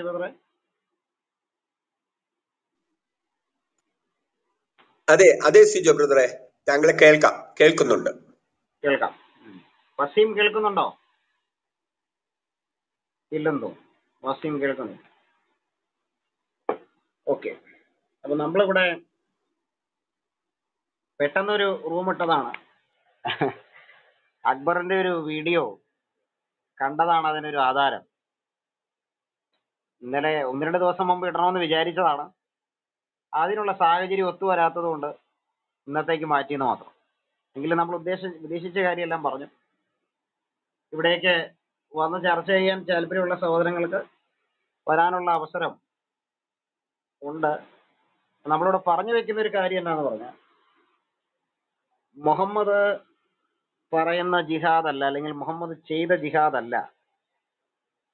അക്ബർ പറയുന്നത്. അക്ബറിനറിയാം മുഹമ്മദിന്റെ ജിഹാദ് എന്താണെന്ന്. പക്ഷെ അക്ബർ എന്ത് ചെയ്യുവാണ്? അതിന് വെള്ളപൂശുവാണ് അതിന് അദ്ദേഹം ഉപയോഗിക്കുന്ന പഴയ വീഡിയോസ് ആണ്. പുതിയ വീഡിയോസ് ഒന്നും അല്ല അദ്ദേഹം ഉപയോഗിക്കുന്നത്. നമ്മൾ ആഹ് ഏതാനും സമയം കൂടി ഇത് തുടരുകയാണ്. നിങ്ങൾ ഖുറാൻ വായിക്കുമ്പോൾ നമുക്ക് കൃത്യമായിട്ട് നിങ്ങൾക്ക് മനസ്സിലാക്കാൻ പറ്റുന്ന ചില കാര്യങ്ങളുണ്ട്. ഈ യുദ്ധം യുദ്ധം എന്ന് പറയുമ്പോൾ യുദ്ധത്തിൽ യുദ്ധ യുദ്ധസമയത്ത് എഴുതിയ ആയത്തുകളാണ് ഖുറാനിലുള്ളതെന്നൊക്കെ പറയുമ്പോൾ ഖുറാന്റെ കോണ്ടെക്സ്റ്റ് ഒന്നും മനസ്സിലാക്കാതെയാണ് ഈ പറയുന്നത്. ആകെ രണ്ട് കോണ്ടക്സ്റ്റ് ഉള്ളൂ മക്ക കാലഘട്ടം മദീന കാലഘട്ടം. ഇതെല്ലാം യുദ്ധസമയത്ത് എഴുതിയതൊന്നല്ല വ്യക്തിവൈരാഗ്യത്തോടു കൂടി ആളുകളെ കൊല്ലുന്നത് എന്ത് യുദ്ധസമയത്താണ്? അത് മാത്രമല്ല മതത്തിന്റെ പേരിലാണ് കൊല്ലാൻ പറയുന്നത്. സൂറ രണ്ടിന്റെ ഇരുന്നൂറ്റി പതിനാറ്. യുദ്ധം ചെയ്യാൻ നിങ്ങൾക്ക് ഇത് നിർബന്ധ കൽപ്പന നൽകപ്പെട്ടിരിക്കുന്നു. സൂറ എട്ടിന്റെ അറുപത്തിയഞ്ച്. നബിയെ നീ വിശ്വാസികളെ യുദ്ധത്തിന് പ്രോത്സാഹിപ്പിക്കുക.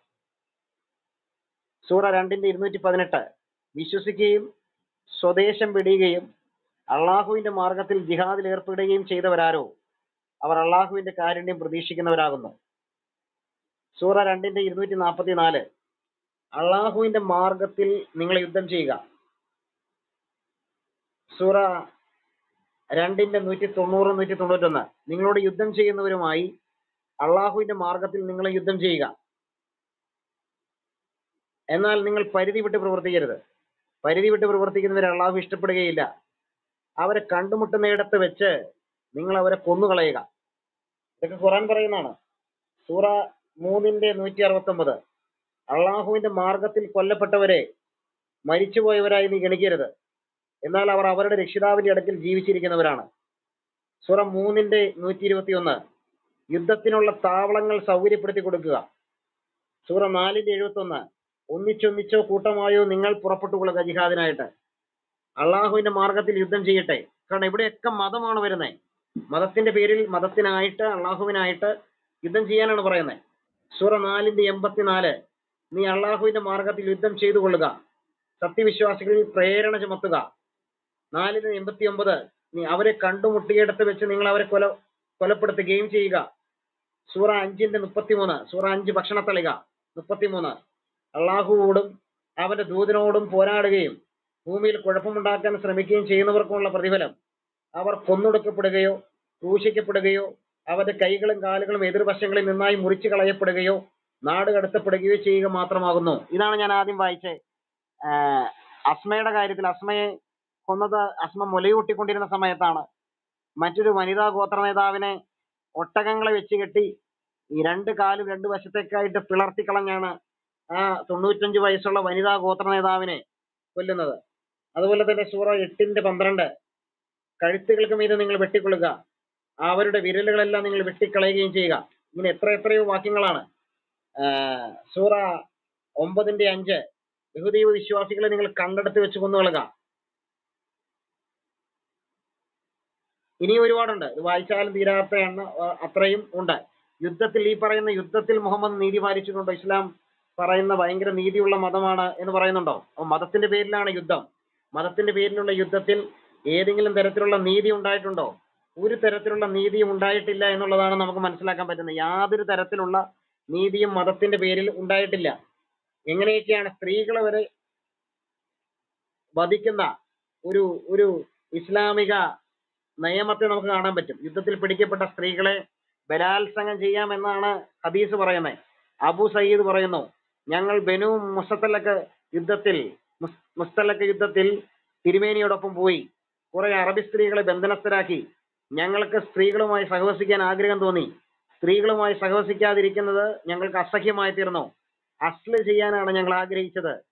അതിനനുസരിച്ച് പ്രവർത്തിക്കാൻ ഉദ്ദേശിച്ചു. തിരുമേനിയാകട്ടെ ഞങ്ങളുടെ മുമ്പിൽ ഉണ്ട് തിരുമേനിയോട് ചോദിക്കും മുമ്പാണ് ഞങ്ങൾ ആ തീരുമാനമെടുത്തത് അവസാനം അതിനെപ്പറ്റി തിരുമേനിയോട് ഞങ്ങൾ ചോദിച്ചു തിരുമേനി അരളി നിങ്ങൾ അത് ചെയ്യാതിരുന്നാൽ എന്താണ് ദോഷം? ലോകാവസാനം വരേക്ക് ഉടലെടുക്കാൻ പോകുന്ന ഒരു ജീവിയെങ്കിലും ഉടലെടുക്കാതെ പോവുകയില്ല തന്നെ.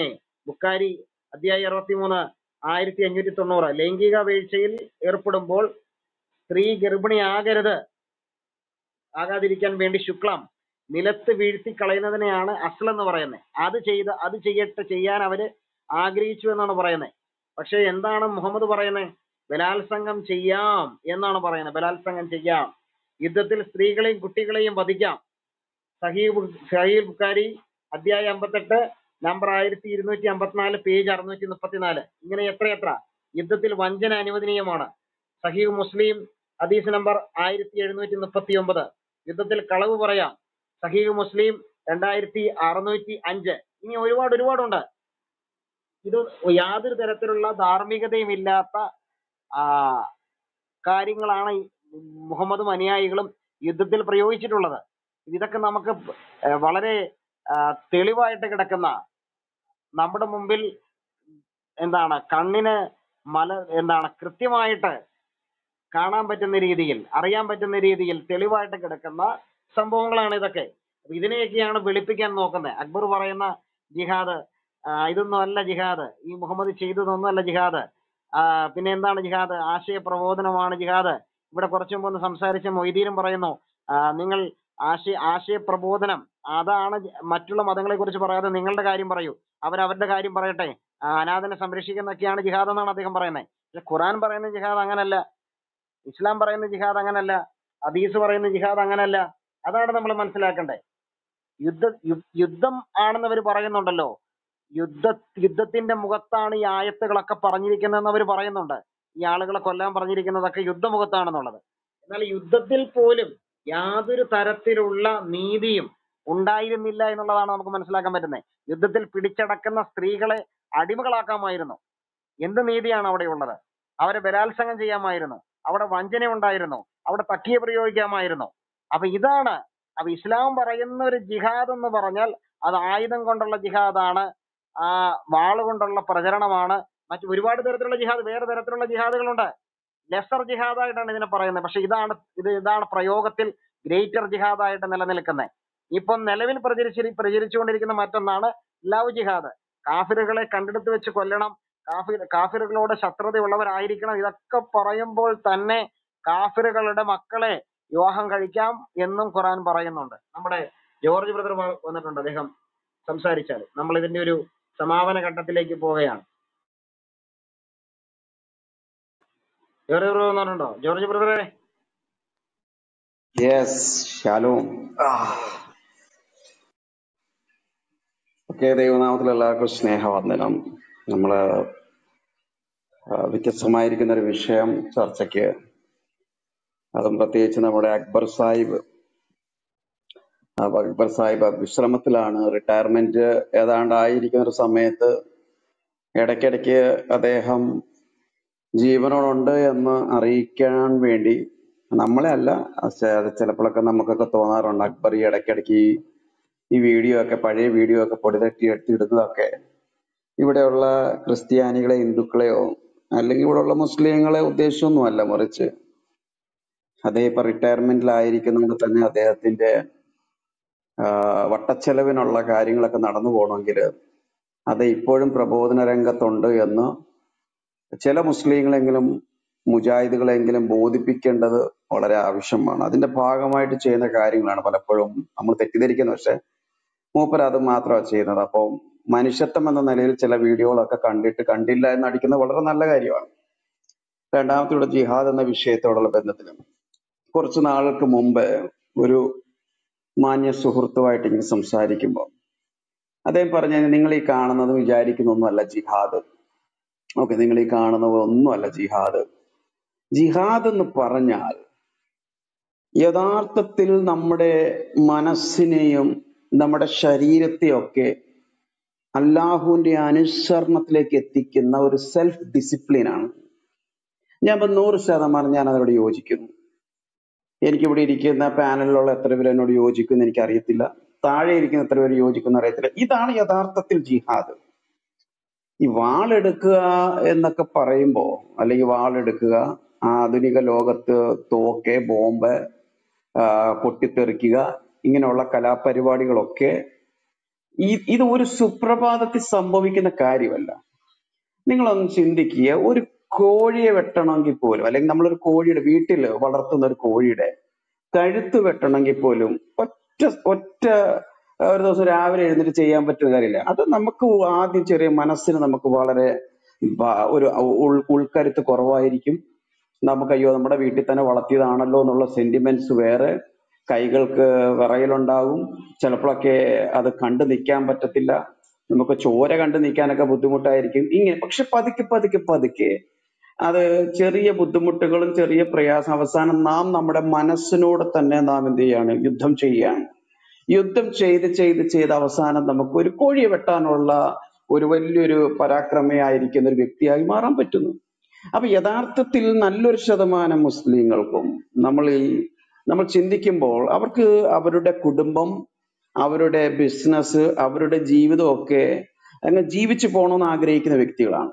ഞാൻ എന്റെ ചുറ്റുമുള്ള മുസ്ലിങ്ങളിൽ ഞാൻ കണ്ടു പഠിച്ച കാര്യം ഇതാണ് അവർക്ക് ഈ വക കാര്യങ്ങളൊന്നും താല്പര്യമില്ല. അവർ ഏതെങ്കിലും ഉത്സവങ്ങളുടെ സമയത്തോ അല്ലെങ്കിൽ അവരുടെ ജുമ്മ പ്രാർത്ഥന സമയത്തൊക്കെ അവർ പള്ളിയുടെ ഒരു ഭാഗമാകുന്നെങ്കിലും അവരല്ലാത്ത സമയത്തൊക്കെ അവരുടെ ജീവിതം ഒരു കുറച്ചും കൂടി പ്രാകൃത നിലവാരത്തിൽ നിന്ന് ഉയർന്ന് ഇന്നത്തെ ഒരു സമൂഹവുമായി ചേർന്ന് പോകുവാനും മറ്റുള്ള മനുഷ്യരോട് ഇടപെട്ടും സഹകരിച്ചും മതം ഭ്രാന്തിൽ ജീവിക്കാതെ സുബോധത്തോടെ ജീവിക്കാനൊക്കെ ശ്രമിക്കുന്ന ഒരു ഒരു രീതിയാണ്.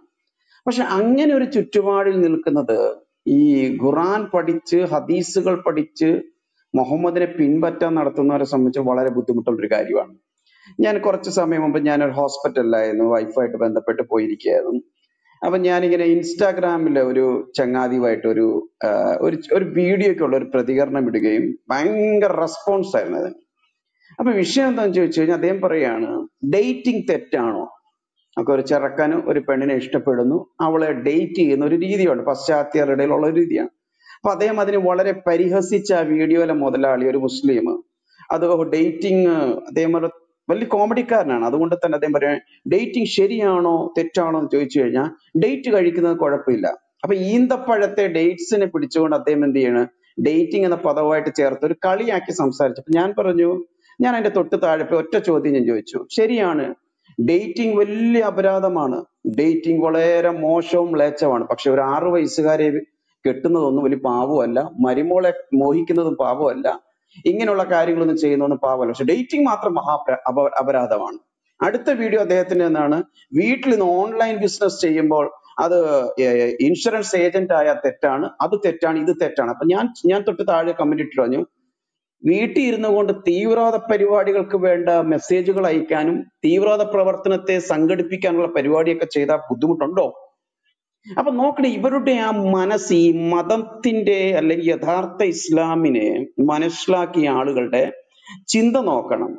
അവരെ സംബന്ധിച്ചോളം ഇതൊക്കെ വളരെ വളരെ വളരെ എന്താ പറയുക ഇങ്ങനെയുള്ള ഇൻഷുറൻസ് ഏജന്റ് ആകുന്നത് മഹാപാപമാണ്. അതുപോലെ തന്നെ ഒരു ഒരു സാരി ഉടുത്തുകൊണ്ട് നടക്കുന്നത് മഹാപാപമാണ്. ഇങ്ങനെയൊക്കെയുള്ള കാര്യങ്ങളല്ല ഇവരെ സംബന്ധിച്ച് മഹാപാപമാണ്. പക്ഷേ ഈ ഇതിനോടൊന്നും യോജിപ്പില്ലാതെ ജീവിക്കുന്ന നൂറുകണക്കിന് മുസ്ലിങ്ങളുണ്ടെന്ന് ഞാൻ പ്രാരംഭത്തിൽ പറഞ്ഞല്ലോ. അവരെ സംബന്ധിച്ചോളം ഇതൊക്കെ എന്താ പറയുന്നത്? അവരിതെല്ലാം ഔട്ട്ഡേറ്റഡ് ആയിരിക്കുന്ന കാര്യങ്ങൾ. ഇന്നത്തെ ആധുനിക ലോകത്ത് മുഹമ്മദിന്റെ മാതൃക വെച്ചുകൊണ്ട് ഒരു മനുഷ്യന് ജീവിക്കാൻ പറ്റത്തില്ലെന്ന് നന്നായിട്ട് അറിയാം അങ്ങനെ ജീവിക്കാൻ ശ്രമിക്കുന്ന വ്യക്തികൾ തീർച്ചയായിട്ടും ഏതെങ്കിലും ജയിലിൽ പോയി സുഖവാസം പ്രാപിക്കേണ്ടത് ആവശ്യമാണെന്ന് അവർക്ക് നന്നായിട്ട് അറിയാം. ഇതെല്ലാം ഇട്ട് മനുഷ്യൻ ഒരു സുബോധത്തിലേക്ക് വന്ന് അല്ലെങ്കിൽ ഒരു പുതിയൊരു ലോകത്തിന്റെ കാഴ്ചപ്പാടിൽ ഏ, നല്ല രീതിയിൽ ഇടപെട്ട് ജീവിക്കാൻ ആഗ്രഹിക്കാൻ. പക്ഷെ അങ്ങനെയുള്ള ആളുകൾ ഈ മതഭ്രാന്തന്മാർക്ക് എന്നും ഒരു അപകടം തന്നെയാണ്. അതിനുവേണ്ടി ഇവരാദ്യം ചെയ്യുന്ന എന്താണ്? മുമ്പേ പറഞ്ഞ പോലെ ഒന്നാമത്തെ ജിഹാദ് എന്ന് പറയുന്നത് നമ്മൾ നമ്മോട് തന്നെയുള്ള യുദ്ധമാണ്. അല്ലാഹുവിന് കീഴ്പ്പെടുവാൻ വേണ്ടി. മുഹമ്മദിനെ കീഴ്പ്പെടാൻ വേണ്ടി എന്ത് ചെയ്യാണ് അവർക്ക് ഇത് കൊടുക്കുകയാണ്. അവരെ ഒന്ന് ഒരു അവരുടെ മനസ്സിന് താല്പര്യമില്ല. ഞാൻ ഞാൻ ചിന്തിക്കുന്നില്ല. ഒരിക്കലും ചില സംഖ്യകൾ പ്രചരിപ്പിക്കുന്ന പോലെ എല്ലാ മുസ്ലിങ്ങളും അങ്ങനെ ചോരക്കൊതിയന്മാർ അങ്ങനെയൊന്നും അല്ല. എല്ലാവരും മനുഷ്യരല്ലേ? അവർ പച്ച മനുഷ്യരാണ്. എല്ലാവരെ പോലെ തന്നെ അവർക്കും വികാരങ്ങളും അവർക്കും വേദനകളും നന്മയും തിന്മയും ഒക്കെ തിരിച്ചറിയാനുള്ള പക്വതയുണ്ട് അവർക്ക്. പക്ഷേ ഇവരെങ്ങനെയാണ് പലരും ഇതിലോട്ട് പോകുന്നത്? എങ്ങനെയാണ് ഈ വിഷയത്തിൽ ഇത്രയും ക്രൂരമായിരിക്കുന്ന നിലയിൽ അനേകായിരങ്ങളെ കൊന്നു തീർക്കുവാൻ പറ്റുന്നത്? ഒന്ന് ഓർക്കുക സാധാരണ ഈ വിഷയം ഒന്ന് എടുത്തു നോക്കിയേ. ഈ വിഷയം ചർച്ചയ്ക്കിട്ടാ ചോദിക്കും വേൾഡ് വാർ ഒന്ന് മുസ്ലിങ്ങളാണോ ചെയ്തത്? വേൾഡ് വാർ രണ്ട് മുസ്ലിങ്ങളാണോ ചെയ്തത്? അങ്ങ് ഉഗാണ്ടയിൽ പടക്കം പൊട്ടിച്ചു കൊന്നത് മുസ്ലിങ്ങളാണോ? ഇതെന്ത് യുക്തിയാണിത്? എന്ന് വെച്ച് കഴിഞ്ഞാൽ ഈ മുമ്പേയും ഒരു കാര്യമുണ്ടായിരുന്നു അത് തന്നെ ഞങ്ങൾ തുടരുകയാണ്. അത്ര വ്യത്യാസം മാത്രമേ ഉള്ളൂ. മനസ്സിലാക്കേണ്ട ഒരു കാര്യം എന്ന് വെച്ചാൽ അപ്പൊ ഒരുത്തനെ പെണ്ണ് പിടിച്ച വിഷയത്തിൽ നമ്മൾ പിടിച്ചവനെ ഇട്ട് അവനെ ഇട്ട് ഇടിക്കാനിരിക്കുമ്പോ ചോദിക്കാൻ എന്തോ ആയിരത്തി തൊള്ളായിരത്തി അറുപത്തി ഒന്നിൽ പീഡിപ്പിച്ചത് അത് ഞാനാണോ? ആയിരത്തി തൊള്ളായിരത്തി ഇരുപത്തി ഒന്നിൽ പീഡിപ്പിച്ചത് ഞാനാണോ? ആയിരത്തി തൊള്ളായിരത്തി അമ്പത്തി ഒന്നിൽ പീഡിപ്പിച്ചത് ഞാനാണോ? അല്ല നീ അല്ലായിരുന്നു. അപ്പൊ അവർ പീഡിപ്പിച്ചല്ലോ. അപ്പൊ ഞാനും അത് തന്നെയാണ് ചെയ്യുന്നത്. അപ്പൊ ഞാൻ രണ്ടായിരത്തി ഇരുപത്തിരണ്ടിൽ ചെയ്യുന്നുള്ള വ്യത്യാസം മാത്രമേ ഉള്ളൂ. അപ്പൊ നോക്കണേ ഈ ഒരു മനസ്സ് സാധാരണ വ്യക്തികളുടെ മനസ്സിലേക്ക് ഇട്ടു കൊടുക്കുമ്പോൾ ഈ ഒരു സാധാരണ മുസ്ലിമിന് ഇത് നീ യഥാർത്ഥത്തിൽ ഇങ്ങനെയൊക്കെ ചെയ്തെങ്കിൽ ഇതൊക്കെ ശരിയാണ്. ഈ ചെയ്യുന്ന പ്രവർത്തികളൊക്കെ ശരിയാണ് എന്ന് ചിന്തിക്കുവാൻ അവനെ പ്രേരിപ്പിക്കുകയാണ്. എന്തുകൊണ്ട് ഒരു നല്ലൊരു ശതമാനം മുസ്ലിങ്ങൾ വെള്ള പൂശിയിട്ട് പ്രത്യേകിച്ച് ഇതിൽ ഏറ്റവും വെള്ള പൂശാൻ ടണ്ണ് കണക്കിന് പെയിന്റ് ഇറക്കുന്ന ഒരു കൂട്ടരാണ് അഹമ്മദികൾ അല്ലെങ്കിൽ കാദിയാനികൾ എന്ന് പറയുന്നത്. അവരുടെ ഒരു ഒരു നല്ലൊരു പുസ്തകമുണ്ട്. അത് എല്ലാവരും വായിച്ചിരിക്കേണ്ട ഒരു പുസ്തകമാണ്. Murder in the name of അല്ല എന്ന് പറയുന്നു. അവരുടെ അവരുടെ ഒരു ഖലീഫ കല്ലിക്കുട്ട് ഖലീഫ അദ്ദേഹം എഴുതുന്ന ഒരു പുസ്തകമാണ്. ആ പുസ്തകത്തിന്റെ അകത്ത് ഡീറ്റെയിൽ ആയിട്ട് ഡീറ്റെയിൽ ആയിട്ട് ജമായത്ത് ഇസ്ലാമി മുതലുള്ള കൂട്ടരുകളൊക്കെ ഇവിടെ അവർ ഈ വിഷയത്തിൽ എന്താണ് നിലപാടെടുത്തിട്ടുള്ളത്? അവർ മുസ്ലിം ഭൂരിപക്ഷം ഉള്ള സ്ഥലങ്ങളിൽ അവിടുത്തെ പണ്ഡിതന്മാര് ജിഹാദ് എന്ന വിഷയത്തിൽ എന്തൊക്കെയാണ് അവർ എഴുതി വെച്ചിരിക്കുന്ന എല്ലാ കാര്യവും ഡീറ്റെയിൽ ആയിട്ട് കൊണ്ടുവന്ന് ഇട്ടിട്ട് പറയാൻ ഇവരെല്ലാം തല്ലിപ്പൊളിയാണ്. ഇവരെല്ലാം കള്ളന്മാരാണ്. ഇവരെല്ലാം എന്താ പറയുന്നത് അമുസ്ലിങ്ങളെ പോലെ പെരുമാറുകയാണ്. ഇവരൊന്നും ഇസ്ലാമിക നിയമം അനുസരിച്ചല്ല. അപ്പൊ അവസാനം എന്താണ്? മുഹമ്മദിന് പൗഡറൊക്കെ ഇട്ടിട്ട് അല്ലാവിന് പൗഡറൊക്കെ ഇട്ട് ഖുറാനും പൗഡറൊക്കെ ഇട്ടിട്ട് മിടുക്കനാക്കുക എന്നുള്ള ഒറ്റ ഉദ്ദേശം മാത്രം. ഈ ഇത് ഇത് കാദിയാനികൾ ചെയ്യുന്ന ഒരു നമ്പറാണ് ഇത് ഈ ആശയം കാദിയാനികളുടെ സാധനമാണ് പലപ്പോഴും ഈ ഈ മുജാഹിദുകാരും മറ്റുള്ള ദാവാക്കാരൊക്കെ അടിച്ചു മാറ്റി ക്രൈസ്തവർക്കെതിരെയൊക്കെ പ്രയോഗിക്കുന്നത്. എന്നാൽ എന്നാൽ നമ്മൾ മനസ്സിലാക്കേണ്ട ഒരു കാര്യം ഇതാണ്. യഥാർത്ഥത്തിൽ ഇന്ന് കാണിക്കുന്ന തീവ്രവാദികൾ ഈ തീവ്രവാദികൾ രാവിലെ പല്ലും തേച്ച് അവർ കിളയ്ക്കാൻ പോയിട്ട് കപ്പയും നട്ട് കപ്പയും പിഴുതും ഒന്നും അല്ലല്ലോ ഈ ബുള്ളറ്റും ബോംബും ഒക്കെ ഇവർ തയ്യാർ വാങ്ങിച്ചുകൊണ്ട് വരുന്നത് ഇവരുടെ കയ്യിൽ ഇവിടെ നിന്നാണ് ഇത്രയൊക്കെ ആയുധങ്ങൾ? ഇവരുടെ കയ്യിൽ എത്രയാണ് ലേറ്റസ്റ്റ് ആയിരിക്കുന്ന മിസൈലുകൾ ഇരിക്കുന്നത്? ഈ കോടിക്കണക്കിന് രൂപ ഇതിന് ഫണ്ടിങ് എവിടെ നിന്നാണ് നടക്കുന്നത്? എവിടെ നിന്നാണ് ഇവർക്ക് വേണ്ടതായ ട്രെയിനിങ് സെന്ററുകൾ സ്ഥാപിക്കപ്പെടുന്നത്? ഇവിടെ എഞ്ചിനീയർ മുതൽ ഡോക്ടർ വരെ ഈ വക കാര്യങ്ങൾ എങ്ങനെയാണ് ഏർപ്പെടുന്നത്? എവിടെ നിന്നാണ് ഇതിനൊക്കെ ഫണ്ടിങ് നടക്കുന്നത്? എന്തായാലും ബിൻലാദന് കിളച്ചും മറിച്ചും ഒന്നും അല്ലല്ലോ കാശുണ്ടാക്കുന്നത് അപ്പൊ നമുക്ക് മനസ്സിലാക്കുന്നത് ഇതിനു വേണ്ടി ഫണ്ട് ചെയ്യണമെങ്കിൽ എന്തായാലും സംഘികൾ ചെയ്യത്തില്ലല്ലോ. എന്ത് എന്തായാലും ക്രിസ്ത്യാനികൾ ചെയ്യുന്നില്ലല്ലോ. അപ്പൊ പിന്നെ ആരാണ് ചെയ്തത്? ഇതുപോലെ ബ്രെയിൻ വാഷ്ഡ് ആയിരിക്കുന്ന ഇതെല്ലാം ഇസ്ലാം എന്ന ലോകത്തൊക്കെ ഈ പറയപ്പെടുന്ന കാര്യങ്ങൾ ചെയ്യണമെങ്കിലും വിശുദ്ധ യുദ്ധം ചെയ്യണമെന്നും ആ വിശുദ്ധ യുദ്ധത്തിൽ ഇത് ഇവരൊക്കെ എല്ലാം മുജാഹിദുകളാണ്.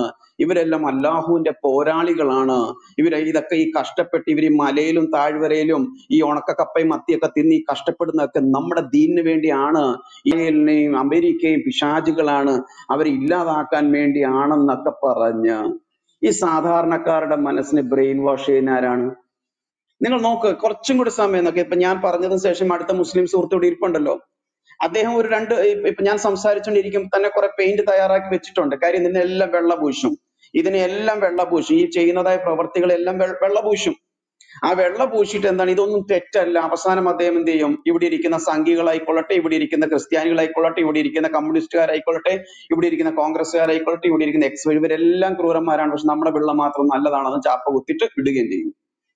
നമ്മൾ മനസ്സിലാക്കേണ്ട ഒരു കാര്യം ഈ പറയപ്പെടുന്ന ഞാനത് എപ്പോഴും പറയും നമ്മൾ എപ്പോഴും ശ്രദ്ധിക്കണം ഈ സാധാരണ മുസ്ലിങ്ങളെ യുവത്തകളുടെ കയ്യിൽ വീഴാതെ രക്ഷിക്കുക എന്നുള്ളതാണ്. കാര്യം ഈ മതഭ്രാന്തിലേക്ക് പോകാതെ അനേക പിഞ്ചു കുഞ്ഞുങ്ങളൊക്കെ ഈ തോക്കെടുത്തോണ്ട് പോകാതെ നമ്മൾ കഴിഞ്ഞ ദിവസങ്ങളിലൊക്കെ സംഘികളുടെ കൊച്ചു കുഞ്ഞുങ്ങളുടെ കയ്യിൽ ത്രിശൂലം ഏൽപ്പിച്ചുകൊണ്ട് ഈ കോക്കാമ്പിച്ച കാണിക്കാൻ പ്രേരിപ്പിക്കുന്നത് പോലെ തന്നെ എത്രയോ അപകടമുള്ള കാര്യമാണ്. യൂണിവേഴ്സൽ ആയിരിക്കുന്ന ഒരു ടെററാണ് യൂണിവേഴ്സൽ ഒരു ക്യാൻസർ ആയിട്ട് മാറിയിരിക്കുകയാണ് ഈ തീവ്രവാദം എന്ന് പറയുന്നത്. പക്ഷെ നിങ്ങൾ ഒരു കാര്യം നോക്ക്. ഞാൻ ആ ഒരു വിഷയം കൂടി പറഞ്ഞ വാക്കിൽ അവസാനിക്കും നിങ്ങൾ നോക്കുക ഇവിടെയുള്ള പ്രസ്താവനകൾ ഇറക്കുന്ന കാര്യത്തിൽ മുൻപന്തിയിലാണ്. നോക്കുക. പ്രസ്താവന ഇറക്കുന്ന കാര്യത്തിൽ ഞങ്ങൾ ഐ എസ് ഐ എസിനെതിരെ അല്ലെങ്കിൽ ഐ എസ് എസിനെതിരെ എതിരെയാണ് ഞങ്ങൾ ഈ പറഞ്ഞ പരിപാടിക്ക് എതിരെയാണ് ഇങ്ങനെ പ്രസ്താവനകൾ ഇറക്കുന്നതല്ലാതെ സാധാരണ ഒരു സാധാരണ ഒരു മുസ്ലിം സമുദായം കാണിക്കുന്ന അഗ്രസീവ് ആയിരിക്കുന്ന നിലപാട് ഈ വിഷയത്തിൽ എടുക്കാറുണ്ടോ? എടുക്കാറില്ല. ഇപ്പൊ ഇപ്പൊ നമ്മളെ ജോസഫ് മാഷിന്റെ കൈ വെട്ടിയ സമയത്ത് ഞങ്ങൾ ജോസഫ് മാഷിന് പോയി ടാറ്റ കൊടുത്തു. ഞങ്ങൾ ജോസഫ് മാഷിന്റെ വീട്ടിൽ പോയിട്ട് എങ്ങനെ ഉണ്ടെന്നൊക്കെ ചോദിച്ചു. ഞാൻ ചോദിക്കുന്നത് ഈ കൈ വെട്ടിയവന്മാർക്കെതിരെ ഇവിടെ ഏതെങ്കിലും വേറൊരുത്തം പോയിട്ട് എടാ നമ്മുടെ സമുദായത്തിൽ ചീത്തപ്പേര് ഉണ്ടാക്കി വൃത്തികെട്ടവനെ എന്ന് പറഞ്ഞു അവന്റെ കൈ വിട്ടാണ്ടാലും പോയോ? ഇല്ല. കക്ഷികളൊക്കെ ഇപ്പോഴും നല്ല ചിരിച്ചും അവരൊക്കെ പുറത്തിറങ്ങുമ്പോൾ പുഞ്ചിരിക്കുന്ന നല്ല ക്ലോസപ്പ് ചിരിയുടെ ഫോട്ടോ എടുത്തുകൊണ്ട് അവരെയൊക്കെ നല്ല രീതിയിൽ പ്രോത്സാഹിപ്പിച്ചു വിട്ടവരല്ലേ? എന്താണ് അപ്പൊ എന്തുകൊണ്ട് എന്തുകൊണ്ട് അവർക്കെതിരെ ശക്തമായ നിലയിൽ ഒരു നിലപാട് എടുക്കാൻ പറ്റുന്നില്ല? എന്തുകൊണ്ട് ചെവുക്കനെ നോക്കിയിട്ടൊന്നും പൊട്ടിക്കാൻ അവർക്ക് പറ്റുന്നില്ല? കാരണം അത് പറ്റത്തില്ല. കാര്യം പ്രസ്താവന ഇറക്കാൻ എളുപ്പമാണ്.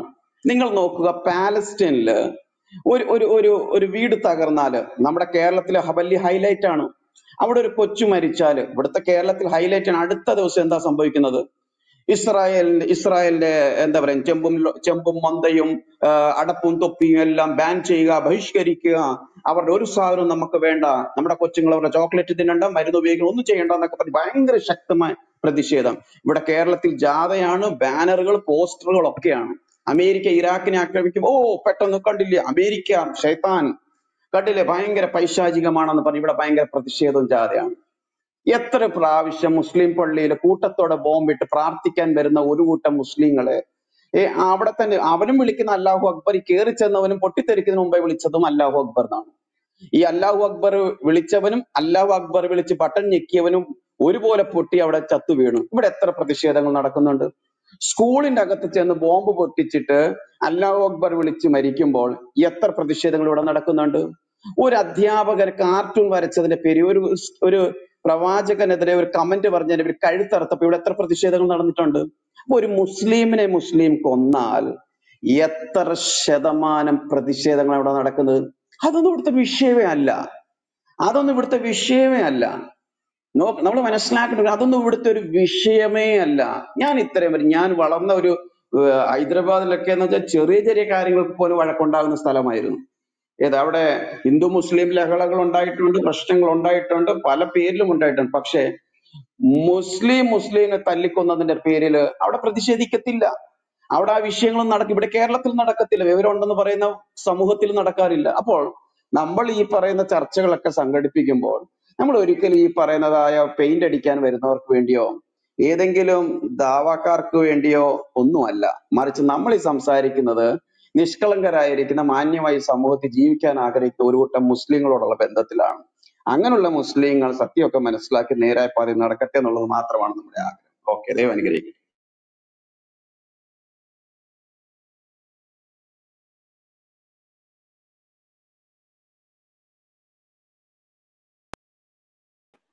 അവിടെ വസീം ഉണ്ടോ? വസീം വസീം പറഞ്ഞോളൂ. വസീം. ആ നമസ്കാരം. വസീം കേൾക്കുന്നുണ്ടോ? ഹലോ കേൾക്കണ്ടോ? വസീം പറഞ്ഞോളൂ. ആ. നീ കുറെ ആയത്ത് എടുത്തു മതി. അതിനിപ്പോ ഇവിടെ നോക്കണേ. ബാക്ക് ചാനൽ നോക്കണേ. എന്താണ്? നിങ്ങളോടല്ല നിങ്ങൾ പറഞ്ഞോളൂ. ഓക്കെ. യേശുവിന്റെ രണ്ടാം വരവിൽ യേശു യുദ്ധം ചെയ്യോ പറ സഹോദരൻ മുഹമ്മദിന്റെ കാര്യം പറ. എന്താണ്? അത് എന്തോ ആവട്ടെ ഞാൻ ചോദിക്കുന്ന ചോദ്യം ഉത്തരം പറഞ്ഞാൽ മതി. യേശുവിന്റെ രണ്ടായിരത്തി രണ്ടാം വരവിൽ യേശു യുദ്ധം ചെയ്യോ? നിങ്ങൾ ചോദിക്കുന്നതിന് ഉത്തരം പറയാനല്ലല്ലോ ഞങ്ങൾ ഇവിടെ ഇരിക്കുന്നത് ചോദ്യം നിങ്ങൾ ഞങ്ങൾ ഇത് യേശു ജിഹാദ് ചെയ്യുന്ന ഞാൻ പറഞ്ഞിരുന്നു. യേശു സ്വർഗസ്ഥാപ യേശുവിന്റെ രാജ്യം സ്ഥാപിക്കാൻ വേണ്ടിയിട്ട് ശത്രുക്കളെ കൊന്നെടുക്കും ഇതാണ് ഈ പ്രശ്നം ഉം. യേശു യുദ്ധം ചെയ്തോ എന്ന് പറയാനല്ലല്ലോ. ചെയ്യോ രണ്ടാമത്തെ ചോദിക്കുന്നത് കേൾക്ക് ഏ ഇത് രണ്ടാമത്തെ കാര്യല്ലേ? നമ്മളിവിടെ സംസാരിച്ചുകൊണ്ടിരിക്കുന്നത് കൊണ്ടിരിക്കുന്നത് അക്ബറിന്റെ ജിഹാദും മുഹമ്മദിന്റെ ജിഹാദോ എന്നുള്ള വിഷയമാണ്. എന്റെ ചോദ്യം യേശു യുദ്ധം അല്ല ഓക്കെ. സിജോ വസീമിനെ ഞാൻ പറഞ്ഞല്ലോ. ഞാനത് നിങ്ങളെ ഞാൻ വിളിച്ച് മുകളിലോട്ട് കയറ്റിയതിന് താഴെ ഇരിക്കുന്ന സുഹൃത്തുക്കൾക്ക് മനസ്സിലാക്കണം. ഒരു മുസ്ലിം സാധാരണ പോയാൽ എത്രമാത്രം വെള്ള എന്ന് അറിയാൻ വേണ്ടിയുള്ള എന്റെ വസീമ ഒന്ന് അടങ്ങിയിരിക്കുക പ്രായത്തിനുള്ള പക്വത കാണിച്ചു ഒന്ന് ഒന്ന് മ്യൂട്ട് ചെയ്തിരുന്നേ. പ്ലീസ് നല്ലതാണ്. ഓക്കെ നല്ല കുട്ടി. ഈ ഞാനിവിടെ പറഞ്ഞ എന്താണ്? ഈ ഈ ചങ്ങാതി ആരാന്നൊന്നും എനിക്ക് അറിയത്തില്ല പക്ഷെ ഇത് എന്താണ് ചെയ്യാൻ പോകുന്നത് എന്നുള്ള കാര്യം ഞാൻ നേരത്തെ പറഞ്ഞല്ലോ. ഇനി മിക്കവാറും അദ്ദേഹത്തിന്റെ പ്രവാചകൻ മുഹമ്മദിനും പോലും ഭാവിയെ കുറിച്ച് ഒരു പ്രവചനം പറയാതിരിക്കാൻ പറ്റുന്ന സമയത്ത് സെക്കൻഡ് സെക്കൻഡുള്ളിൽ നടക്കാൻ പോകുന്ന കാര്യം ഞാൻ പ്രവചിച്ചില്ലേ? അപ്പൊ തീർച്ചയായിട്ടും മുഹമ്മദിനേക്കാളും ശ്രേഷ്ഠ പദവി എനിക്ക് തന്നേ മതിയാവുക. അല്ലെങ്കിൽ ഞാൻ പിടിച്ചെടുക്കും. ഞാൻ അങ്ങ് നമ്മുടെ എന്താ തൃശ്ശൂർ അങ്ങ് എടുക്കുക എന്ന് പറയുന്ന പോലെ ഞാൻ പദവി അങ്ങ് ഏറ്റെടുക്കും ഞാൻ. തലക്കെട്ട് തലക്കെട്ട് എന്താണെന്ന് ആദ്യം വായിക്കുക. മലയാളമൊക്കെ എനിക്ക് എനിക്ക് മാത്രമല്ലല്ലോ ബുദ്ധിമുട്ടുള്ളത്. നിങ്ങൾക്ക് മലയാളം വായിക്കാൻ അറിയാലോ മലയാളം വായിച്ചിട്ട് എന്താണ് മുകളിൽ എഴുതിയിരിക്കുന്നത്? ഇവിടുത്തെ വിഷയം എന്താണെന്ന് ചോദിച്ചാൽ മുഹമ്മദ് എം. എം. അക്ബർ സാഹിബ്. ഇനി അത് അദ്ദേഹത്തെ അറിയത്തില്ലെങ്കിൽ നിഷ് ട്രൂത്തിന്റെ ഡയറക്ടർ ആയിരിക്കുന്ന എം. എം. അക്ബർ സാഹിബ്. ഇനിയും കുറച്ചും കൂടെ പറയാനാണെങ്കിൽ ചില വിവാദങ്ങൾ സൃഷ്ടിച്ച് ഒളിവിൽ കറങ്ങി നടക്കുന്നതായ എം. എം. അക്ബർ സാഹിബ്. കുറച്ചും കൂടി ഡീറ്റെയിൽ പറഞ്ഞ ക്രൈസ്തവരുടെ വെല്ലുവിളിക്ക് മുമ്പിൽ ഒളിച്ചോടി നടക്കുന്ന എം. എം. അക്ബർ സാഹിബ് പറഞ്ഞ ഒരു സ്റ്റേറ്റ്മെന്റ് താങ്കൾ ഏത് ഗ്രൂപ്പിൽപ്പെട്ട ആളാണെന്ന് ഞങ്ങൾക്ക് അറിയേണ്ട ആവശ്യമില്ല. എം എം അക്ബർ പറഞ്ഞതിനോട് താങ്കൾ യോജിക്കുന്നുണ്ടോ എന്നുള്ളതാണ്. രണ്ടാമത്തത് യേശു ക്രിസ്തു വന്നിട്ട് യുദ്ധം ചെയ്യുമോ എന്നുള്ള കാര്യമാണെങ്കിൽ ഈസ വന്നിട്ട് ചെയ്യും.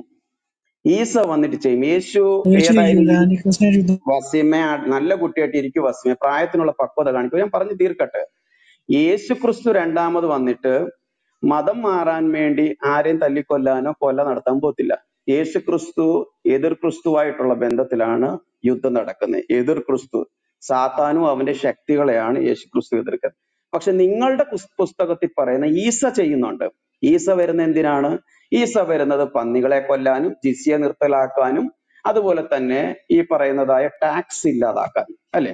അപ്പൊ നിങ്ങളുടെ ഈസ എന്താ ചെയ്യുന്നതാണ് ഉദ്ദേശിച്ചതെങ്കിൽ ഞാൻ ഞങ്ങളുടെ യേശു എന്ത് ചെയ്തെന്ന് ഞാൻ പറഞ്ഞു. നിങ്ങളുടെ ഈസ ചെയ്യുന്നത് പന്നി പിടിക്കാൻ വേണ്ടി വരും. ഇവിടെ മുനിസിപ്പാലിറ്റിക്കാരെല്ലാം അന്ന് വെക്കേഷൻ പോകുന്നതുകൊണ്ടായിരിക്കാം മൂപ്പർ സ്വർഗത്തിൽ നിന്ന് ഇറങ്ങി വന്നിട്ട് ലോകത്തുള്ള എല്ലാ പന്നികളെ കൊല്ലാൻ നടക്കേണ്ട ഒരു ഗതികേട് ഓർക്കണം.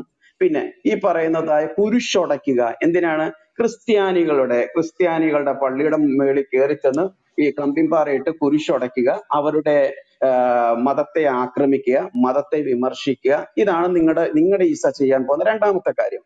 മൂന്നാമത്തെ എന്ന് പറയുന്നത് ജിസിയ നിർത്തലാക്കുക. എന്തിനാണ് ജിസിയ നിർത്തലാക്കുന്നത്? ഒരു മുസ്ലിം ഒരു രാജ്യം കീഴ്പ്പെടുത്താൻ പോകുമ്പോൾ ആ വ്യക്തി ചെയ്യുന്ന പ്രധാനപ്പെട്ട കാര്യം എന്താണ്?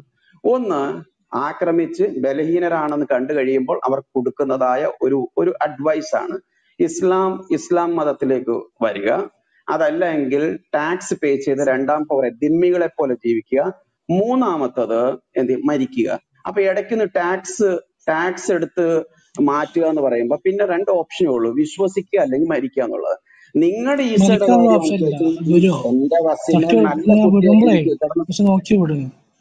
ഈ ഒന്നാണെങ്കിൽ താങ്കൾ പറയും താങ്കൾ ഏതോ വനത്തിലിരുന്നാ സംസാരിക്കുന്നത്. ശബ്ദം കേൾക്കുന്നില്ല. ഞാൻ പറഞ്ഞത് ഈ രണ്ട് വിഷയം പറഞ്ഞു. താങ്കൾക്ക് ഈ വിഷയത്തോടുള്ള ബന്ധത്തിൽ എന്തെങ്കിലും സംസാരിക്കാനുണ്ടെങ്കിൽ താങ്കൾ സംസാരിക്കുക. വസീമെ മ്യൂട്ട് ചെയ്തേ. വസീം മ്യൂട്ട് ചെയ്തേ ആദ്യം. വസീം മ്യൂട്ട് ചെയ്യും അല്ല പുള്ളി ആരും മ്യൂട്ട് ചെയ്യണ്ട. പുള്ളി മ്യൂട്ട് ചെയ്യും. പുള്ളി ഫോട്ടോ കണ്ടിട്ട് പ്രായമുള്ള ഒരു മനുഷ്യനല്ലേ? ഒരു മിനിറ്റ് അത് നല്ല പ്രായമുള്ള ഒരു മനുഷ്യനല്ലേ? പിന്നെ എന്തിനാ നമ്മൾ മ്യൂട്ട് ചെയ്യുന്ന? അത്ര കൊച്ചു കുട്ടിയൊന്നുമല്ലല്ലോ അനുസരണക്കേട് കാണിക്കാൻ. വസീമെ നിങ്ങൾ ഇവിടെ എത്ര ഞങ്ങളുടെ വിശ്വാസത്തെ ആക്രമിച്ചാലും അപ്പോഴും ഒരു ചോദ്യം നിലനിൽക്കുകയാണ്. അപ്പോഴും ഒരു ചോദ്യം നിലനിൽക്കുകയാണ്. നിങ്ങളുടെ പ്രവാചകനെ കുറിച്ച് എം എം അക്ബർ സാഹിബ് പറഞ്ഞത് ശരിയോ തെറ്റോ എന്നുള്ളത് നിങ്ങൾക്ക് പറയാൻ പറ്റുമോ ഇല്ലയോ? അത് പറഞ്ഞിട്ട് പോകാൻ പറ്റുമെങ്കിൽ പറയുക അല്ലെങ്കിൽ താഴെ പോയി ഇരിക്കുക. എന്താ പറയണ്ടേ? എം അക്ബർ എന്ത് പറഞ്ഞു? പിന്നെ എന്തിനാ ചങ്ങാതി നിങ്ങൾ മുകളിലോട്ട് ഇത്രയും വലിഞ്ഞു കയറി വന്നത്? ഇത്രയും ആയത്തുകൾ ഓതിയിട്ട് അത് ഞാൻ നിങ്ങൾ സംസാരിക്കുമ്പോൾ ഞാൻ കേട്ടിരുന്നു വസീമെ ഞാൻ ചോദിക്കുന്നത് നിങ്ങൾ എന്തറിഞ്ഞിട്ടാ മുകളിലോട്ട് കയറി വന്നത് മുകളിലെ തലക്കെട്ട് കണ്ടില്ലേ? കണ്ടു. ആ, പിന്നെ പിന്നെ അതിനുള്ള മറുപടി എന്തെങ്കിലും ഉണ്ടോ?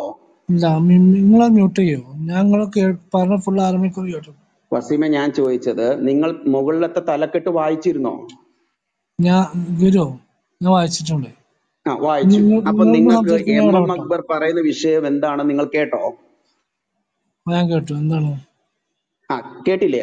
അദ്ദേഹം പല കാര്യങ്ങൾ പറഞ്ഞിട്ടുണ്ടോ അതിന്? അദ്ദേഹം പല കാര്യങ്ങൾ പറയാം. അദ്ദേഹം പിള്ളേരുടെ കാര്യം മുതൽ ലോകത്തിലെ അതൊന്നും അല്ല ഞാൻ പറഞ്ഞത്. ഇവിടെ ഈ വിഷയത്തോടുള്ള ബന്ധത്തിൽ എം എം അക്ബർ പറഞ്ഞ കാര്യം താങ്കൾ കേട്ടോ. കേട്ടോ. ഞാൻ കേട്ടു. എന്താണ്? കേട്ടെങ്കിൽ അത് പറഞ്ഞത് ശരിയാണോ തെറ്റാണോ എന്നാണ് താങ്കളോട് ഇവിടുത്തെ അഭിപ്രായം. ആ ജിഹാദ് രണ്ട് തരത്തിലുണ്ടായിരുന്നു. നിങ്ങളെ പറഞ്ഞു കഴിഞ്ഞില്ലേ? അദ്ദേഹം ചോദിക്കുന്ന അദ്ദേഹം ചോദിക്കുന്നു കേട്ടു. എന്താണ്? എന്താണ് ചോദിക്കണേ? അതെ എന്താണ് പല കാര്യങ്ങൾ പറഞ്ഞു. അത് എമ്മക്കൂർ പറഞ്ഞു കേട്ട് വെച്ചാൽ. എന്റെ വസീം ഭായി എം എം അക്ബർ പറഞ്ഞ പല കാര്യങ്ങളും നമുക്ക് വേണ്ടല്ലോ. പുള്ളി പുള്ളിയുടെ പിള്ളേരെ കുറിച്ചോ ഭാര്യയെ കുറിച്ചോ കുടുംബത്തെ കുറിച്ചോ നാടിനെ കുറിച്ചോ ഒളിച്ചോട്ടത്തെ കുറിച്ചൊക്കെ പലതും പലതും പുള്ളി പറഞ്ഞു കാണും നമുക്ക് അതല്ലല്ലോ വേണ്ടത്. നമ്മൾ എന്തിനാ അതൊക്കെ ചർച്ച ചെയ്യാൻ നിൽക്കുന്നത്? ഞാൻ ചോദിക്കുന്നു നമ്മൾ പുള്ളി പലത് പറഞ്ഞു പലതല്ലല്ലോ ഇവിടുത്തെ വിഷയം മുകളിൽ ഇട്ടിരിക്കുന്ന വിഷയം നിങ്ങൾ അക്ബറിന്റെ ജിഹാദ് മുഹമ്മദിന്റെ ജിഹാദോ? ഇതാണ് പഠിപ്പിച്ചാണ് ആണല്ലോ? ആണ്. ആ, ഉള്ളൂ. കേട്ടോ നമ്മൾ എത്ര പെട്ടെന്ന് ഇത് പരിഹരിച്ചത്? ഞങ്ങളും അത് തന്നെയാ പറയുന്നത്. മുഹമ്മദ് പഠിപ്പിച്ച ജിഹാദ് മുഹമ്മദ് പഠിപ്പിച്ച ജിഹാദാണ് ശരിയായ യുദ്ധം ചെയ്യും. അതിലിപ്പോ എന്താ എന്തോ? എന്താണ്? യേശു യുദ്ധം ചെയ്യില്ലെന്നുള്ള അഭിപ്രായം ഉമ്മക്ക് യേശുവിന്റെ മെക്കിട്ട് കയറി. യേശു ഇവിടെ ഇരുന്ന സമയത്ത് മെക്കട്ട് കയറുണ്ടോ? മെക്കട്ട് വസീമെ കേക്കണ്ണ കേക്ക്. യേശു ക്രിസ്തു ഈ ഭൂമിയിലായിരുന്ന സമയത്ത് യേശു ക്രിസ്തു ഞാൻ ഒരു അനുഭവം പറയാം. താങ്കൾ യേശുവായിട്ട് ഇടയ്ക്ക് കയറണം. യേശുവിനെ കുറിച്ച് സംസാരിക്കാൻ പോലും ഒരു മുസ്ലിമിന് യോഗ്യതയില്ല. കാര്യം മനസ്സിലാക്കി. യേശു ഭൂമിയിലായിരുന്ന സമയത്ത് യേശു ജീവിച്ചതും മുഹമ്മദ് ഈ ഭൂമിയിലായിരുന്നപ്പോൾ ജീവിച്ചതിനും നിങ്ങൾ ഒരിക്കൽ പോലും സ്വപ്നത്തിൽ പോലും കമ്പയർ ചെയ്യാൻ നോക്കല്ലേ? പ്ലീസ് യേശുവിന്റെ അടുത്ത് കുറച്ച് പിള്ളേരെ കൊണ്ടുവന്നു. നിങ്ങൾ നിങ്ങൾ വായിച്ചു കാണത്തില്ലെങ്കിൽ ഞാൻ പറയാം. യേശുവിന്റെ അടുത്ത് കുറച്ച് പിള്ളേരെ കൊണ്ടുവന്നപ്പോൾ ശിഷ്യന്മാരായി പിള്ളേരെ തടഞ്ഞു. അപ്പോൾ യേശു പറയുന്നത് അവരെ തടയരുത് എന്റെ അടുത്ത് വിടുക. എന്തിന്? അതിൽ ഏറ്റ ഏറ്റവും മൊഞ്ചുള്ളതിനെ കയറി കെട്ടാനൊന്നും അല്ലായിരുന്നില്ല. അവരെ യേശു അനുഗ്രഹിച്ചു വിട്ടു എന്നാണ് ബൈബിൾ പറയുന്നത്. പക്ഷെ മുഹമ്മദിന്റെ അടുത്ത് ഇതുപോലെ ഒരു ആറ് വയസ്സും പോലെ തികയാത്ത ഒരു പൊടിക്കൊച്ചിനെ കൊണ്ടുവന്നു. ആ കൊച്ചിനെ കണ്ടപ്പോ എന്ത് ചെയ്തു? അതിന് നല്ല കുട്ടിയെ മൊഞ്ചുള്ളതെന്ന് എന്നെ കല്യാണം കഴിച്ചു. അപ്പൊ നിങ്ങൾ ഇവിടെ കമ്പയർ ചെയ്യാൻ നിങ്ങൾ ഇവിടെ കമ്പയർ ചെയ്യാൻ നിൽക്കരുത്. നിങ്ങൾക്ക് ഇസ്ലാം പറയുന്നത് അനുസരിച്ച് ഇത് ശരിയാണോ നിങ്ങൾ ശരിയാണ് സമ്മതിച്ച പിന്നെ നമുക്ക് ചർച്ച വേണ്ട അത്രേ ഉള്ളൂ. രണ്ട് ജിഹാദ് ഉണ്ടല്ലോ ഇസ്ലാമിൽ? രണ്ട് തരം ജിഹാദ് ഉണ്ട് ഒന്ന് എന്താണ് നമ്മൾ അടിച്ചമർത്തപ്പെട്ടവർക്ക് യുദ്ധം ചെയ്യാം. മതം എന്താണ് ജിഹാദിന്റെ മൂന്ന് ടൈപ്പ് ഉണ്ട്. ഒന്ന് അടിച്ചമർത്തപ്പെട്ടവർക്ക് യുദ്ധം ചെയ്യാം. രണ്ട് എന്താണ് നമ്മൾ നമ്മൾ തന്നെ നന്നാക്കി എടുക്കുക എന്നുള്ളത്. അല്ല അത് തന്നെയല്ലേ വസീം ഭായ് ഞാൻ ഇത്രയും നേരം പറഞ്ഞത്. അതിനെന്താ പ്രശ്നം എന്താ? അല്ല, അത് ഞാൻ ചോദിക്കുന്ന അതിലെന്താ പ്രശ്നം? ഞാൻ ചോദിക്കുന്ന അതിലെന്താ പ്രശ്നം? ഞാനും അത് തന്നെയാ പറഞ്ഞത്. പിന്നെ അടിച്ചമർത്തപ്പെട്ടെന്നുള്ള ഡെക്കറേഷൻ ഒന്നും വേണ്ട. അവിടെ ആരും ആരും അടിച്ചമർത്തിയ കാര്യമായി പറയുന്നത്? മതം ഈ ആയത്തുകളൊക്കെ എടുത്ത് പറയുന്ന കാര്യമാണ്. എടുക്കാം. ആ, എടുക്കാം. എടുക്ക്. എല്ലാ എല്ലാ ആയത്തും എടുക്കുക എന്തായാലും നമുക്ക് നമ്മളൊക്കെ ആര് മരിക്കുമെന്ന് ആരാണ്? അതുകൊണ്ട് ആയത്തുകളൊക്കെ വായിച്ചിട്ട് സന്തോഷമായിട്ട് നിങ്ങൾക്ക് ഇഷ്ടമായത് മാത്രം വായിച്ചിട്ടുള്ളൂ. അതുകൊണ്ടാണ്. വസീം വസീമെ ഏത് ആയത്തുകളുടെ അടിസ്ഥാനത്തിലാണ് വസീം വോയിസ് ഏത് ആയത്തുകളുടെ അടിസ്ഥാനത്തിലാണ്? ഇപ്പൊ കേൾക്കുന്നുണ്ടോ? സിജോ നിങ്ങൾ ചെയ്യണ പോലെയാണെങ്കിൽ ഖുറാനിൽ നമസ്കരിക്കുന്നവർക്ക് നാശം ഏതായത്തുകളുടെ ഏത് ആയത്തുകളുടെ അടിസ്ഥാനത്തിലാണ് വസീം പറയുന്നത്? അത് ആ പ്രതിരോധമായിരുന്നു എന്ന്. ഞാൻ ചില ആയത്തുകൾ വായിച്ചു ഹദീസുകളും വായിച്ചു കേൾപ്പിക്കാം. അതിന് ഉത്തരം പറയണേ. യുദ്ധം ചെയ്യാൻ നിങ്ങൾക്ക് ഇതാ നിർബന്ധ കൽപ്പന പുറപ്പെട്ടിരിക്കുന്നു. സൂറ രണ്ടിന്റെ ഇരുന്നൂറ്റി പതിനാറ്. നബിയെ നീ വിശ്വാസികളെ കൽപ്പിക്കേണ്ടി വന്നില്ലേ? അതുവരെ യുദ്ധങ്ങളില്ലല്ലോ. വസീമ. കേക്ക് നബിയെ വസീമ. വല്ലപ്പോഴും നിങ്ങൾ അവിശ്വാസികളുടെ വായിന്ന് ഖുറാൻ കേൾക്കുന്നു? ഒന്ന് കേക്ക്. സന്തോഷിക്കേ. വിശ്വാസികളെ യുദ്ധത്തിന് പ്രോത്സാഹിപ്പിക്കുക. സൂറ എട്ടിന്റെ അറുപത്തി അഞ്ച് സൂറ രണ്ടിന്റെ ഇരുന്നൂറ്റി പതിനെട്ട്. സൂറ പശു. ഇരുന്നൂറ്റി പതിനെട്ട്. വിശ്വസിക്കുകയും സ്വദേശം വെടിയുകയും അള്ളാഹുവിന്റെ മാർഗത്തിൽ ജിഹാദിൽ ഏർപ്പെടുകയും ചെയ്തവരാരോ? അവർ അള്ളാഹുവിന്റെ കാരുണ്യം പ്രതീക്ഷിക്കുന്നവരാകുന്നു. സൂറ പശു നൂറ്റി തൊണ്ണൂറ് നൂറ്റി തൊണ്ണൂറ്റൊന്ന് നിങ്ങളോട് യുദ്ധം ചെയ്യുന്നവരുമായി അള്ളാഹുവിന്റെ മാർഗത്തിൽ നിങ്ങൾ യുദ്ധം ചെയ്യുക. അവരെ കണ്ടുമുട്ടുന്നിടത്ത് വെച്ച് നിങ്ങൾ അവരെ കൊന്നുകളയുക. മതം അള്ളാഹുവിന് വേണ്ടിയാവുകയും മർദ്ദനമില്ലാതാവുകയും മതം അള്ളാഹുവിന് വേണ്ടിയാകുകയും ചെയ്യുന്നത് വരെ നിങ്ങൾ അവരോട് യുദ്ധം നടത്തിക്കൊള്ളുക. പശു നൂറ്റി തൊണ്ണൂറ്റി മൂന്ന് നൂറ്റി തൊണ്ണൂറ്റി നാല് സിജു സിജു ആ വാക്യത്തിൽ ഒന്ന് നിന്നാ മതി. മൂപ്പർ അതിന്റെ മറുപടി വരട്ടെ ആ എന്നായിക്കോട്ടെ ആ. ഇത് ഈ കോണ്ടക്സ്റ്റ് ഒന്നും അതിന്റെ അധികം പറിച്ചെടുക്കുന്ന ആയത്തുകളല്ലേ? അതിനൊരു ഹിസ്റ്റോറിക്കൽ കോണ്ടക്സ്റ്റുകൾ ഉണ്ടാവും അതിനനുസരിച്ച് നിങ്ങൾ മുന്നും പിന്നൊക്കെ ആയത്തുകൾ ഉണ്ടാവും ഇത് ഓരോ ആയത്തിനൊക്കെ സിജു ഇടപെടില്ല സിജു ഇടപെടില്ല സിജു സംസാരിച്ചു. ഞാൻ ഇടപെട്ടിട്ടില്ല. ആ ഖുറാൻ ഇങ്ങനെ ആയത്തുണ്ട് നമസ്കരിക്കുന്നവർക്ക് നാശം എന്നൊരു ആയത്തുണ്ട് അത് മാത്രം എടുത്തു പോയാൽ അങ്ങനെ ഉണ്ടാവും. നിസ്കരിക്കുന്നവർക്ക് നാശം പറയൂ നിങ്ങൾ ഇടപെടുന്നുണ്ടോ വാസിം ഞാൻ ശ്രദ്ധിച്ചേ. ബ്രദർ ഒരു സെക്കൻഡ് വസീം ഒരു സെക്കൻഡ് ഈ അവസാനം വായിച്ച വാക്യത്തിൽ ഇസ്ലാം അല്ലാഹുവിന്റെ മതം ഇസ്ലാം ആകുന്നത് വരെ യുദ്ധം ചെയ്യുക എന്നുള്ളത് അത് ഏത് കോൺടെസ്റ്റ് ആണെന്ന് പറഞ്ഞു. അവരും ഇങ്ങോട്ട് യുദ്ധം ചെയ്യുകയാണ് നമ്മളെ മതം മാറ്റാൻ ഞങ്ങൾ ഇസ്ലാമിൽ നിയമം ടിറ്റ് ഫോർ ടാറ്റ് ആണ്. തിരിച്ച് അവരോട് യുദ്ധം ചെയ്യുമ്പോൾ അവർ മതം മാറണവരെ എന്നുള്ളതാണ് അതിന്റെ റൂൾ ഓക്കെ ഇത് മാത്രമല്ല മാറ്റാൻ വേണ്ടി യുദ്ധം ചെയ്യാം അല്ലേ? അവരിങ്ങോട്ട് അതിനെ യുദ്ധം ചെയ്യണത്? അവരെന്തിനാണ്? മറ്റേ ആൾക്കാർ വന്നിട്ട് മുഹമ്മദിനെ മതം മാറ്റാൻ വേണ്ടി എവിടെ പറഞ്ഞിട്ടുള്ളത്? ചുമ്മാ തള്ളി മറിക്കില്ല ചങ്ങാതി. അവർ വന്നിട്ട് മതം മാറ്റാൻ വേണ്ടി അവർ വന്നിട്ട് മതം മാറ്റാൻ വേണ്ടി യുദ്ധം ചെയ്യുന്നത് എവിടെയാ പറയുന്നത് യുദ്ധങ്ങൾ തന്നെ ഇവർ പറയാം. ഓക്കെ വസീമിനി മ്യൂട്ട് ചെയ്തേ. താങ്കളുടെ ചരിത്രബോധം മനസ്സിലായി. ഒരു ഒന്നാമത്തെ കാര്യം വസീം. ഗുരു ഗുരു പഠിപ്പിക്കണ്ട. ഈ ഇന്ന് ഒരു മിനിറ്റ് ഒരു മിനിറ്റ് താങ്കളുടെ ചരിത്രം മനസ്സിലായി. ഒരു മിനിറ്റ്. താങ്കൾക്ക് ഇസ്ലാമിനെ കുറിച്ചുള്ള അറിവ് എത്ര?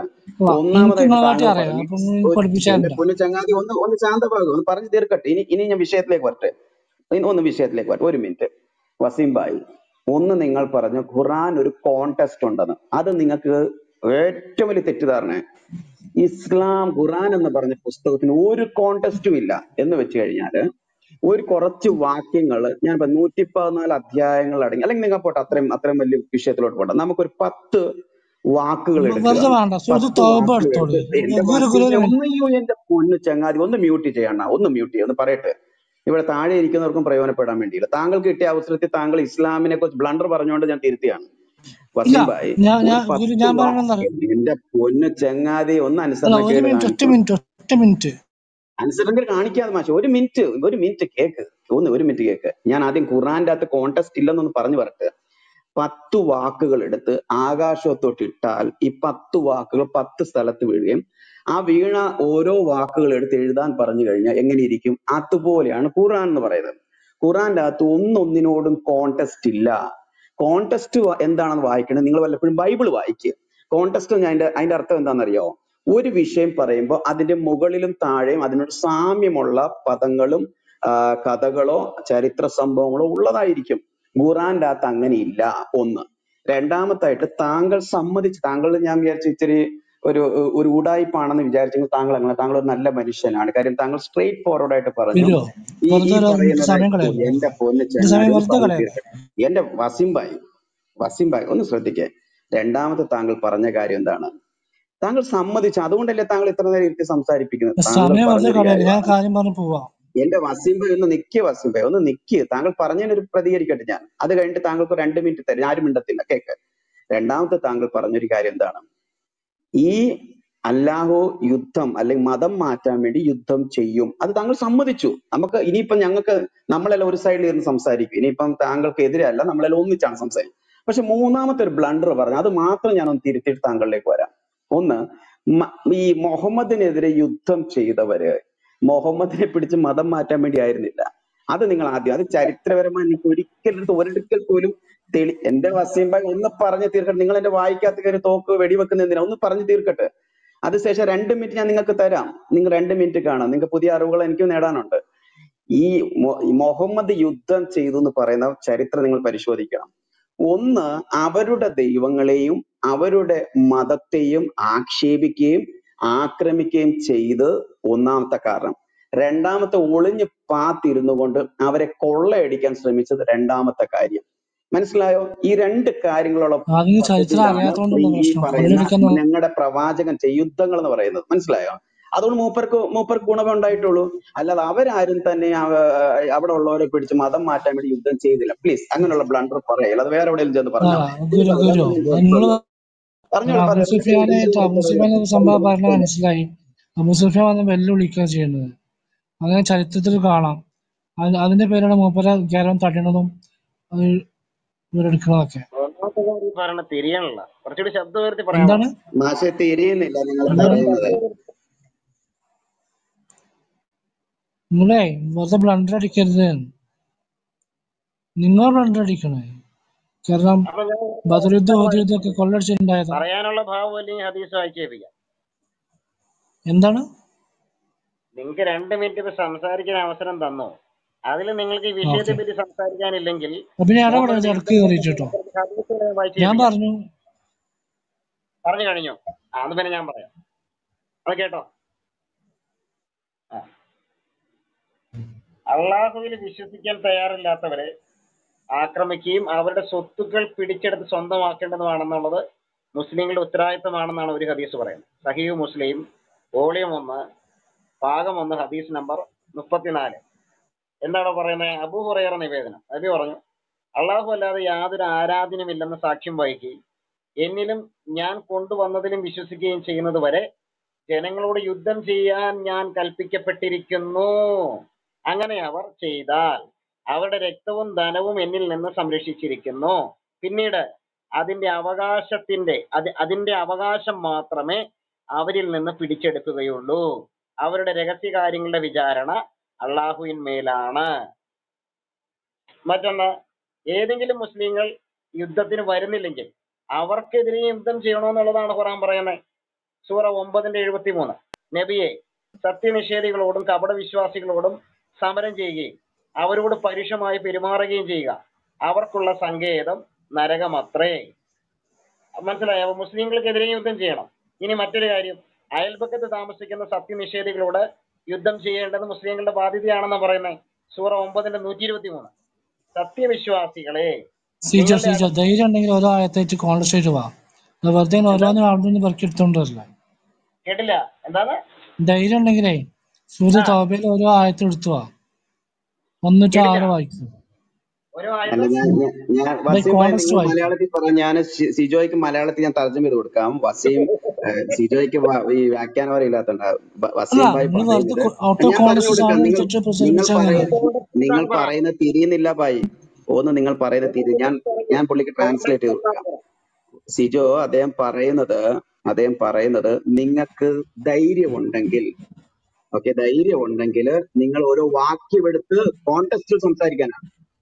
ഞാനിപ്പോ ഭാഗ്യമെടുത്തല്ലേ സംസാരിച്ചത് അവിശ്വാസികളെ കണ്ടെടുത്ത് വെച്ച് അല്ല കണ്ടു ഖുറാൻ അങ്ങനെ ഖുറാൻ വെറുതെ നിങ്ങൾ ഖുറാൻ ഉസൂൽ ഖുറാൻ ഉണ്ട് ഉസൂൽ ഹദീസ് ഉണ്ട്. ഇതൊന്നും അറിയാതെ ഖുറാൻ ഇങ്ങനെ കിട്ടി എറിയ ചെയ്യണ്ട? എന്താ നിങ്ങൾ പറ. എന്താണ്? ഞാൻ വായിച്ച ഹദീസിന്റെയും ആയത്തുകളുടെയും കോണ്ടക്സ്റ്റ് എന്താണെന്ന് നിങ്ങൾ പറയൂ. ഞാൻ പറഞ്ഞു യുദ്ധപശ്ചാത്തലാന്ന് പറഞ്ഞു. വെറുതെ കൊല്ലാൻ എവിടെയും ഖുറാൻ പറയുന്നില്ല. ഏത് യുദ്ധമാണ് സഹോദര? അള്ളാഹു അല്ലാതെ മറ്റൊരു ആരാധ്യ എന്ത് കേട്ട് ഈ ഹദീസ് നിങ്ങൾ കേട്ടെ. ഞാൻ ആദ്യം വായിച്ച ഹദീസ്. സിംഗിൾ ഹദീസ് കമാൻഡ് ഖുറാനിലുണ്ടോ അബു ഹുറൈറ നിവേദനം. കേൾക്ക കേൾക്ക. അബു ഹുറൈറ നിവേദനം. അള്ളാഹു അല്ലാതെ യാതൊരു ആരാധനമില്ലെന്ന് സാക്ഷ്യം വഹിക്കുകയും എന്നിലും ഞാൻ കൊണ്ടുവന്നതിലും വിശ്വസിക്കുകയും ചെയ്യുന്നത് വരെ ജനങ്ങളോട് യുദ്ധം ചെയ്യാൻ. ഇതിൽ എന്ത് കോണ്ടക്സ്റ്റ് ആണ് സഹോദര? അള്ളാഹുവിൽ വിശ്വസിക്കാത്തവരെ കൊല്ലാൻ. അതിനപ്പുറത്തേക്ക് മറ്റൊന്നും അവിടെ ഇല്ല. മനസ്സിലായോ? ഇനി മറ്റൊരു ഹദീസ് നിങ്ങൾ കേട്ടോ. യുദ്ധത്തിൽ പിടിക്കപ്പെട്ട സ്ത്രീകളെ ബലാത്സംഗം ചെയ്യാം. സഹീഹ് മുസ്ലിം സഹീഹ് ബുക്കാരി അധ്യായം അറുപത്തി മൂന്ന് ഹദീസ് നമ്പർ ആയിരത്തി അഞ്ഞൂറ്റി തൊണ്ണൂറ് ഇതൊക്കെ ഞങ്ങളെ കൊണ്ട് വായിപ്പിക്കുന്നല്ലേ യുദ്ധത്തിൽ സ്ത്രീകളെയും കുട്ടികളെയും വധിക്കാം. ഇത് സഹീഹ് മുസ്ലിം പേജ് അറുന്നൂറ്റി വധിക്കരുതെന്നുണ്ടല്ലോ വധിക്കരുതെന്ന് ഹദീസ് ഉണ്ടല്ലോ ഏതാണ്? മരങ്ങൾ വെട്ടരുത് കുട്ടികളെ വധിക്കരുത് ക്രിസ്ത്യ അച്ഛനോ അച്ഛൻ പള്ളിയിലച്ഛന്മാരെ വധിക്കരുത്. എന്നൊക്കെ ഹദീസ് ഉണ്ട് എന്തെടുക്കത്ത്? എന്ത്? ഹദീസ് ഹദീസ് വധിക്കരുത്. അത് മാർ ഗ്രിഗോറിയസ് ഹദീസ് ആണ് അത്. ആ പള്ളി പോയി പറഞ്ഞാൽ മതി. മാർ ഗ്രിഗോറിയസ് ഒട്ടോപ്പിയ ആ ഹദീസ് ആ ഹദീസ് വായിച്ചിട്ടുണ്ട്. സൗകര്യം എടുക്കൂല. മാർ ഗ്രിഗോറിയസ് ഒട്ടോപ്പിയ നിങ്ങൾ പറയണേ? അതൊക്കെ കറക്റ്റ് ഖുറാനിലും ഹദീസും ഗ്രന്ഥങ്ങളുള്ള ഹദീസാണ്. അത് ആ ഹദീസല്ലേ? മാർ ഗ്രിഗോറിയസ് ഒട്ടോപ്പിയസ് എന്തൊക്കെയാ പറയണത് വസീം ഭായ് സിജോ. ചോദിക്കുന്നത് മാർ ഗ്രിഗോറിയസ് ഉത്തോപ്യ ഹദീസിനെ കുറിച്ചല്ലേ താങ്കൾ ഇപ്പൊ ആ അച്ഛന്മാരെ കേട്ടിട്ട് ഹദീസാണ് അതെല്ലാം. പിന്നെ? ഹദീസുകൾ കാണാം. ഹദീസ് കൊടുക്കുമ്പോൾ ഏത് ഹദീസ് ഹദീസാണ്? ഏത് ഹദീസാണ് പറയൂ. നമുക്ക് പരിശോധിക്കാലോ. നിങ്ങൾക്ക് ഇത് അറിയാതെയാണ് ഇതൊക്കെ ഏത് ഹദീസ് അച്ഛന്മാരെ കൊണ്ടുവന്ന് പൊട്ടക്കണ്ടിലിട്ട് പോകുന്ന കൊന്ന ഏത് ഏത് ഹദീസാ അത്? എനിക്കറിയത്തില്ല. ആ അങ്ങനെ ഹദീസ് ഉണ്ട്. അതുണ്ട്. മറ്റേ അന്നമറിയ അച്ഛന്മാരെ കൊല്ലരുത് മക്കളെ കൊല്ലരുത് സ്ത്രീകളെ കൊല്ലരുത് ഏത് ഹദീസാ ഞാൻ പറഞ്ഞ രണ്ട് ഹദീസ് എനിക്കറിയാം. ഒന്ന് മാർ ഗ്രിഗോറിയോസ് ഹദീസ് സൂറത്ത് നമ്പർ നൂറ്റി പതിമൂന്ന് അഞ്ചിൽ പറയുന്ന ഒരു ഭാഗമാണ്. മുഹമ്മദ് ഒട്ടകത്തിൽ കയറി യാത്ര ചെയ്യുന്ന സമയത്ത് അച്ഛന്മാർ അവിടെ കുരിശ് വരച്ചുകൊണ്ടിരുന്ന സമയത്ത് മൂപ്പർക്ക് വളരെ ബുദ്ധിമുട്ടുണ്ടായി. അങ്ങനെ അച്ഛന്മാർ അവിടെ നിന്ന് പള്ളിയുടെ മുകളിൽ പോയി കുരിശ് വരച്ചുകൊണ്ടിരുന്ന സമയത്ത് കുരിശ് തന്നെ മുഹമ്മദിന്റെ തലയിൽ വന്ന് വീഴുകയും അത് കോപിഷനായിട്ട് അച്ഛന്മാരെ കിണറ്റിലിട്ട് കൊന്നു. ആദീസ് അല്ലേ ഹദീസ് അല്ല ശരി നബിയുടെ കമാൻഡ്മെന്റ്സിലുള്ള ഹദീസ് ഉണ്ട് അതിന് അതിലുള്ള ഹദീസാണ് നിങ്ങൾ ചങ്ങാതി നമുക്കിപ്പോ അറിയാത്ത കാര്യം താങ്കളിൽ പഠിക്കാനല്ലേ? പറയൂ. ഞങ്ങൾക്ക് ഹദീസ് അറിയാവുന്ന ഈ ഉണ്ട് ഞാൻ ഹദീസുകൾ പറഞ്ഞു അച്ഛന്മാരെ നിങ്ങൾക്ക് പൊട്ടക്കിണറ്റിൽ റെഫറൻസ് എറിഞ്ഞ് പറഞ്ഞു കൊല്ലുന്ന ഞാൻ ഹദീസ് ഉണ്ട് നിങ്ങൾ നിങ്ങൾക്ക് തഫ്സീറുകൾ കാണുന്ന ഹദീസ് ഹദീസാ വെറുതെ ഓരോന്ന് പറയണു. സത്യം പറഞ്ഞ സംഘികളുടെ വാട്സപ്പ് യൂണിവേഴ്സിറ്റി പോലെ ഈ മദ്രാസ യൂണിവേഴ്സിറ്റിയിൽ പഠിക്കുന്നതിന്റെ വെച്ചിട്ടില്ല തഫ്സീറുകളുണ്ട് തഫ്സീറുകളുണ്ട് നിങ്ങൾക്ക് ഈ ഖുറാനെ പറ്റി എന്താ അറിയാ ഉസൂൽ ഖുർആൻ ഖുറാൻ അറിയോ? ഉസൂൽ ഹദീസ് അറിയോ? ഒന്നും അറിയാതെ നിങ്ങൾ തഫ്സീൽ ഇടന്ന് പറയും പറയും. പിന്നെ നിങ്ങൾ പറയും മാ ഗ്രിഗോറി ഗ്രിഗോറിയസ് ഒട്ടോപ്പിയ ഹദീസിലിട്ടെന്ന് പറയും. ഇതിൽ ഏതിലാണ് ശരിക്കും ഉള്ളത്? തഫ്സീറുകൾ ഹദീസ് കാണാം. സുന്നാ ഡോട്ട് കോമിലുണ്ട് ഹദീസ്. നിങ്ങൾ അടിച്ചു നോക്കിയാൽ കിട്ടുമല്ലോ ആ റഫറൻസ് നിങ്ങൾ ചോദിച്ചു. വസീം ഭായി? ഒരു മിനിറ്റ് സിജോ ബ്രദറെ ഒരു സെക്കൻഡ് സിജോ ബ്രദറെ സിജോയുടെ വോയിസ് വളരെ കുറവാണ്. എനിക്കൊന്ന് ഒരു മണി മുതൽ ഇരിക്കുന്ന ഭക്ഷണം ഒന്നും കഴിക്കാത്തോണ്ടായിരിക്കാം. ഒരു നല്ലൊരു ബിരിയാണി പിടിച്ച് ഞാൻ ഒരു കാര്യം പറയട്ടെ വസീം. വസീം ഭായി എനിക്ക് താങ്കളോട് വിഷമമുണ്ട് പറയുന്നതിൽ. ഒന്ന് മ്യൂട്ട് ചെയ്തേ. വസീം ഭായി മ്യൂട്ട് ചെയ്തേ. മ്യൂട്ട് ചെയ്തേ. ചായ കുടിക്കേണ്ട സമയമല്ലേ? ഒന്ന് മ്യൂട്ട് ചെയ്തേ. അണ്ണാ ഒന്ന് മ്യൂട്ട് ചെയ് വാസിം ഭായി. അല്ല ഇപ്പൊ കേൾക്കാമോ ഗുരുബദറെ? ഞാൻ പറയുന്നത് കേൾക്കാമോ? നിങ്ങൾ കേൾക്കാവും ചോദിച്ചാൽ നിങ്ങൾ നിങ്ങളെ കാണുന്നില്ലല്ലോ ഡി പി ഇപ്പൊ കേൾക്കുന്നു കാണുന്നില്ലേ? ഒളിഞ്ഞിരുന്ന് പെയിന്റ് അടിക്കുവാണോ കുറച്ചു ഇപ്പൊ കാണുന്നില്ലേ? നോക്കട്ടെ ഞാൻ ഒന്ന് റിഫ്രഷ് ചെയ്യട്ടെ. നിങ്ങൾ റിഫ്രഷ് ചെയ്യാത്തോണ്ടാ? ആ അത് എന്റെ മനസ്സ് ഇച്ചിരി ശുദ്ധമല്ലാത്തോണ്ട് കാണാൻ പറ്റില്ല ഇപ്പൊ ഓക്കെ ആ, അല്ലേ ഹദീസ് നമ്മുടെ വസീമയ്ക്ക്. നിങ്ങൾ പറയുന്ന ഹദീസ് ഒന്ന് ഇങ്ങോട്ട് ഇട്. ഞങ്ങളൊന്ന് കാണട്ടെ ഇച്ചിടുന്ന ഹദീസ്. എന്നിട്ടല്ലേ ബാക്കി? സിജോദയം പറഞ്ഞത് നിങ്ങൾ കേട്ടില്ലയോ? പുള്ളി ഇപ്പൊ പറയുന്നത് തഫ്സീറാണ് പുള്ളിയുടെ ആധികാരികത. ഇപ്പൊ ഖുറാൻ പറഞ്ഞിട്ട് പുള്ളിക്ക് പോരാ ഹദീസുകളിൽ നിന്ന് എടുത്തിട്ട് പോരാ.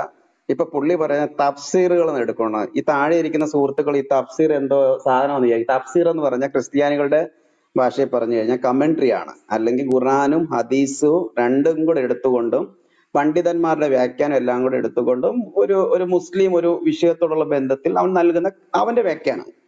മനസ്സിലായി? അവന്റെ ഒരു വ്യാഖ്യാനം. അത്രേ ഉള്ളൂ. തഫ്സീറിന്റെ അകത്ത് എന്തോ കാര്യം പറഞ്ഞു ഞാൻ ശരിക്കും പറഞ്ഞു വന്ന് വസീം ഭായി പറയുന്നത് തിരിയുന്നില്ല. എനിക്ക് താഴെ താഴെയുള്ളവർക്ക് തിരിയുന്നുണ്ടെങ്കിൽ അതോ എനിക്ക് മാത്രമാണെന്ന് അറിയത്തില്ല. കമന്റ് ബോക്സ് ഒന്ന് ഇത് ചെയ്യാം. എനിക്ക് തിരിയുന്നില്ല. എനിക്ക് എന്തോ എനിക്ക് തിരിഞ്ഞ് ഇങ്ങനെയാണ് ഏതോ പള്ളിയിൽ അച്ഛന്മാരെ കൊണ്ടുവന്ന് പൊട്ടക്കിണറ്റിൽ ഇട്ടിട്ട് കൊന്ന കാര്യമോ എന്നാണ്ടാ പറയുന്നത്. എനിക്കറിയത്തില്ല. ഏത് അച്ഛന്മാരെ കൊണ്ടുവന്നാണ് മുഹമ്മദ് കൊണ്ടുവന്ന് ഇട്ടെന്ന് എനിക്കറിയത്തില്ല. പക്ഷെ അച്ഛന്മാരെ കൊണ്ട് ഗുണപ്പെട്ടിട്ടുണ്ടെന്ന് എനിക്കറിയാം. ക്രിസ്ത്യാനികളെ കൊണ്ട് ആദ്യ സമയങ്ങളൊക്കെ മുഹമ്മദ് നല്ല രീതിയിൽ ഗുണം ഉണ്ടായിട്ടുണ്ട് അവർ ഗതി ഗതിയില്ലാതെ മുഹമ്മദ് അലഞ്ഞു നടന്നപ്പോൾ അഭയം കൊടുത്തതും ക്രിസ്ത്യാനികളാണ്. ഈ മതത്തിന്റെ ആദ്യപാഠങ്ങൾ പഠിപ്പിച്ചു കൊടുത്തതും ഈ ക്രിസ്ത്യൻ പുരോഹിതന്മാരാണ്. ഈ പറയുന്നതായ പുള്ളിക്ക് മാനസികവും ശാരീരികവുമായ സുഖം വരെ കൊടുത്തതിന്റെ അകത്തും ക്രിസ്ത്യാനികളുടെ പങ്കുണ്ട്. ഇത്രയും ക്രിസ്ത്യാനികൾ ചെയ്തതിന് അവസാനം അവർക്ക് തന്നെ പണി കൊടുക്കുകയും ചെയ്യുന്നുള്ള മറ്റൊരു കാര്യമാണ്. അപ്പൊ എനിക്ക് വേറെ അറിയത്തില്ല. അച്ഛന്മാർ ഏത് പൊട്ടക്കണ്ടി കൊണ്ടുവന്നിട്ട കഥയാണോ ഏത് തഫ്സീൽ അപ്പൊ ഞാൻ പറഞ്ഞില്ല നമ്മളിപ്പം സർവജ്ഞാനിയൊന്നും അല്ല. നമുക്കിപ്പോ കിട്ട അല്ലാഹുവിൽ നിന്ന് നേരിട്ട് കിട്ടുന്ന വാക്യങ്ങളൊന്നും അല്ലല്ലോ പറയുന്നത് നമുക്ക് അറിയാവുന്ന കാര്യം ഖുറാന്റെ അകത്ത് ജിഹാദിനെ കുറിച്ച് ഇങ്ങനെ പറയുന്നുണ്ട്. ഹദീസുകളുടെ അകത്ത് ഇങ്ങനെ പറയുന്നുണ്ട്. ആദിമ മുഹമ്മദിന്റെ ബയോഗ്രഫിക്കകത്ത് ഇങ്ങനെ പറയുന്നുണ്ട്. ഇത് മൂന്ന് പുസ്തകങ്ങൾ പിന്നെ വേണമെങ്കിൽ പിന്നീടാണ് തഫ്സീറിലേക്ക് പോയ. അകത്തും പറയുന്നത് ഇതൊക്കെ തന്നെയാണ്. ഇനി അതല്ല വേറെ എന്തെങ്കിലും പുതിയ അറിവുണ്ടെങ്കിൽ പറഞ്ഞാൽ നമുക്ക് കേട്ട് പഠിക്കാം.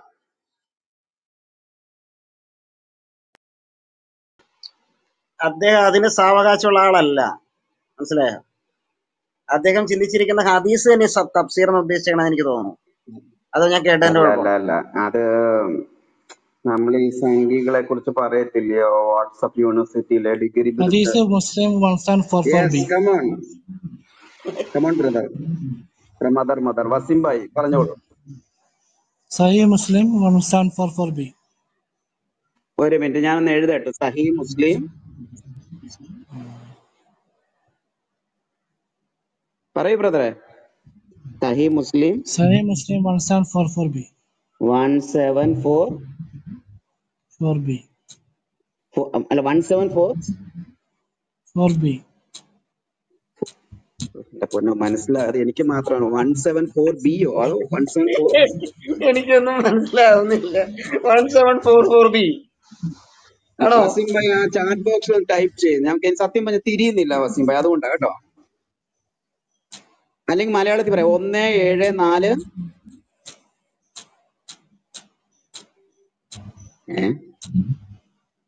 സഹി മുസ്ലിം ഒന്ന് ഏഴ് നാല്. എനിക്ക് തോന്നുന്നു അതിന്റെ ഇടയ്ക്ക് മൊബൈലിൽ ഇങ്ങനെ തപ്പുവാണ് അതെ അദ്ദേഹത്തിന് തപ്പി കിട്ടിയിട്ടില്ല. അതായിരിക്കും പാവം. അതിന് ഞങ്ങൾ തപ്പി കണ്ടുപിടിച്ചതനോ നമ്മുടെ സഹോദരന്മാർ ആരെങ്കിലും ഉണ്ടെങ്കിൽ പുള്ളിക്ക് തപ്പി കണ്ടുപിടിച്ചു കൊടുക്കേ. ഞാൻ അതിനെ അല്ലാതെ. അല്ല ഈ അവസാനത്തെ നമ്പറും കൂടെ പറഞ്ഞു തരണമെങ്കിൽ തപ്പാൻ എല്ലാവർക്കും ഒന്ന് എളുപ്പമായേനെ പക്ഷെ ഇത് ഈ വൺ സെവൻ ഫോർ എന്ന് പറഞ്ഞാൽ അവസാനം ഫൈവ് ആണോ സിക്സ് ആണോ ടെൻ ആണോ ലെവൻ ആണോ വേറെ എന്തെങ്കിലും ആണോ എന്നുള്ളത് എങ്ങനെ ഞാൻ കേട്ട ബി എന്ന് കേട്ടെ. ഫർഫർ ബി ഫോർ ഫോർ ബി എന്നായിരിക്കും അല്ല ബി ബി ബി അവസാനം ഇല്ലല്ലോ അങ്ങനെ ഒരു നമ്പർ ഇല്ലല്ലോ. ആ one seven four four B അങ്ങനെ ഒരു നമ്പർ ഇല്ലെന്ന്. അത് അത് ബൈബിളിലാണ് പലപ്പോഴും അങ്ങനെ ഉപയോഗിക്കുന്നത്.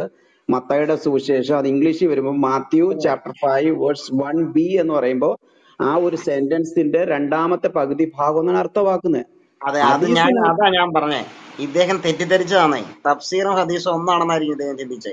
അത് അത് മാത്രമല്ല സിജോ ചിലപ്പം നമ്മളൊക്കെ അറിയാത്ത എന്തോരം കാര്യം പ്രപഞ്ചത്തിൽ ഇനി മറിഞ്ഞും തെളിഞ്ഞിരിക്കുന്നല്ലയോ ശാസ്ത്രം പറയുന്നത് മറച്ചു പിടിച്ചിരിക്കുന്നതായിരിക്കും അല്ലേ? അത് അല്ലാഹു തന്നെ പറയുന്നുണ്ട് അല്ലാഹു ചിലരുടെ കണ്ണുകളെ കുരുടാക്കി വെച്ചിരിക്കുന്നു. നമുക്ക് കാണാൻ പറ്റാത്ത ചില കാര്യങ്ങൾ കാണും. പക്ഷെ അദ്ദേഹം ഒരു അദ്ദേഹം ഒരു നിഷ്കളങ്കനാ കേട്ടോ. അദ്ദേഹം സമ്മതിച്ചല്ലോ കാര്യം.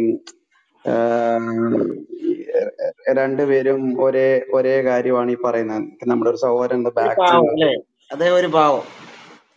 Okay, 1744b, uh, it is narrated by Ibn Umar that a woman was found killed in one of.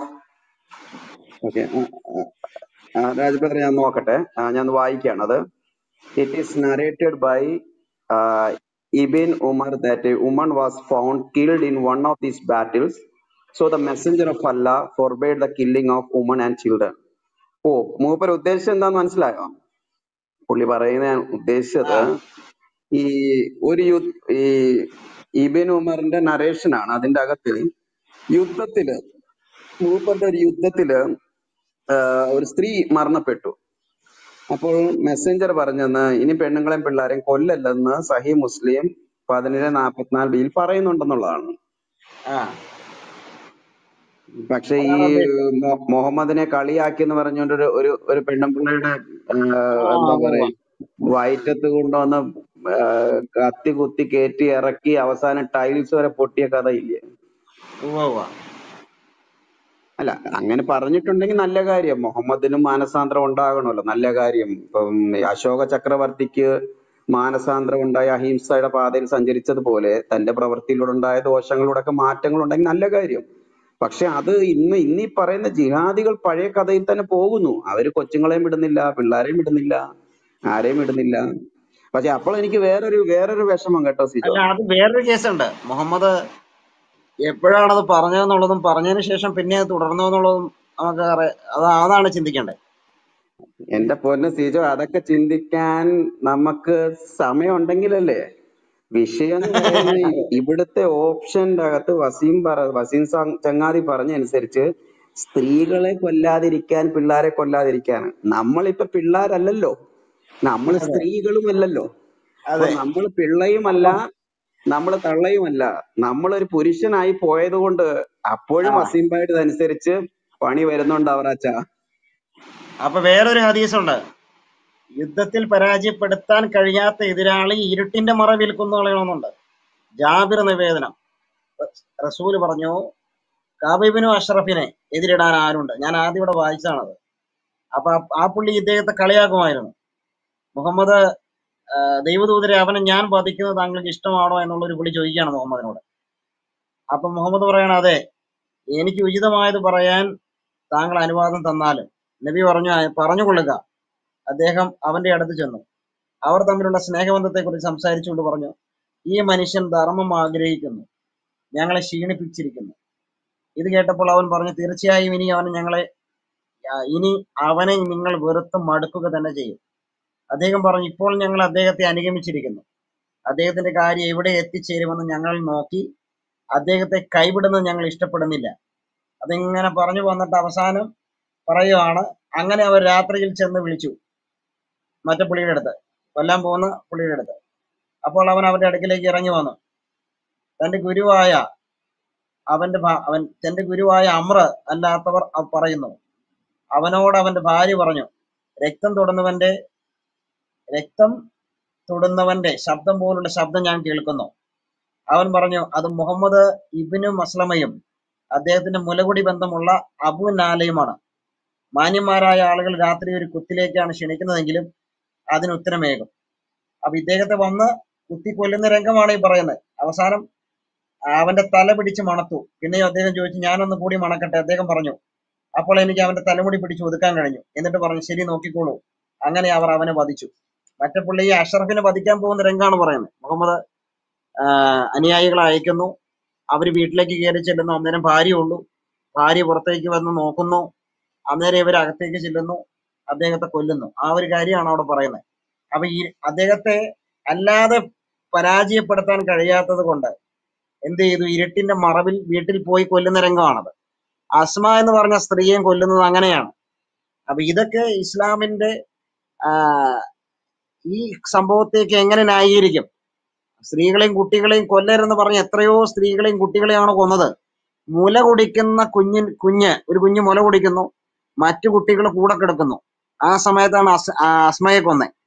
ഒരു തൊണ്ണൂറ്റഞ്ച് വയസ്സുള്ള വനിതാ ഗോത്ര നേതാവിനെ കൊന്നു.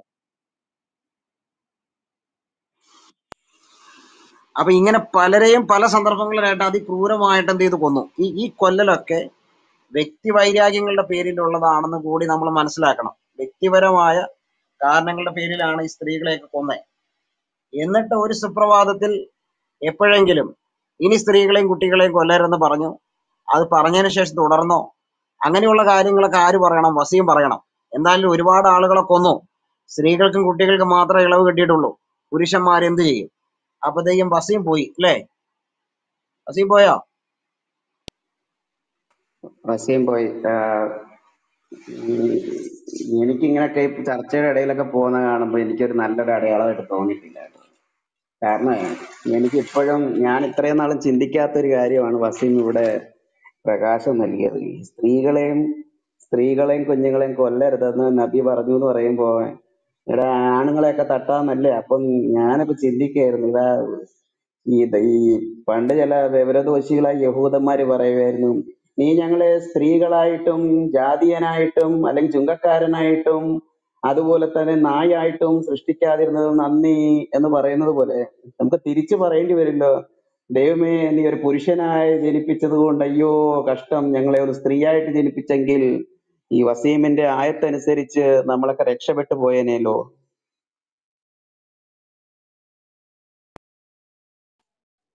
ഞാനൊരു പറഞ്ഞോളൂ. സൊഹീ മുസ്ലിം മുപ്പത്തി അഞ്ച് അധ്യായം അതിന്റെ ആയിരത്തി ഒരുന്നൂറ്റി മുപ്പത്തി മൂന്നായിരിക്കണം നമ്മുടെ അദ്ദേഹം പറഞ്ഞത്. അതിൽ പറയുന്നത് അബ്ദുല്ലാ ഹിബ്നു ഉമറിൽ നിന്ന് ഏതോ യുദ്ധത്തിൽ ഒരു സ്ത്രീ കൊല്ലപ്പെട്ട നിലയിൽ കാണാനിടയായി. അപ്പോൾ നബി സ്ത്രീകളെയും കുട്ടികളെയും വധിക്കുന്നത് നിരോധിച്ചു.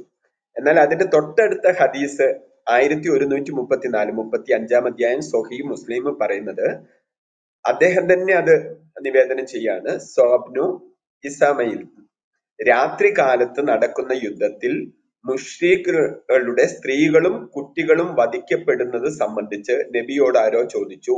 അപ്പോൾ അവിടുന്ന് പറഞ്ഞു അവരും അവരിൽ പെട്ടവരാണ് അപ്പോൾ സ്ത്രീകളും കുട്ടികളും കൊല്ലപ്പെടുന്ന അവർ യുദ്ധത്തിൽ പങ്കെടുത്തവരാണ് അവർ കൊല്ലപ്പെടേണ്ടവരാണ് എന്നാണ് അടുത്ത ഹദീസിൽ മുഹമ്മദ് പറയുന്നത്. അപ്പൊ രണ്ടു തരം ഹദീസും ഉണ്ട്.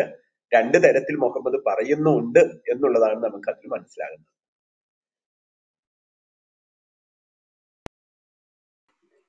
തീർച്ചയായിട്ടും സാജു ബ്രദറെ നമ്മുടെ ഇവിടെ ഒരു ബെന്നറ്റ് ആ, സഹദ എന്ന സഹോദരന് ഈ പുള്ളിയാണോ വേറെ ആരോ ഒരു ഒരു വിട്ടായിരുന്നു ഇട്ടായിരുന്നു പോയെന്തോ ഓക്കെ അല്ല ഈഗിളായി. I will certainly expel the Jews and Christians from Arabian peninsula until only Muslims are left in അത് സത്യമാണ്. അങ്ങനെ അങ്ങനെ ഈ നമ്മൾ ഒരാളുടെ ഒരാളുടെ യഥാർത്ഥ സ്വഭാവം മനസ്സിലാക്കണമെങ്കിൽ മൂപ്പർ രോഗിയായിരിക്കുമ്പോഴോ അല്ലെങ്കിൽ രോഗാവസ്ഥയിൽ മരണക്കിടയിൽ കിടക്കുന്ന സമയത്തൊക്കെ ഓരോ വ്യക്തികളുടെ ഓരോ സ്വഭാവം നമുക്ക് മനസ്സിലാക്കാൻ പറ്റും. ഇവിടെ ഈ ഒരു പോയിന്റ് തീർച്ചയായിട്ടും നമ്മൾ ചിന്തിക്കേണ്ട വിഷയമാണ്. യേശു ക്രിസ്തു ക്രൂശിൽ കിടക്കുകയാണ്.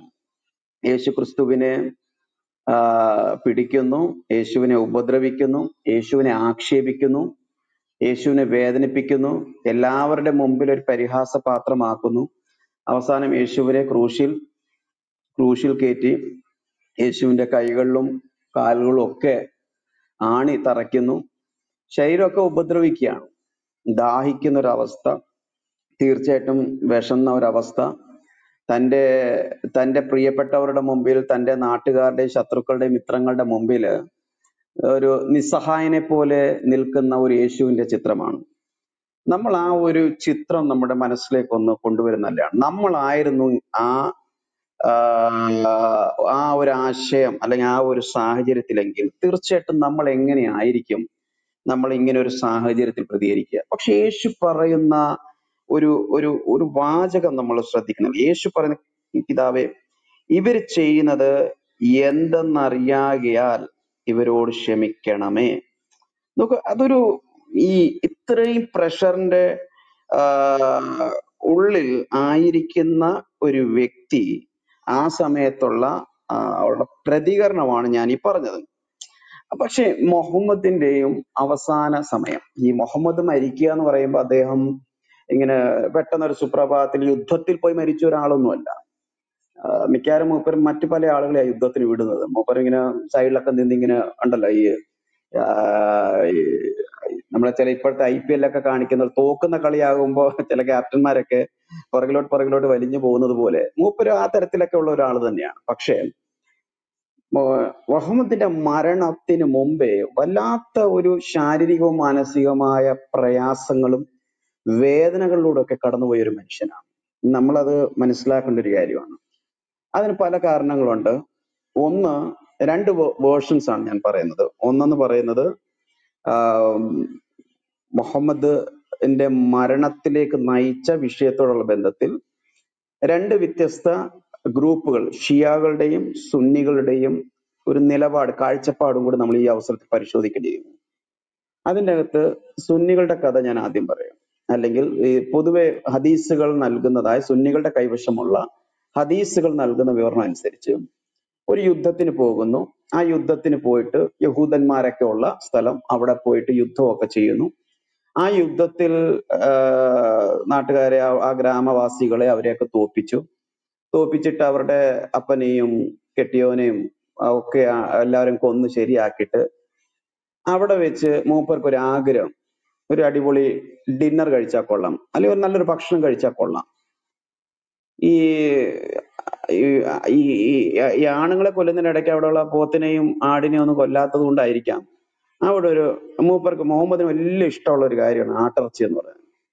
അവരോട് ആട്ടിറച്ചി കറി വെച്ച് ഈ പെണ്ണുമ്പുള്ള ഒരു യഹൂദ സ്ത്രീ ഉണ്ടാക്കി കൊടുത്തു ഇവിടെ സ്വന്തം വീട്ടുകാരെ കൊന്ന് അവരുടെ വീട്ടുകാരെല്ലാം മയ്യത്താക്കിയിട്ട് അവരുടെ കയ്യിൽ നിന്ന് തന്നെ ഈ മട്ടൻ കുർമ തിന്നാനുള്ള ഒരു ആഗ്രഹം നോക്കണേ. അവരതിന്റെ അകത്ത് വിഷം കലർത്തി കലർത്തി. പക്ഷെ കൂടെ ഉള്ളവരൊക്കെ കഴിച്ചപ്പോ തന്നെ ആക്രാന്തം മൂത്ത് അവർ കഴിച്ചു. അവർ മരണപ്പെടുകയാണ്. പക്ഷെ മുഹമ്മദ് വായിലോട്ട് എടുത്തപ്പോൾ തന്നെ അതിൽ വന്ന രുചി വ്യത്യാസമായിരിക്കാം. എന്തോ? മൂപ്പർ അതിന്റെ അകത്ത് വിഷമുണ്ട് എന്ന് മനസ്സിലാക്കിയാണ് ചില ഇസ്ലാമിക വീക്ഷണത്തിൽ അവരെ വെറുതെ വിട്ടു എന്നും വേറെ ചിലതിന്റെ അകത്ത് അവർ കൊല്ലപ്പെട്ടു എന്ന നിലയിലും അവരെ അവതരിപ്പിക്കുകയാണ്. എന്ത് തന്നെയായാലും പിന്നീട് മുഹമ്മദ് പറയുന്നുണ്ട് ഈ അന്ന് ഉണ്ടായ അല്ലെങ്കിൽ ആ യഹൂദ സ്ത്രീ നൽകിയ വേഷം അത് മുഹമ്മദിനെ തന്നെ വല്ലാതെ വേദനിപ്പിച്ചു വന്നു തനിക്ക് അവസാന സമയത്തൊക്കെ തന്റെ ശരീരമൊക്കെ ആ ഒരു അസ്വസ്ഥയിലൂടെ കടന്നുപോയെന്നും തീർച്ചയായിട്ടും ഒരു രോഗിയായിരിക്കുന്ന അവസ്ഥയിലേക്ക് മുഹമ്മദ് എത്തുകയാണ്. അപ്പൊ ആ രോഗാവസ്ഥയിൽ ആണ്. അതുകൊണ്ട് നിങ്ങൾ നോക്കുക മുഹമ്മദിന്റെ ജനനം മുഹമ്മദ് മലമറിച്ചു മുഹമ്മദ് അതാണ് ഇതാണെന്നൊക്കെ പറയും. മുഹമ്മദിന്റെ മരണ വിഷയങ്ങൾ സാധാരണ മുസ്ലിങ്ങൾ അങ്ങനെ പറയാറില്ല. മരണ വിഷയം അത്രയും വലിയ ഒരു ഒരു വലിയൊരു സംഭവം ആക്കാറുമില്ല. ജനന വിഷയത്തിൽ ബർത്ത്ഡേ ആഘോഷിക്കുന്നത് ഇവിടെ ഭയങ്കര തമ്മിത്തല്ലാണ്. ഏത് മുജാഹിദുകളും സുന്നികളും കിടന്നൊക്കെ ഭയങ്കര തമ്മിത്തല്ലാണ്. പക്ഷെ മരണ വിഷയം അത്ര അവർ ആഘോഷിക്കാറില്ല. നമ്മൾ യേശുവിന്റെ ക്രൂശി മരണത്തെയും യേശുവിന്റെ മരണവും അടക്കം ഉയർത്തെഴുന്നേൽപ്പൊക്കെ ക്രിസ്ത്യാനി സംബന്ധിച്ചോളം അതൊരു ആഘോഷമായിട്ടാണ് കൊണ്ടുപോകുന്നത്. അതൊക്കെ ഒരു ഓർക്കുന്നതിൽ വെച്ച് ഏറ്റവും വലിയ ഓർമ്മയാണ്. പക്ഷെ മുഹമ്മദ് അങ്ങനെ മരണപ്പെടുന്നു. ആ മരണപ്പെട്ട അങ്ങനെ അദ്ദേഹം മരണപ്പെടുന്നു. വല്ലാത്ത രോഗിയായ അവസ്ഥയിൽ തീർച്ചയായിട്ടും തനിക്ക് വളരെ ഭയന്ന് നിസ്സഹായന സാഹചര്യത്തിലാണ് മരിക്കുന്നത്. രണ്ടാമത്തെ ഒരു വേർഷൻ ഷിയാകളുടെ വേർഷൻ അനുസരിച്ച് മുഹമ്മദിന്റെ രണ്ട് ഭാര്യമാർ പ്രത്യേകിച്ച് ആയിഷ ആണ് മുഹമ്മദിന് എട്ടിന്റെ പണി കൊടുത്ത് ഇവരെ തട്ടിയെന്നുള്ളതാണ്. കാര്യം മുഹമ്മദിന്റെ ഭാര്യമാർ കൊടുക്കുന്ന വസ്തുക്കൾ പോലും കുടിക്കുന്ന കാര്യത്തിൽ പോലും മുഹമ്മദിന് പേടിയുണ്ടായി. അത്രയൊക്കെ സുരക്ഷയില്ലാത്ത നിലയിലാണ് ആ മനുഷ്യൻ ആ വീട്ടിൽ ജീവിക്കുന്നത്. അപ്പൊ തന്റെ ഈ ഐഷ ചതിച്ചു ഐഷ വധിച്ചു ഐഷ കൊന്നു എന്നുള്ളതാണ് ഷിയകൾ പറയുന്നത്. അപ്പൊ ഈ രണ്ട് കഥകൾ ഏത് കഥയിലും നമുക്ക് എന്താ ഇപ്പം കറുത്ത പൂച്ചയായാലും വെളുത്ത പൂച്ചയായാലും എലിയെ പിടിച്ചാൽ മതി എന്ന് പറഞ്ഞാൽ മുഹമ്മദ് മരിച്ചു. അത്രേ ഉള്ളൂ. അതിന്റെ അപ്പുറത്തോട്ട് നമുക്ക് എന്താ പറയാനുള്ളത്? അതിനി യഹൂദ സ്ത്രീയുടെ എന്താ പറയാ ആട്ട് ആട്ടുംകാൽ ചെന്നാണ് അല്ലെ? അല്ല രണ്ട് വേർഷൻ ഉണ്ട് സിജോ ബ്രദറെ. ഒന്ന് വിഷം ഉള്ളിച്ചെന്നെന്നും മറ്റൊന്ന് ഈ ഷിയാകൾ പറയുന്നത് രണ്ടും വിഷമാണ്. പക്ഷെ ഐഷ ഐഷ ബീവിയുടെയും മറ്റൊരു ഒരു ബീവിയും കൂടെ ചേർന്ന് ട്രാപ്പ് ചെയ്ത് കൊന്നു എന്നുള്ളതാണ്. രണ്ടും വിഷം ചെന്നു. ഇത് യവന്മാര് മറ്റവന്മാരെ അംഗീകരിക്കുന്നില്ലല്ലോ. അതില്ല. അതാ ഞാൻ പറഞ്ഞത്. ഇപ്പൊ ആര് അംഗീകരിച്ചാലും ഇല്ലെങ്കിൽ മൂപ്പർ മരിച്ചല്ലോ. അതെ അതെ അതെ. അതാ ഞാൻ പറഞ്ഞ. കറുത്ത പൂച്ചയായാലും വെളുത്ത പൂച്ചയായാലും എലിയെ പിടിച്ചാൽ മതിയല്ലോ. അതുകൊണ്ട് ഞാൻ മുഹമ്മദ് മരിച്ചു. ഈ മുഹമ്മദ് മരിച്ചു എന്ന് പറയുന്ന ആ പീരീഡ് നമ്മൾ നോക്കണം. മരണക്കിടയിൽ കിടന്നുകൊണ്ട് നിങ്ങൾ അതിലേക്ക് പോകുന്നതിന് മുമ്പേ ഞാൻ ആദ്യം പറഞ്ഞു പോയ കാര്യം നമ്മുടെ ചില സഹോദരന്മാർക്ക് മനസ്സിലായില്ല എന്ന് പറഞ്ഞു. ഞാൻ അത് പറഞ്ഞിട്ട് ഗുരുജി ബ്രദർ കണ്ടിന്യൂ ചെയ്തു. കബൂബിൻ അൽ അഷറഫിന്റെ കൊലപാതകത്തെ കുറിച്ച് ഞാൻ ഇങ്ങനെ പറഞ്ഞു. അത് ഹദീസ് മൊത്തം വായിക്കാൻ ശ്രമിച്ചത് കൊണ്ട് കുറച്ചു പേർക്ക് അത് മനസ്സിലായില്ല. അത് സംഭവം അത്രേ ഉള്ളൂ.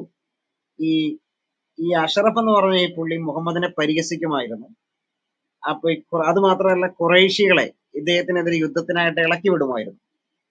അപ്പൊ മുഹമ്മദ് എന്ത് ചെയ്തു? അഞ്ചു പേരടങ്ങുന്ന ഒരു സംഘത്തെ ഞാൻ ആദ്യം ഇത് പറഞ്ഞു പോയത് ഇദ്ദേഹത്തെ കൊല്ലുവാനായിട്ട് നിയോഗിച്ചു. അതിൽ അദ്ദേഹത്തിന്റെ പോറ്റ് സഹോദരനായ നായിലയും ഉണ്ടായിരുന്നു. നാ ഇല എന്നാണ് അത് പറയുന്നത്? നായില നായില. അത് അങ്ങനെ തന്നെയാണ് വായിക്കുന്നതെന്നാണ് എനിക്ക് മനസ്സിലാവുന്നത്. നായില. അദ്ദേഹത്തിന്റെ പേരാണത്. അപ്പം മുഹമ്മദ് അവരെ അനുഗമിക്കുന്നുണ്ട്. ഒരു മധ്യഭാഗം അവർ ഇദ്ദേഹത്തെ കൊല്ലാനായിട്ട് പോവുകയാണ്. പകുതി ദൂരം വരെ മുഹമ്മദ് ഏകദേശം പകുതി ദൂരം വരെ ദൂരം വരെ മുഹമ്മദ് അനുഗമിക്കുന്നു. എന്നിട്ട് ഇദ്ദേഹത്തിന്റെ വീട്ടിലേക്ക് പോവുകയാണ്. ഈ കബൂബിൻ അൽ അഷറഫ് ആ അടുത്ത സമയത്താണ് വിവാഹം കഴിച്ചത്. അപ്പൊ അദ്ദേഹത്തിന്റെ വീട്ടിലേക്ക് ചെല്ലുന്നു. അദ്ദേഹത്തെ വിളിക്കുന്നു. അപ്പൊ അദ്ദേഹത്തിന്റെ ഭാര്യ അവിടെ ഉണ്ട്. അപ്പൊ എന്ത് ചെയ്യുന്നു? അദ്ദേഹത്തിന്റെ വീട്ടിലേക്ക് എത്തി. ഇവരുടെ ശബ്ദം കേട്ട് അദ്ദേഹം പുറത്തേക്ക് ഇറങ്ങി വന്നു. ഇദ്ദേഹത്തെ വധിക്കുന്നതാണ് രംഗം. അത് സഹീഹ മുസ്ലിം വോളിയം രണ്ട് ഭാഗം മുപ്പത്തിരണ്ട് ആയിരത്തി എണ്ണൂറ്റി ഒന്നാണ്. അപ്പൊ ഞാൻ അവിടെ പറഞ്ഞു വന്നതിന്റെ കാര്യം എന്നാന്ന് പറഞ്ഞ ഈ യുദ്ധങ്ങളിലൊന്നും മുഹമ്മദ് നീതി പുലർത്തിയിട്ടില്ല. എന്ന് മാത്രമല്ല സ്ത്രീകളെയും കുട്ടികളെയും വധിച്ചു എന്ന് മുസ്ലിമും ബുക്കാരിയും ഒരുപോലെ പറയുന്നുണ്ട്. മുസ്ലിമും ബുക്കാരിയും ഒരുപോലെ ഹദീസുകളിൽ പറയുന്നുണ്ട്. അപ്പൊ ആ സഹോദരനോട് നമ്മൾ ചോദിച്ചത് അതിന്റെ കോണ്ടക്സ്റ്റ് പറയാനാണ്. യുദ്ധം ചെയ്തിട്ടില്ലേ എന്ന് ചോദിക്കുമ്പോൾ ആ യുദ്ധത്തിൽ പോലും മുഹമ്മദിന്റെ യുദ്ധങ്ങളിൽ ഒന്നിൽ പോലും യാതൊരു തരത്തിലുള്ള നീതിയുമില്ല. എല്ലാവരെയും ചതിച്ചും വഞ്ചിച്ചും ഒക്കെയാണ് കൊന്നത് സ്ത്രീകളെ പോലും വളരെ ക്രൂരമായിട്ടാണ് വധിച്ചിട്ടുള്ളത്. അതൊന്നും രാഷ്ട്രങ്ങൾ തമ്മിലുള്ള പൊളിറ്റിക്സിന്റെ ഭാഗവുമല്ല. പിന്നെയോ വ്യക്തി വൈരാഗ്യത്തിന്റെ പേരാണ്. എന്നെ പിച്ചി എന്നെ മാന്തി എന്നെ കളിയാക്കി എന്നതിന്റെ പേരിലൊക്കെയാണ് അദ്ദേഹം പലരെയും കൊന്നേക്കുന്നത്. അതാണ് ഞാൻ പറഞ്ഞു വന്നത്. അന്ന് കുറച്ച് ചില സഹോദരന്മാർക്ക് അത് മനസ്സിലായില്ലെന്ന് പറഞ്ഞു. അതുകൊണ്ടാണ് ഞാൻ പറഞ്ഞത്. ഗുരുജി ബ്രദർ കണ്ടിന്യൂ ചെയ്തു ഓക്കെ ഞാൻ പറഞ്ഞു വന്നത് മുഹമ്മദിന്റെ ആ ഒരു മരണക്കിടയിൽ അദ്ദേഹം ക്ഷീണിതനാണ്. രോഗാവസ്ഥയിലാണ് ബലഹീനനാണ്. ആ സമയത്ത് മുഹമ്മദ് ഉള്ള ഏറ്റവും വലിയൊരു കലിപ്പാണ് ഇവിടെ നമ്മൾ ഈ താഴെ സോവനിട്ട ആ ഒരു ഹദീസിന്റെ അല്ലെങ്കിൽ ആ വാക്യത്തിന്റെ അർത്ഥം എന്ന് പറയുന്നത്. മൂപ്പർ അവിടെ ഇരുന്നുകൊണ്ട് പറയാണ് ഈ അറബ്യ നാട്ടിൽ നിന്ന് ക്രിസ്ത്യാനികളെയും യഹൂദന്മാരെയും ഓടിക്കണം. ഇത് പുള്ളിയുടെ അവസാനത്തെ ആഗ്രഹമായിരുന്നു. അവസാനത്തെ പുള്ളിയുടെ ആഗ്രഹമായിരുന്നു ഇവരെ എല്ലാം ഓടിക്കണം. മുസ്ലിങ്ങൾ മാത്രമുള്ള ഒരു ഒരു ഒരു ഒരു ഒരു സ്ഥലം അല്ലെങ്കിൽ ഒരു അന്തരീക്ഷം. അപ്പൊ നമ്മൾ മനസ്സിലാക്കേണ്ട ഒരു കാര്യം രണ്ട് കഥാപാത്രങ്ങൾ നമുക്ക് നോക്കാം. നമുക്ക് ഇപ്പൊ യേശുവിലും വിശ്വസിക്കേണ്ട മുഹമ്മദിലും വിശ്വസിക്കേണ്ട പക്ഷെ രണ്ടു പേരും നമ്മുടെ മുമ്പിൽ ഇരിക്കുകയാണ് ഈ രണ്ടു പേര് മുമ്പിലിരിക്കും ഒരാളുടെ ഒരാളെ ആരെയും പിടിച്ചു പറിക്കാൻ പോയിട്ടില്ല ആരുടെയും പൊടിക്കുഞ്ഞിനെ മോഹിക്കാൻ പോയില്ല ആരുടെയും മരുമോളെയും കെട്ടാൻ പോയില്ല ആരെയും സെക്സ് സ്ലേവ്സ് ആയിട്ട് വെച്ചില്ല ആരുടെയും ഒരു വസ്തു മോഷ്ടിച്ചില്ല ഒന്നും ചെയ്തില്ല. ആരോടും മോശമായിട്ട് ഒരു രീതി പോലും പെരുമാറിയിട്ടുമില്ല.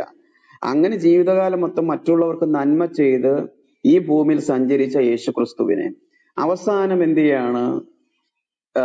യേശുവിനെ പിടിക്കുന്നു ഉപദ്രവിക്കുന്നു മാനസികമായി എല്ലാ തരത്തിലും ആക്ഷേപിച്ച് യേശുവിനെ ഒറ്റപ്പെടുത്തി ക്രൂശിൽ കിടക്കുകയാണ്. ആ സമയത്ത് തീർച്ചയായിട്ടും നമുക്ക് വിഷമം തോന്നും. അയ്യോ ഞാൻ ഇത്രയൊക്കെ ചെയ്തിട്ട് എന്നോട് ഇങ്ങനെയൊക്കെയാണല്ലോ പെരുമാറുന്നത്. നാം ഞാൻ ഞാൻ ചിന്തിച്ചു. ഞാൻ പലപ്പോഴും എന്നോട് ചോദിച്ചൊരു കാര്യമാണ്.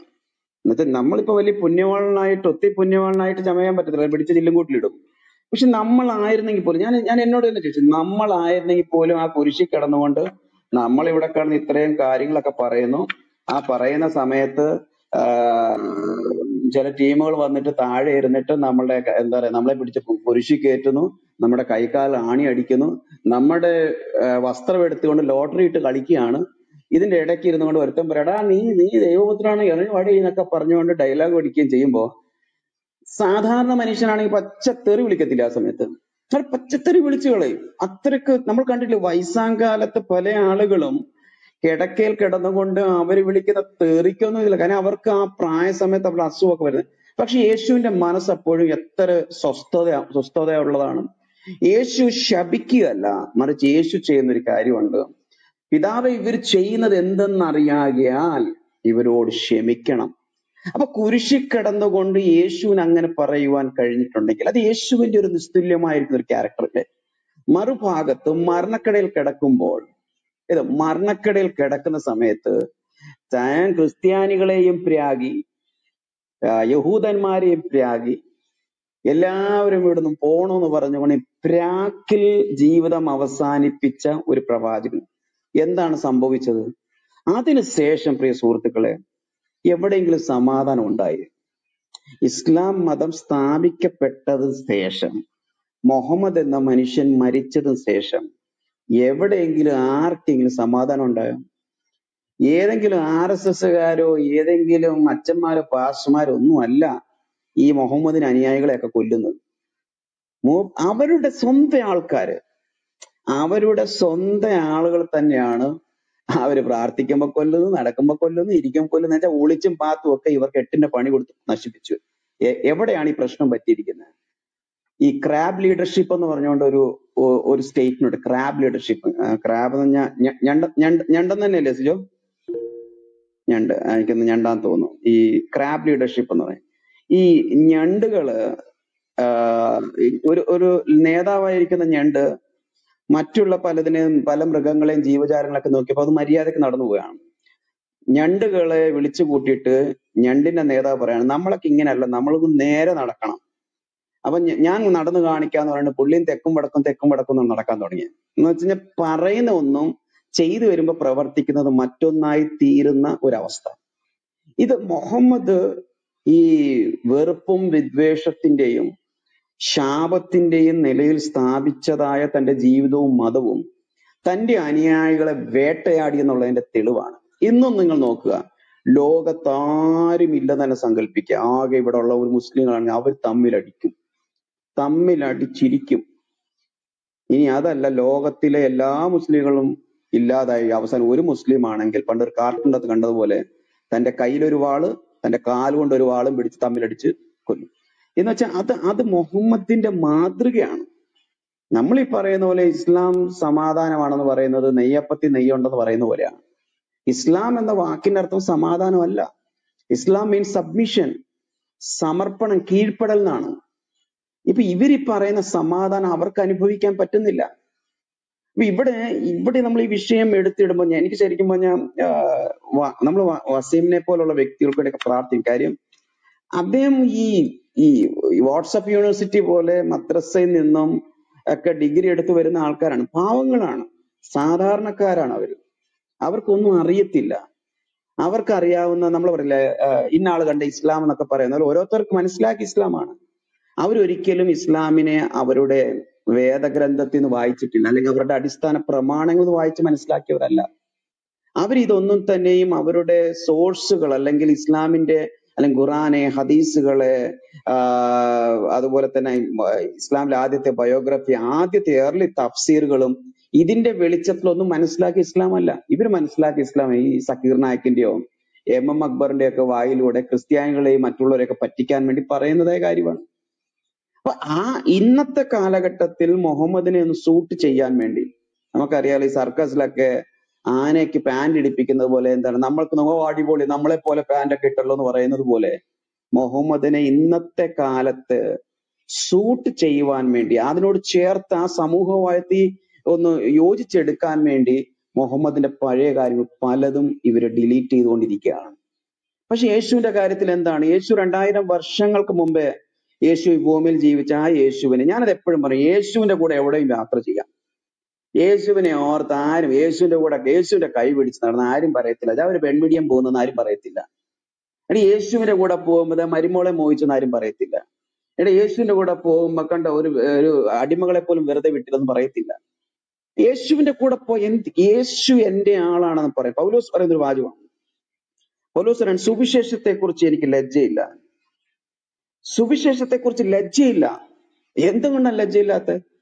കാര്യം സുവിശേഷം നൽകുന്ന മൂന്ന് പ്രധാനപ്പെട്ട സന്ദേശം.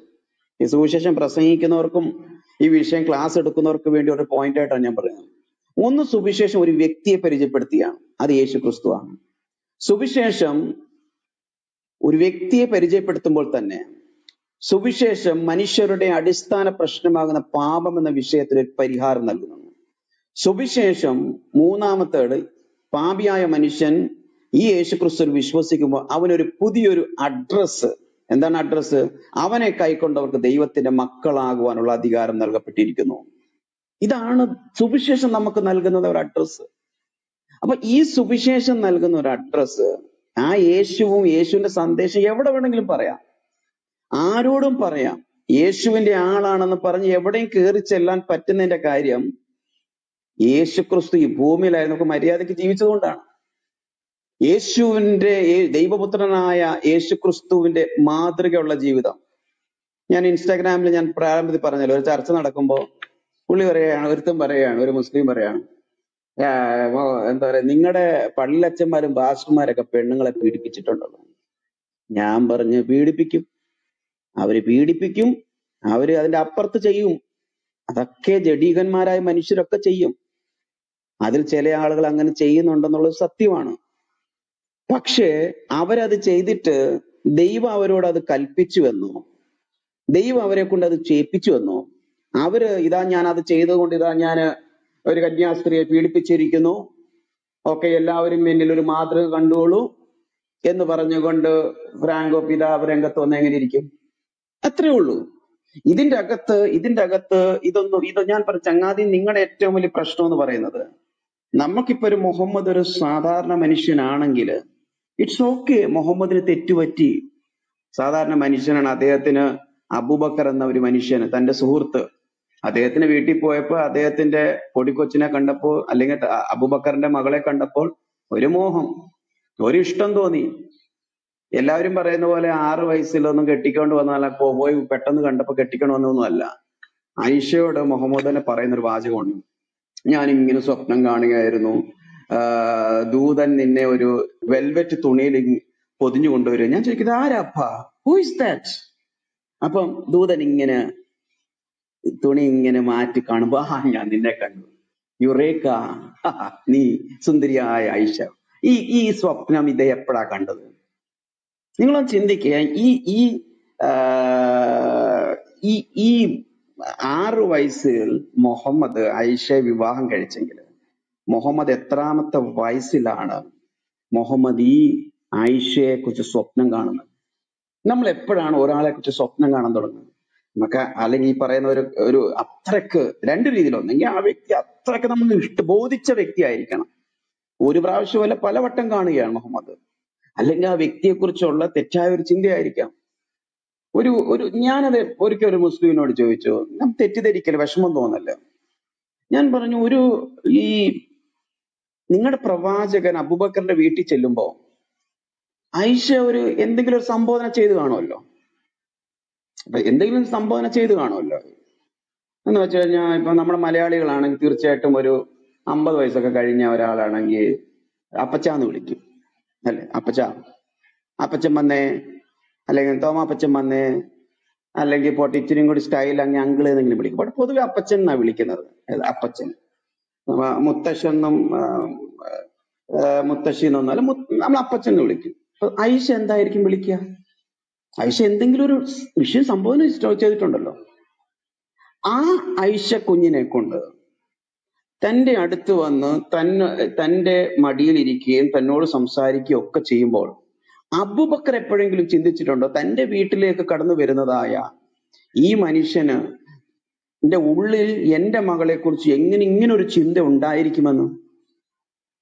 ഞാൻ വിശ്വസിക്കും ഒരു അപ്പൻ എന്ന നിലയിൽ എനിക്ക് പെൺകുഞ്ഞുങ്ങളൊന്നുമില്ല എനിക്ക് ഒരു മോനേ ഉള്ളൂ. പക്ഷേ എന്റെ വീട്ടിലേക്ക് വരുന്ന ഒരു വ്യക്തി എന്റെ മോനെ മടിയിൽ ഇരുത്തുമ്പോൾ അല്ലെങ്കിൽ എന്റെ എന്റെ എന്റെ കുഞ്ഞിനോട് ഇടപെടുമ്പോൾ എന്റെ മനസ്സിൽ നൂറ് എന്റെ പരിശുദ്ധമായ ചിന്തകളുടെ വെളിച്ചത്തിൽ എന്റെ എന്റെ കുഞ്ഞിനെ അവൻ ആ വ്യക്തി എന്റെ വീട്ടിലേക്ക് വരുന്ന എന്റെ കൂട്ടുകാരൻ എന്റെ ബന്ധു എന്റെ പ്രിയപ്പെട്ടവര് നല്ല ഉദ്ദേശത്തോടാണ് നോക്കുന്നത് തന്നെയാണ് ഞാൻ വിശ്വസിക്കുന്നത്.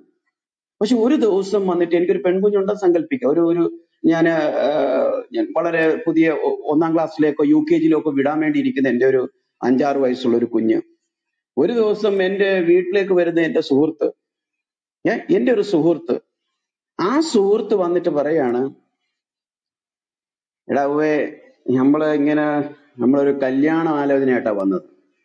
അപ്പം ഞാൻ പറയുടെ എന്റെ വീട്ടിൽ അതിനാരും ഇല്ലല്ലോ. ഉള്ളവരൊക്കെ എല്ലാം കെട്ടിപ്പോയി. അല്ല നമ്മൾക്കൊരു ഒരു കല്യാണത്തിന് വേണ്ട ഒരു കാര്യം എന്ന് വെച്ചാൽ ഞാൻ എടാ ജിയോ നിന്റെ കൊച്ചിനെയാണ്. ഏത് കൊച്ച്? അതെ ആ എഴുതാണ് ചെറിയ രണ്ട് കളിപ്പാട്ടം. ഫസ്റ്റ് ക്രൈയിൽ നിന്ന് ഓഫറിൽ വാങ്ങിച്ച കളിപ്പാട്ടമായി കളിച്ചുകൊണ്ടിരിക്കുന്നതായ കുട്ടി എന്തായിരിക്കും എന്റെ മനസ്സിലേക്ക് ഓടി വരുന്ന ചിന്ത? അതേ ചിന്ത തന്നെയാണ് അബൂബക്കറിന്റെ മനസ്സിൽ വരുന്നത്. അബൂബക്കർ പറയുന്ന ഒരു വാചകമുണ്ട്. നമ്മൾ സഹോദരങ്ങളല്ലേ? ശരിക്കും പറഞ്ഞാൽ വളരെ ഹൃദയ ഹൃദയത്തിൽ നിന്നുള്ള വേദനയിൽ നിന്നുള്ള ഒരു മറുപടിയായിട്ട് എനിക്ക് ഫീൽ ചെയ്തിട്ടുണ്ട്. ഇവിടെ മുഹമ്മദിനോട് പറഞ്ഞു "എന്നാൽ നമ്മൾ സഹോദരന്മാരല്ലേ? നമ്മൾ പറയില്ലേ പള്ളി പോയി പറഞ്ഞാൽ മതിയെന്ന്. അതിന് ബഹലായിട്ട് മുഹമ്മദ് പറയുന്ന ഒരു വാചകമാണ് നമ്മൾ സഹോദരങ്ങൾ അത് മതത്തിലാണ് മതത്തിലാണ്.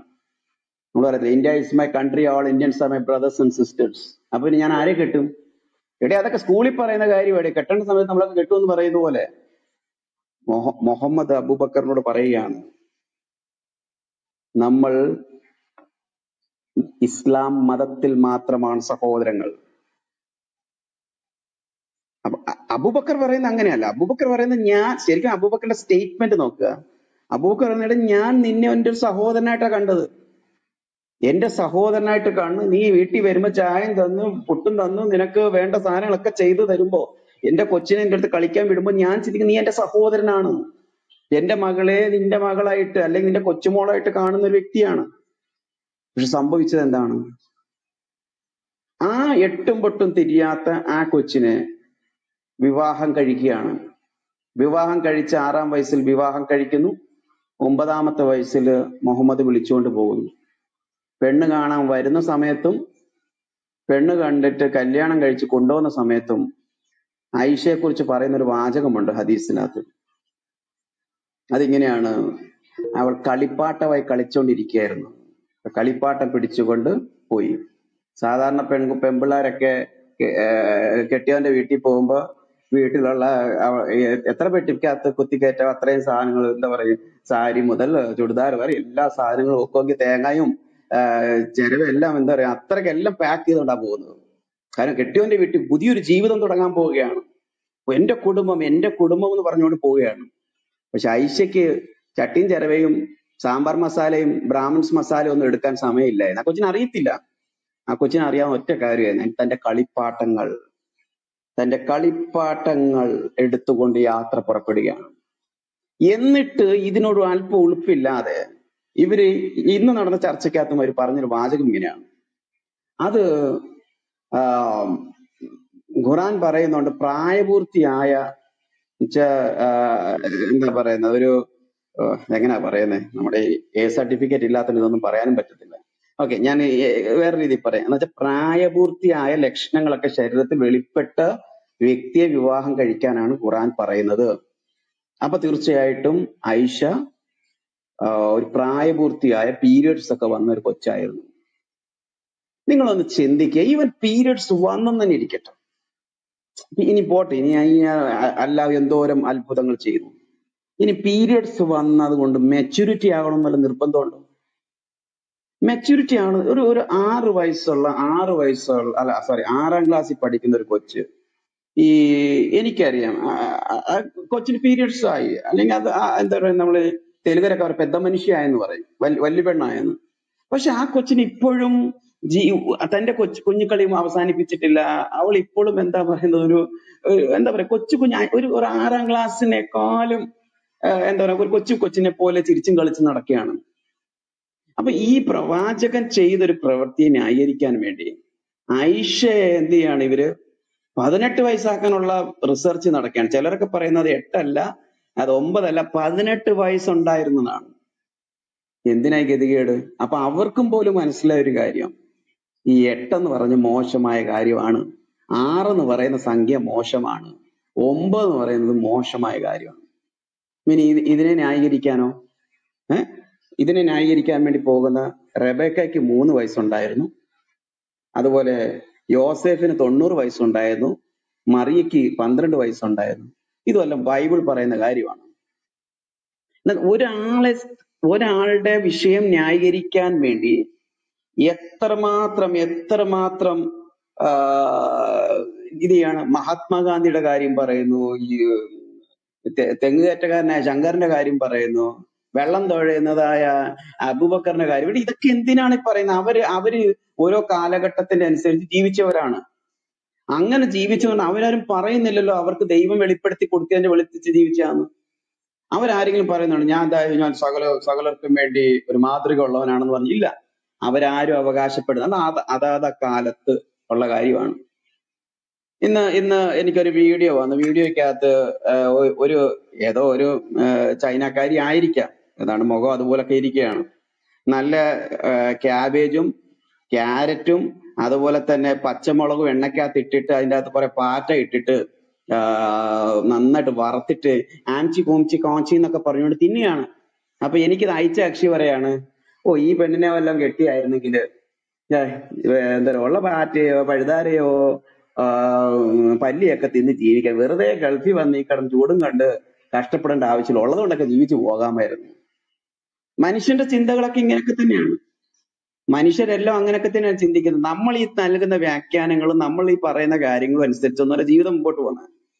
ഇവിടെ നമുക്ക് ഇവിടെ ഒരു കാലഘട്ടത്തിൽ മനുഷ്യർ അങ്ങനെ ജീവിച്ചെങ്കിൽ അത് അവരുടെ അത്രയ്ക്കുള്ള അറിവ് അവർക്കുള്ളൂ. അറിവിൽ വെളിച്ചം വീഴുമ്പോൾ പുതിയ അറിവിലേക്ക് വരുമ്പോൾ പലതിനെയും അവർ ഗുഡ് ബൈ പറയുകയാണ്. അവരത് വേണ്ടാന്ന് വെക്കുകയാണ്. പക്ഷേ ഇസ്ലാമിന്റെ കാര്യത്തിൽ അത് അങ്ങനെ പറയാൻ പറ്റത്തില്ല. കാര്യം അവസാനത്തെ പ്രവാചകനും എന്നേക്കും മാനവരാശിക്ക് ഒരു മാതൃക പുരുഷൻ കൂടിയാണ്. ഇവിടെയാണ് അണ്ടർലൈൻ ചെയ്ത് സംസാരിക്കുന്ന കാര്യം. അദ്ദേഹം കാണിച്ച പ്രവർത്തികൾ അദ്ദേഹം ചെയ്തതായിരിക്കുന്ന കാര്യങ്ങൾ എല്ലാം തന്നെയും ചോദ്യം ചെയ്യപ്പെടുന്നതിന്റെ കാര്യം എന്താണ്? ഇനി അതല്ല യാക്കോബ് പോയി ഇങ്ങനെ കല്യാണം കഴിച്ചു. ഇനി പോട്ടെ യോസേഫ് അങ്ങനെ ഒരു ബൈബിളിൽ ഒരിക്കലും പറയുന്നില്ല. യോസേഫ് പന്ത്രണ്ട് വയസ്സുള്ള മറിയേക്കർ അത് കത്തോലിക്കരുടെ ഒരു എൻസൈക്ലോപ്പീഡിയ ഉള്ള അത് അവരുടെ ഒരു ദൈവശാസ്ത്രം മുമ്പോട്ട് വെക്കാൻ വേണ്ടിയാ. എന്ന് വെച്ച് കഴിഞ്ഞാൽ മറിയ മറിയയ്ക്ക് മറ്റു പിള്ളേരില്ലായിരുന്നു എന്ന് വാദിക്കാൻ വേണ്ടി. എന്ന യോസേഫ് ഒരു കിളവനായിരുന്നു. പെട്ടെന്ന് മൂപ്പരങ്ങ് മരിച്ചു പോയെന്ന് സ്ഥാപിക്കാൻ വേണ്ടി ഒരു ഒരു ചെറിയൊരു കഥ മാത്രമാണ്. ഒരു ചെറിയൊരു അഡ്ജസ്റ്റ്മെന്റ് പക്ഷെ ബൈബിൾ അത് പറയുന്നില്ലല്ലോ. മറിയയ്ക്ക് പന്ത്രണ്ട് വയസ്സായിരുന്നോ? യോസേഫിന് തൊണ്ണൂറ് വയസ്സായിരുന്നു എന്ന് പറയുന്നില്ല. ഇനി അഥവാ അങ്ങനെയാണെന്ന് തന്നെ ഇരിക്കട്ടെ. എടാ പന്ത്രണ്ട് എവിടെ കിടക്കുന്നു? ആറെവിടെ കിടക്കുന്നു? ഇത് ആറെവിടെ കിടക്കുന്നു? പന്ത്രണ്ട് എവിടെ കിടക്കുന്നു? അല്ല ഈ പറയുന്ന യോസേഫ് വന്നിട്ട് പറഞ്ഞാൽ എന്താ? യോസേഫ് പറയണ ഞാൻ തൊണ്ണൂറാം വയസ്സിൽ ഞാൻ പന്ത്രണ്ട് വയസ്സുള്ള കുട്ടിയാണ് കെട്ടി. അതുകൊണ്ട് ഞാൻ ഇതാ സകലർക്കും മാതൃകയായിരിക്കുന്നു പറയുമ്പോഴാണ് നമ്മൾ ചോദ്യം ചെയ്യുന്നത്. എല്ലാ കാലത്തും മനുഷ്യർ എന്തെങ്കിലുമൊക്കെ കുറവുകളൊക്കെ ഉണ്ട്. അത് ഓരോ കാലഘട്ടത്തിന്റെ കാര്യങ്ങളാണ്. പക്ഷെ അതിൽ നിന്നൊക്കെ എത്രയോ മാറി ലോകം പുരോഗമിച്ച് മുമ്പോട്ട് മുമ്പോട്ട് വരികയാണ്. ഇന്ന് ഇത്രയും തത്വം അടിക്കുന്ന യുക്തിവാദികളുടെ പൂർവികരൊക്കെ ഇതിന്റെ അപ്പുറത്ത് തോന്നിവാസം കാണിച്ച് കോപ്രായം കാണിച്ച് ജീവിച്ചിട്ടില്ലേ? അപ്പൊ ഇവർ പറയുന്ന അവർക്കും പോലും മാറ്റങ്ങൾ വരുന്ന അനുസരിച്ചാണ് ഇത് ചെയ്യുന്നത്. അപ്പൊ ഈ നമ്മളിവിടെ വെക്കുന്ന പോയിന്റ് എന്ന് പറയുന്നത് എനിക്ക് ശരിക്കും പറഞ്ഞ മുഹമ്മദിനോട് ഒരു സോഫ്റ്റ് കോൺട്രോൾ ഒരു വ്യക്തിയാണ്. ഞാൻ ഈ ക്ലബ് ഹൗസിൽ മാത്രമല്ല എനിക്കിത് ലോകത്തിലാകെ മുഹമ്മദിനോട് ഇത്രയും വിമർശിക്കുകയും അപ്പോൾ തന്നെ മുഹമ്മദിനോട് സോഫ്റ്റ് കോൺട്രോൾ ഒരു മനുഷ്യൻ ഞാൻ മാത്രമേ കാണത്തുള്ളൂ. എനിക്ക് മുഹമ്മദിനോട് വളരെ ഇഷ്ടമുള്ള ഒരു വ്യക്തിയാണ്. നിങ്ങളൊന്നും ചുമ്മാ കിടന്ന് നിങ്ങൾക്ക് പ്രയാസം തോന്നിയിട്ട് കാര്യമൊന്നുമില്ല. എനിക്ക് മുഹമ്മദ് എന്ന മനുഷ്യന്റെ ആ വേദനയോട് എനിക്ക് ഭയങ്കര ഫീലിംഗ് ഉള്ള വ്യക്തിയാണ്. ഏത് മുഹമ്മദ്? അനാഥനായി ജനിച്ച് ഏത്? അനാഥനായി ജനിച്ച് ബന്ധുക്കളുടെ സഹായവും തണലിൽ ജീവിക്കേണ്ടി വന്ന അഡ്രസ് ഇല്ലാതെ ജീവിച്ച് ഒരു നേരത്തെ ഭക്ഷണത്തിന് വേണ്ടി ആടുകളെ മേയ്ക്കാനും തന്റെ പ്രിയപ്പെട്ടവരുടെ വീട്ടിൽ ഭാഗമായി തീർന്ന് ജീവിച്ചു വളർന്ന് ഗതികേട് കൊണ്ട് തന്നെക്കാൾ പ്രായം കൂടിയ ഒരു സ്ത്രീയെ വിവാഹം കഴിച്ച് അങ്ങനെയെങ്കിലും തന്റെ ജീവിതം ഒന്ന് മെച്ചപ്പെടുമെന്ന് ചിന്തിക്കുന്ന ഒരു മനുഷ്യൻ. ഖദീജ എന്ന തന്നെക്കാളും പ്രായമുള്ള ധനികയായ ബിസിനസ് വുമൺ ആയിരിക്കുന്ന ഒരു സ്ത്രീയെ വിവാഹം കഴിക്കുകയും എന്നിട്ട് നമ്മൾ അവിടെയും പോലും മുഹമ്മദ് എന്ന മനുഷ്യനിൽ ഒരു സന്തോഷവും സമാധാനം അനുഭവിക്കുന്നത് കാണുന്നില്ല. ഖദീജയുടെ ജീവിതവുമായിട്ട് ബന്ധപ്പെട്ടാണ് മുഹമ്മദിനെ നമ്മൾ വേറൊരു കഥ കാണുന്നത്. എന്താണെന്നറിയോ? മുഹമ്മദ് പോയി ഗുഹയിൽ പോയി ധ്യാനം കൂടുകയാണ്. വീട്ടിൽ ഭാര്യയും പിള്ളേരും ഉള്ള ഈ എത്ര കെട്ടിയന്മാരാണ് ഇങ്ങനെ ധ്യാനം കൂടാൻ വേണ്ടി പോകുന്നെങ്കിൽ ഇവിടെ വീട്ടിൽ നിന്ന് എന്താ പറയുക എവിടെയെങ്കിലും ചർച്ചിലെ പ്രോഗ്രാം ഒന്നും അല്ലല്ലോ മൂന്ന് ദിവസം ഉണ്ടെന്നാണ് ഭാര്യ അച്ചായ പോട്ട് കുഴപ്പമില്ല പോയിട്ട് വരാൻ പറയുന്നത്. ഇത് ഖദീജയിൽ നിന്ന് മാറി നിൽക്കാൻ ആഗ്രഹിക്കുന്ന മുഹമ്മദിനെ. അവസാനം തന്റെ ദാസന്മാരെയൊക്കെ സഹായികളെയൊക്കെ കൂടെ വിളിച്ചുകൊണ്ട് ഖദീജ പർവതമല്ലാത്ത പർവതം എല്ലാം തപ്പി നടക്കുകയാണ്. മൂപ്പർ പോയേക്കുവാ. ചിലപ്പോ ഒക്കെ ഭക്ഷണമൊക്കെ എടുത്തുകൊണ്ട് ദിവസങ്ങൾ പോവുകയാണ്.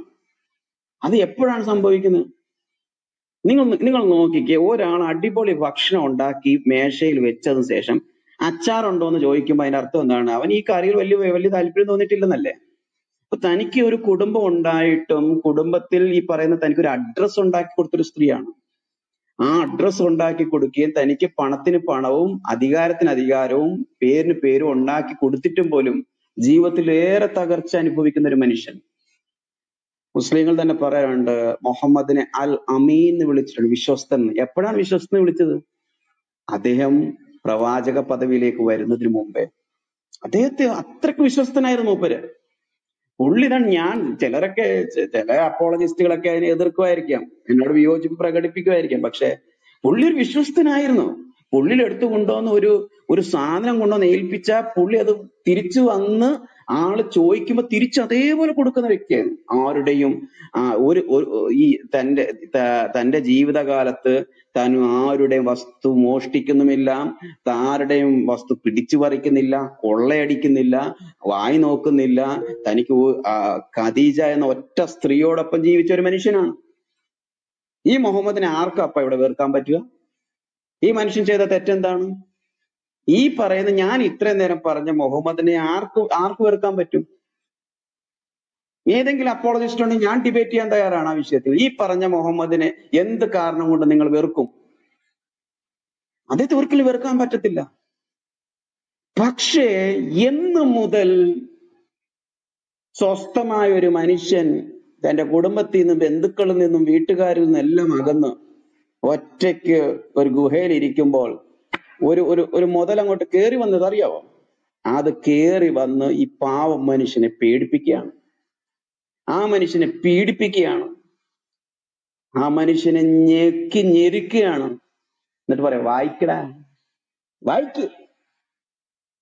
അപ്പൊ ഈ മനുഷ്യൻ പറയുകയാണ് പാവം മുഹമ്മദ് പറയാണ് എനിക്ക് വായിക്കാൻ അറിയത്തില്ല. ആഹാ അത്രക്കായോ നെഞ്ച് അത് പറയുന്ന ഇംഗ്ലീഷിൽ ഈ സ്ക്യൂസ്ഡ് നാരങ്ങ പിഴിയുന്നത് പോലെ ഞെരിക്കാന്നാ പറയുന്നത്. എനിക്കറിയത്തില്ല അപ്പ. ആ ട്രിക്ക് എന്ത് വിദ്യ അറിയത്തില്ല. ആ മൂപ്പര് എന്തെങ്കിലും കണ്ടു കിട്ടിയായിരുന്നെങ്കിൽ ഞാൻ സ്കൂളിലൊക്കെ ടീച്ചറായിട്ടൊക്കെ ഇരുന്നിട്ടുണ്ട്. ഈ വിദ്യയൊക്കെ നേരത്തെ അറിഞ്ഞെങ്കിൽ ഞാനും ഇങ്ങനെ ഇങ്ങനെയൊക്കെ സംഭവങ്ങളൊക്കെ ചെയ്തു നോക്കിയത് ഈ വായിക്കാൻ അറിയാത്ത കൊച്ചുങ്ങളെയൊക്കെ വായിപ്പിക്കാൻ വേണ്ടി. ഈ കൊച്ചിനെ വായിപ്പിക്കുകയാണ്. അല്ലെങ്കിൽ ഈ മുഹമ്മദിനെ വായിപ്പിക്കുകയാണ്. മുഹമ്മദിനെ എനിക്ക് വായിക്കാൻ അറിയുന്നത് പറയുക വായിക്കു വായിക്കൂ. അവിടെ നിന്ന് മുഹമ്മദ് പേടിച്ചു വിറച്ചു ഓടി.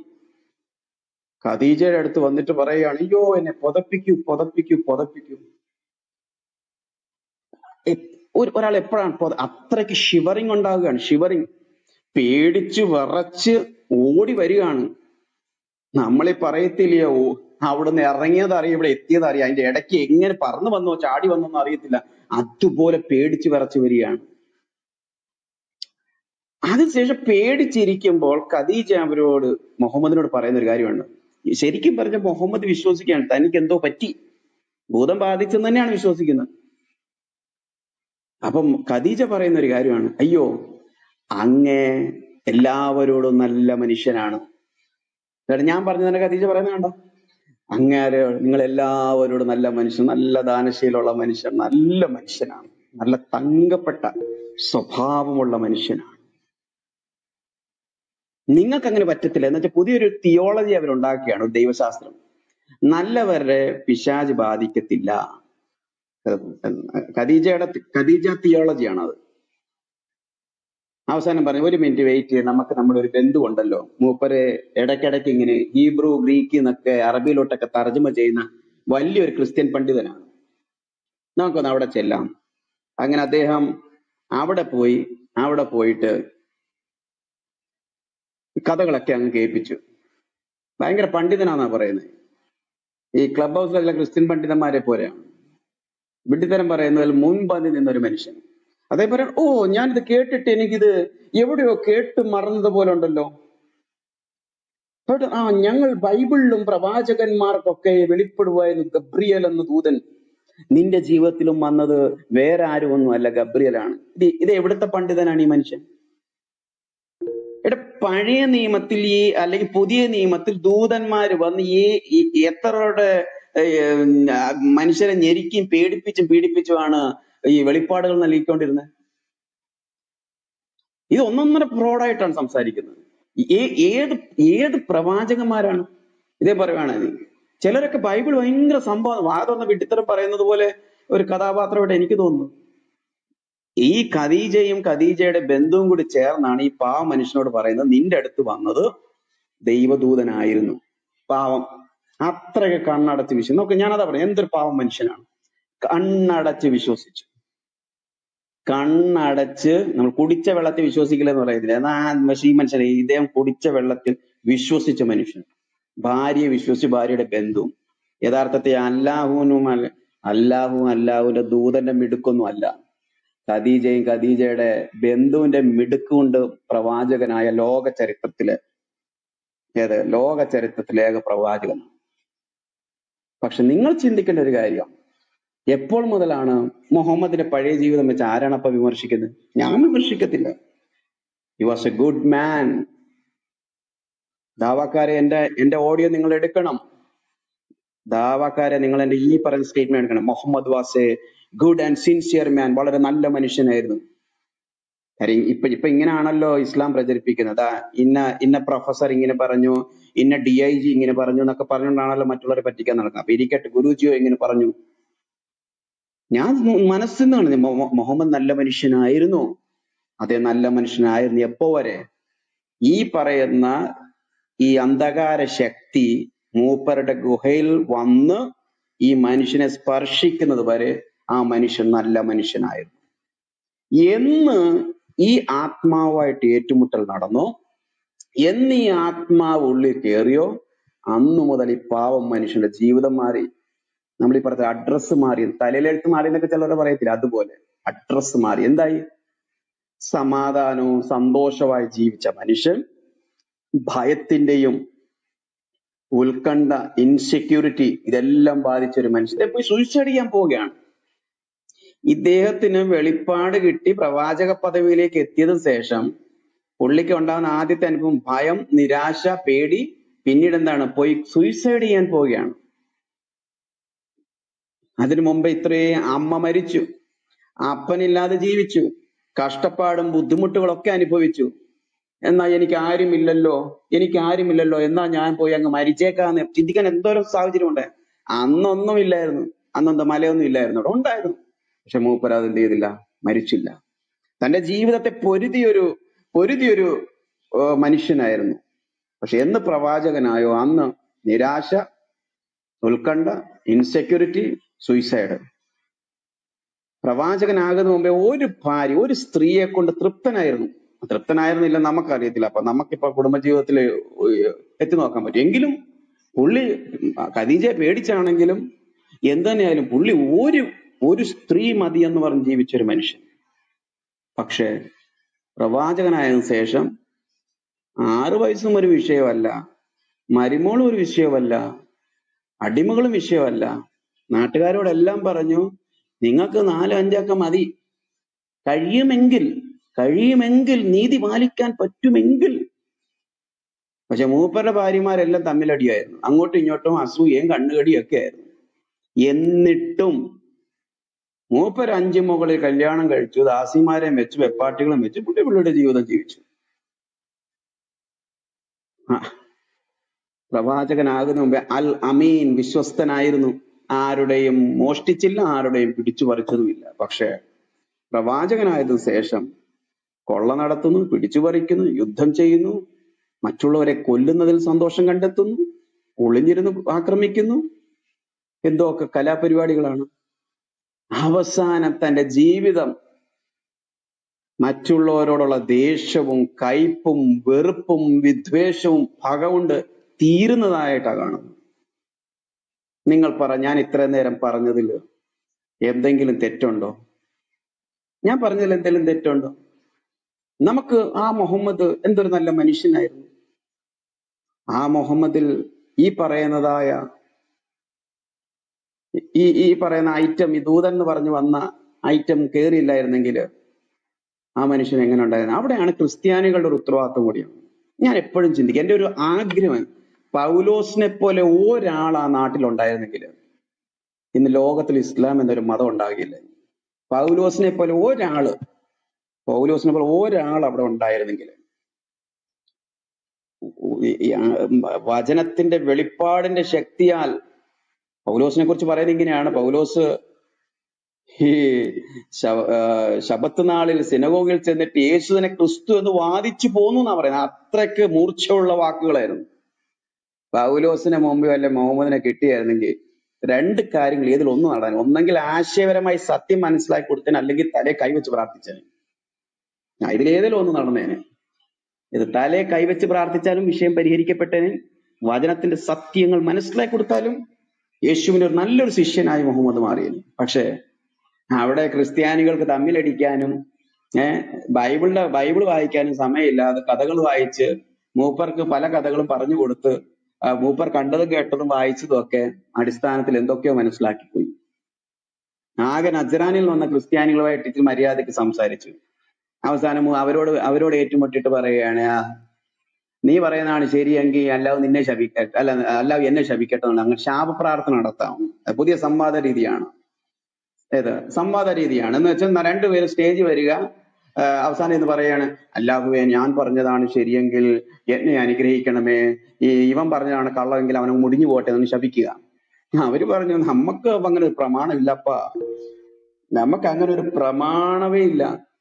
ശപിക്കാൻ ഞാൻ ക്രിസ്ത്യാനികളുടെ വ്യവസ്ഥയില്ല. നിങ്ങൾ പറയാം പണ്ട് നടന്നതല്ലേ? പണ്ട് നടന്നതല്ല. പണ്ടും നടന്നു ഇന്നും നടന്നു. സാക്ഷി അപ്പോളജി നെറ്റ്വർക്കിന്റെ ഭാഗമായി ഇരിക്കുന്ന സമയത്ത് ഈ ബാംഗ്ലൂരിലുള്ള ഒരു ടീം ബാംഗ്ലൂരിലുള്ള ഒരു ടീം വിളിക്കുകയാണ് ശാപപ്രാർത്ഥനയ്ക്ക് വരാൻ. ഏത്? ശാപപ്രാർത്ഥനയ്ക്ക് വിളിച്ച സമയത്ത് ഞാൻ വെച്ചു ദൈവം ഇതെന്തൊരു സംവാദമാണ് അങ്ങനെ ഇരിക്കുമ്പോൾ ഞാൻ ജെറീത്തം സാക്ഷിയുടെ ഡയറക്ടറോട് ഞാൻ പറഞ്ഞു ജെറി ബ്രദറെ അവർ പറയാണ് ശാപപ്രാർത്ഥനയ്ക്ക് വരാനെന്ന്. ജെറി ബ്രദർ അതിനെന്താ? നമുക്ക് പോകാമല്ലോ. നമുക്ക് ശപിക്കാനാ. ജെറി ബ്രദർ അവരോട് പറ നിങ്ങൾ ഞങ്ങളെ ശപിക്കൂ. ഞങ്ങൾ മറിച്ച് നിങ്ങളെ അനുഗ്രഹിക്കൂ. അന്ന് ഞാൻ എന്തൊരു ധൈര്യമാണ്. പക്ഷെ അവർ വന്നില്ല. ഇതാണ് ഇവിടെ ഇവിടെ മുസ്ലിങ്ങളിൽ നടക്കുന്ന പരിപാടിയാണ് ശാപപ്രാർത്ഥന. അങ്ങോട്ടും ഇങ്ങോട്ടും ശപിക്കുക. അന്ന് നജ്രയിൽ നിന്ന് വന്നതായിരിക്കുന്ന ക്രിസ്ത്യാനികളോടൊക്കെ ശാപപ്രാർത്ഥന നടത്താന്നൊക്കെ പറഞ്ഞെങ്കിലും അവസാനം ആ ശാപം വലിച്ചത് മുഹമ്മദിന് തന്നെയാണ്. തന്റെ തന്റെ തലമുറ മുതൽ തന്റെ അനുയായികൾ വരെ അവസാനം നശിച്ച് നശിച്ച് നശിച്ചാ മരിക്കുന്നത്. ഞാൻ ഇത്രയും പറയാൻ കാര്യം എന്ന് വെച്ചാൽ നമ്മൾ മുസ്ലിങ്ങളോട് സംസാരിക്കുമ്പോൾ നമ്മൾ ഈ മുഹമ്മദിനെ രണ്ടായിട്ട് കാണാൻ പഠിക്കണം. നമ്മൾ പറയണം ഒരാൾ ഇസ്ലാം മതം സ്വീകരിച്ച ശേഷം ആ മനുഷ്യന്റെ ജീവിതം കട്ടപ്പുകയായി. അതിന് ഏറ്റവും വലിയ തെളിവാണ് ഈ പറയുന്ന മുഹമ്മദിന്റെ ജീവിതം. അദ്ദേഹം അൽ അമീൻ വിശ്വസ്തനായിരുന്നു. അദ്ദേഹം ഏകഭാ ഏകഭാര്യയുടെ ഭർത്താവായിരുന്നു.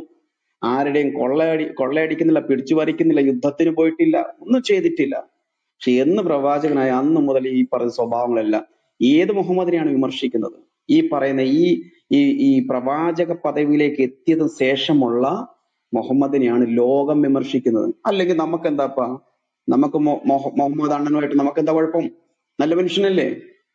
നമുക്കൊരു പ്രശ്നമില്ല. എന്തിനാണ് വെറുതെ മുഹമ്മദിനെ വേട്ടയാടുന്നത്? പക്ഷേ ഒരു കാര്യമേ മുസ്ലിങ്ങളോട് പറഞ്ഞു കൊടുക്കാനുള്ളൂ സഹോദരങ്ങളെ നിങ്ങൾ മുഹമ്മദിന്റെ അടുത്ത് വഞ്ചിച്ചതായ ഒരേ ആത്മാവ് അദ്ദേഹത്തിന്റെ ജീവിതം വെച്ചാണ് കളിച്ചത്. നിങ്ങൾ ഒരു കാര്യം കൂടെ നോക്കുക. അദ്ദേഹത്തിന്റെ ഒരു കാര്യം നോക്കാൻ. ജീവിച്ചിരിക്കുമ്പോൾ പോലും സമാധാനം അനുഭവിക്കാതെ മരിച്ച ഒരു മനുഷ്യൻ കൂടിയാണ്. നിങ്ങൾ കണ്ടു കാണും ചില മിക്ക ആളുകൾക്കും അറിയാം ക്ലബ് ഹൗസ് സ്ഥിരമായിട്ട് ഞങ്ങളൊക്കെ ഗ്രൂപ്പുകൾ സന്ദർശിക്കുന്ന വ്യക്തികൾക്ക് എന്തെങ്കിലും കാര്യം മനസ്സിലാവും. പക്ഷെ ചില വ്യക്തികൾ പുതിയതായിട്ട് വന്നവർക്ക് വേണ്ടി ഞാൻ പറയാം. മുസ്ലിങ്ങൾ എപ്പോഴൊക്കെ പ്രവാചകന്മാരുടെ അല്ലെങ്കിൽ പ്രത്യേകിച്ച് മുഹമ്മദിന്റെ പേരെടുക്കും അപ്പോഴെല്ലാം പ്രാർത്ഥിക്കും മുഹമ്മദിന്റെ മേലിൽ സമാധാനം ഉണ്ടായിരിക്കട്ടെ. ഇംഗ്ലീഷിലാണെങ്കിൽ P B U H peace be upon you എന്തിനാ എഴുതുന്നപ്പ മരിച്ചിട്ട് ഇത്രയും വർഷമായിട്ട് ഇവരെല്ലാരും കൂടി ഇരുന്ന് പ്രാർത്ഥിക്കുകയാണ്. മുഹമ്മദിന് സമാധാനം ഉണ്ടായിട്ട് എന്തേ മുഹമ്മദിന് സമാധാനം ഇല്ലേ? എന്തിനാ രാജസ്ഥാനിലോട്ട് മണൽ കയറ്റുന്നുണ്ടെങ്കിൽ മണൽ ഡെസേർട്ടിലോട്ട് എന്തിനാ അപ്പൊ മണൽ കയറ്റി വിടുന്നത്? കാരണം ഇല്ലാത്തോണ്ടല്ലേ. മുഹമ്മദിന്റെ സമാധാനത്തിന് വേണ്ടി ഇരുന്ന് അല്ലാഹും ദൂതന്മാരും മുസ്ലിങ്ങളും എല്ലാം കൂട്ടമായിട്ട് ഇരുന്ന് പ്രാർത്ഥിക്കുകയാണ് എന്താ ബൈബിൾ പറയുന്ന കാര്യം എന്താ? യേശുവിനെ കുറിച്ച് എന്താ പറയുന്നത്? ഇവർ പറയാറുണ്ട് ഞങ്ങൾ യേശുവിന് വേണ്ടി പ്രാർത്ഥിക്കണം. ഞാൻ എന്തിന്?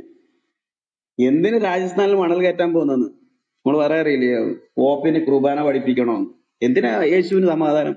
യേശുവിന് സമാധാനം ഇല്ലാതെ കിടന്ന് അലഞ്ഞു യേശുവിന് സമാധാനം വേണ്ടെന്ന്. യേശു ക്രിസ്തുവിന് സമാധാനം വേണ്ട. കാരണം എന്താണ്? യേശുവിനെ കുറിച്ച് പറയുന്ന ഒരു കാര്യം യേശു ക്രിസ്തു സമാധാനത്തിന്റെ പ്രഭുവാണ്. He's a prince of peace സമാധാന പ്രഭുവാണ് യേശു. രണ്ടാമത് യേശുവിനെ കുറിച്ച് പറയുന്നത് എന്താണ്? യേശു ഞാൻ എന്റെ സമാധാനം നിങ്ങൾക്ക് തന്നേച്ചു പോകുന്നു. അലലുയ അതാ യേശുവിന്റെ പ്രത്യേകത.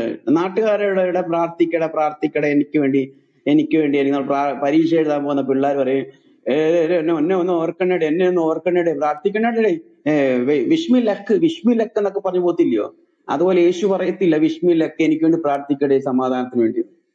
കാര്യം യേശു ക്രിസ്തു സമാധാനം വാങ്ങുന്നവനല്ല യേശു സമാധാനം നൽകുന്നവനാണ്. ജീവിതത്തിൽ അനുഭവിക്കാത്ത ഒരു കാര്യം എങ്ങനെ മറ്റൊരാൾ കൊടുക്കാൻ പറ്റും ഇവർക്ക്?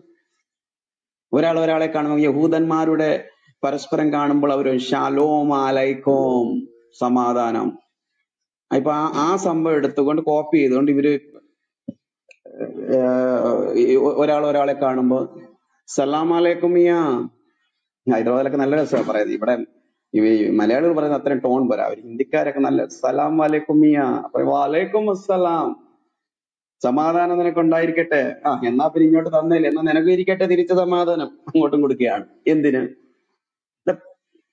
സ്വന്തം പ്രവാചകന് സമാധാനമില്ലാതെ മരിച്ച് നിങ്ങളുടെയും നാട്ടുകാരുടെയും ദൂതന്റെയും ഒക്കെ പ്രാർത്ഥന കൊണ്ട് മൂപ്പർ സമാധാനമായിട്ട് ഇരിക്കാൻ നോക്കുമ്പോൾ അദ്ദേഹത്തെ അനുഗമിക്കുന്ന ഒരു മുസ്ലിം സമാധാനം കാണുമോ? ഈ സമാധാനം ഉണ്ടെന്ന് തർക്കിക്കുവാണെങ്കിൽ നിങ്ങൾ മുഹമ്മദിനേക്കാൾ വലിയ പുള്ളിയാണ്. മുഹമ്മദിന് ഇല്ലാത്ത സമാധാനം ഒരു മുസ്ലിം പിന്നെ എന്താ അങ്ങോട്ടും ഇങ്ങോട്ടും കൊടുക്കുന്നത് വെറുതെ കൊടുക്കുകയാണ്. ഒരു പിച്ചക്കാരൻ അപ്പുറത്തനോട് കൊടുക്കുക. എന്നാടാ ഇരിക്കട്ടെ ഒരു കോടി രൂപ? അവന്റെ കയ്യിലൊന്നും ഇല്ല. വെറുതെ എന്നാ ഇരിക്കട്ടെ? അവനും പറയാണ് എന്നാ പിന്നെ ചേട്ടൻ നിനക്കും ഇരിക്കട്ടെ. രണ്ടുപേരും അങ്ങോട്ടും ഇങ്ങോട്ടും ആഗ്രഹങ്ങൾ പ്രകടിപ്പിക്കുകയാണ്. പക്ഷെ ജീവിതത്തിൽ ഇല്ല അതുകൊണ്ടാണ് ജിഹാദ് എന്ന് പറയുന്ന ഒരു പൈശാചികമായിരിക്കുന്ന സംഭവം ജനിക്കുന്നത്. ഞാൻ ആ ഒരു കാര്യം കൂടി പറഞ്ഞു നിർത്താം. അവിടെ സിജോ ബ്രദറൊക്കെ പുറത്തു പോയിരിക്കാം ജിഹാദ് എന്ന് പറയുന്ന സംഭവം ജനിക്കുന്നതിന്റെ പ്രധാനപ്പെട്ട കാരണം വെറുപ്പിൽ നിന്നാണ്. അന്യരോടുള്ള വെറുപ്പ് അന്യരോടുള്ള വെറുപ്പ് ഒന്ന്. രണ്ടാമത്തത് രക്ഷയെക്കുറിച്ചുള്ള ഉറപ്പില്ലായ്മ. ഒരു മുസ്ലിം തന്റെ ജീവിതത്തിൽ എത്ര നല്ല രീതിയിൽ ഇവിടെ ഇവിടെ അഞ്ചു നേരം നിസ്കരിച്ച് ഹജ്ജിനും പോയി ദാനധർമ്മവും ചെയ്ത് ഉപവാസം എടുത്ത് എന്ത് ചെയ്തെന്ന് പറഞ്ഞാലും ആ വ്യക്തിയോട് ചോദിക്കുക. നീ ഇന്ന് മരിച്ചാൽ നീ സ്വർഗത്തിൽ പോകുമെന്ന് ചോദിച്ചാൽ അവർ പറയും ഇൻഷാ അല്ലാ അല്ലാഹു വിചാരിച്ചാൽ. ഉറപ്പില്ല. കാര്യം ഖുറാൻ പറയുന്നത് അല്ലാഹു താൻ ഇച്ഛിക്കുന്നവരെ വഴി പഴപ്പിക്കുകയും നേരായ മാർഗത്തിൽ നയിക്കുകയും ചെയ്യുന്നു ഇത് ഖുറാൻ പറയുന്ന കാര്യമാണ്. അതുകൊണ്ട് തന്നെ അവർക്ക് ഉറപ്പില്ല. രക്ഷയെക്കുറിച്ച് ഉറപ്പില്ല. എങ്കിൽ പോലും അല്ലാഹുവിന്റെ മാർഗത്തിൽ യുദ്ധം ചെയ്യുക എന്നുള്ള ഒരു സംവിധാനവും അങ്ങനെ യുദ്ധം ചെയ്തു കഴിഞ്ഞാൽ അങ്ങനെ മരിച്ചു കഴിഞ്ഞാൽ ഷോർട്ട് കട്ട് ഉണ്ടെന്നൊക്കെ വിശ്വസിക്കുന്ന കുറെ പാവ മുസ്ലിങ്ങളാണ് ഈ മുഹമ്മദ് യുദ്ധത്തിന് പോകുന്ന സമയത്ത് ഈ മുത്തക്കല്യാണം എന്ന് പറയുന്ന ഒരു സംഭവമാണ്. ഇത് ഈ അടുത്ത കാലത്തൊക്കെ ഹൈദരാബാദിലും പലയിടത്തും നടന്നൊരു കാര്യമാണ് ടെമ്പററി മാരേജ് എന്ന് വെച്ചാൽ ഇപ്പൊ ഇവിടെ യുദ്ധത്തിന് പോവല്ലേ? ടൂറിന് പോകുന്ന പോലെ അല്ലല്ലോ. ഇവിടെ യുദ്ധത്തിന് പോവാ. പോയാ പോയി നിന്നാ നിന്നു ചത്താ ചത്തു ജീവിച്ചാ ജീവിച്ചു. അപ്പൊ അവർ പറഞ്ഞു ഞങ്ങളൊക്കെ ഇവിടെ വന്നൊക്കെ ഇങ്ങനെയൊക്കെ എത്രയോ ഞങ്ങളുടെ ഭാര്യയെയും എല്ലാരും വിട്ടിട്ടൊക്കെ വരുവാ? ഞങ്ങളൊക്കെ പച്ച മനുഷ്യരല്ലേ. അപ്പൊ പറഞ്ഞു ഓക്കെ അങ്ങനെയാണെങ്കിൽ എന്തെങ്കിലുമൊക്കെ കൊടുത്തിട്ട് ഏതെങ്കിലും ഒരു പെണ്ണിനെ ഭാര്യയെ സ്വീകരിക്കും. ഓക്കെ അടിപൊളി. നല്ലൊരു ഓഫറാണ്. അപ്പൊ കല്യാണം കഴിക്കുക ഒരാഴ്ചയോ രണ്ട് മാസമോ എത്ര നാൾ ആ നാട്ടിൽ യുദ്ധത്തോടുള്ള ബന്ധത്തിൽ ജീവിക്കുന്നു? ആ സ്ത്രീയെ ഭാര്യയായിട്ട് സ്വീകരിക്കാം. അത് കഴിഞ്ഞ ശേഷം ആ സ്ത്രീയെ വേണമെങ്കിൽ ഉപേക്ഷിക്കാം. നമ്മൾ ഈ വാടകയ്ക്ക് എടുക്കത്തില്ലയോ? നമ്മൾ വാടകയ്ക്ക് ഓരോ സാധനം എടുത്തിട്ട് നമ്മൾ ഗസ്റ്റ് വന്നിട്ടുണ്ട്. ചേച്ചി ഒരു ഗ്ലാസ് പാൽ അല്ലെങ്കിൽ ഒരു ഗ്ലാസ് പഞ്ചസാര അല്ലെങ്കിൽ ആ തവി ഇങ്ങോട്ട് തന്നെന്നൊക്കെ പറഞ്ഞിട്ട് ആവശ്യം കഴിച്ചിട്ട് തിരിച്ചു കൊടുക്കത്തില്ല. അതുപോലെ എന്ത് ചെയ്യും? ആ ആ ആ പെൺകുട്ടിക്ക് എന്തെങ്കിലും ഗിഫ്റ്റ് ഒക്കെ കൊടുത്തിട്ട് tata will see you tomorrow എന്ന് പറഞ്ഞിട്ട് ഒറ്റ പോകാം അപ്പൊ വേറെ ചില ബുദ്ധിമാർ അതിന്റെ അകത്തുണ്ടായിരുന്നു. അവർ പറഞ്ഞു നബിയെ അത് ജീവനോടെ ഇരിക്കുന്നെങ്കിൽ അല്ലയോ ഈ മുത്തക്കല്യാണം ടെമ്പററി മാരേജ്. ഞങ്ങളൊക്കെ പോയി ഏതെങ്കിലും ആരെങ്കിലും പള്ളക്ക് പിച്ചാത്തി കുത്തിക്കേറ്റി ഞങ്ങൾ മരണപ്പെട്ട എന്ത് ചെയ്യും? ഞങ്ങളുടെ ഭാര്യയൊക്കെ വിട്ടിട്ട് ഞങ്ങൾ എന്ത് ചെയ്യും? അപ്പൊ ഡോണ്ട് വരി നിങ്ങൾക്കുമുണ്ട് ഒരു പരിഹാരം. നിങ്ങൾ മരിച്ച് സ്വർഗത്തിലേക്ക് ചെന്ന് കഴിയുമ്പോൾ അവിടെ ഒരുമാര് സുന്ദരികളായിരിക്കുന്ന സ്ത്രീകൾ കാണും. സുന്ദരികളായിരിക്കുന്ന സ്ത്രീകൾ. അവർ ഇവിടുത്തെ പോലെ ഞാൻ അതൊന്നും അതാ ഞാൻ എ കൊടുക്കാത്തതൊന്നും ഇവിടെ പറയാൻ പറ്റത്തില്ല. എന്നുവെച്ചാൽ അവരുടെ സ്ത്രീകളുടെ ശരീരഘടന വേറെ ആയിരിക്കും അവരോടുള്ള അവരുടെ ശാരീരികമായ ബന്ധത്തിൽ ഏർപ്പെടുമ്പോൾ ആ സുഖം വേറെ ആയിരിക്കും ഭയങ്കര കളർഫുൾ ആയിരിക്കും. അവിടെ തുണി കിട്ടും അവിടെ ചന്തയുണ്ട് അവിടെ അങ്ങനെയാണ്. അവിടെ നിന്ന് അടിപൊളിയായിട്ട് മദ്യപിക്കാം. അവിടെ മദ്യത്തിന്റെ നദി ഒഴുകും. ഭയങ്കര സംഭവമാണ് അടിപൊളി. ഇവിടെ എന്തൊക്കെ നീ ആഗ്രഹിക്കുന്നു അതെല്ലാം ഇവിടെ കിട്ടും. അപ്പൊ ഒരു പൊട്ടൻ ഒരു ഒരു പൊട്ടന് മദ്രസ യൂണിവേഴ്സിറ്റി പഠിക്കുന്ന അപ്പൊ സണ്ണി ലോനെ കിട്ടുവാണ്? എടാ സണ്ണി ലോനേക്കാൾ സൂപ്പർ ഐറ്റങ്ങൾ അവിടെ കിട്ടത്തില്ല ഇവിടെ എന്തൊക്കെ ആശിച്ച. സ്വർഗത്തിൽ പോകുന്നത് എന്തിനാ? സ്വർഗത്തിൽ സണ്ണി ലിയോനേക്കാൾ ബെറ്റർ ആയിരിക്കുന്ന മുതൽ അവിടെ ഉണ്ടോ എന്ന് അന്വേഷിച്ചു. ക്രിസ്ത്യാനി എന്തിനാ അപ്പൊ സ്വർഗത്തിൽ പോകുന്നത് ഞാനത് പലപ്പോഴും ക്രിസ്ത്യാനികളോട് ചോദിക്കാൻ ആഗ്രഹിക്കുന്നു. നിങ്ങൾ എന്തിനാ അപ്പൊ സ്വർഗത്തിൽ പോകുന്നത് അവിടെ എന്താ പറയുക തെരുവുകൾ തെരുവീതികൾ സ്വർണം മതിലുകളൊക്കെ രത്നങ്ങൾ കൊണ്ട് ഇതിനു വേണ്ടിയാണോ പോകുന്നത്? ഇതിനു വേണ്ടിയാ പോകുന്നെങ്കിൽ സ്വർഗത്തിൽ ചെന്ന് കമന്ന് വീണു കണ്ട് സ്വർണം മാന്താൻ തുടങ്ങും അല്ല വേറൊന്നുമില്ല. ക്രിസ്ത്യാനി സ്വർഗത്തിൽ പോകുന്നത് ഇതിനൊന്നുമല്ല.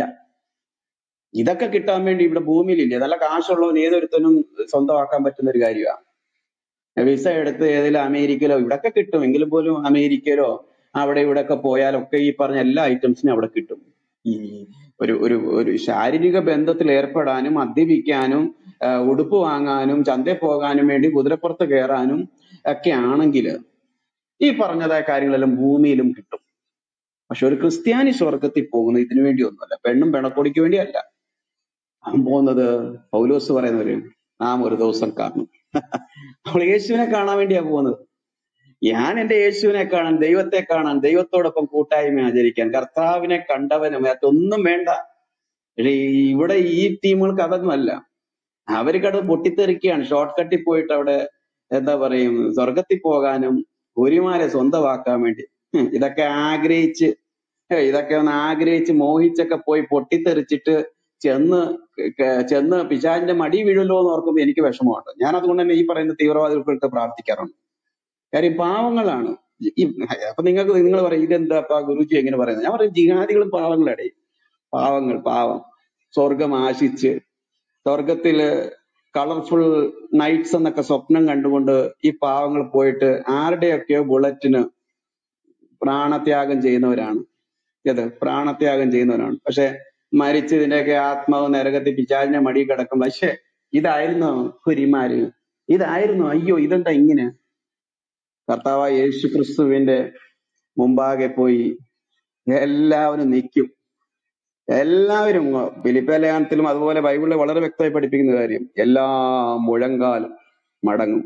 മുട്ടുവേദനയാണ് നടുവേദനയാണ് ഡയബറ്റീസ് ആണ് ബി പി ആണെന്ന് പറഞ്ഞിട്ട് അറിയാം. എല്ലാവരുടെയും മുട്ടുമടങ്ങും പറയുന്നത്. എല്ലാവരുടെയും മുട്ടുമടങ്ങും യാതൊരു സംശയം വേണ്ട എല്ലാവരുടെയും മുട്ടുമാണ് അതിന്റെ അകത്ത് മുഹമ്മദിന്റെ മുട്ടും മടങ്ങും. മടങ്ങാത്ത മുട്ടുകളെല്ലാം മടങ്ങും. ഏത്?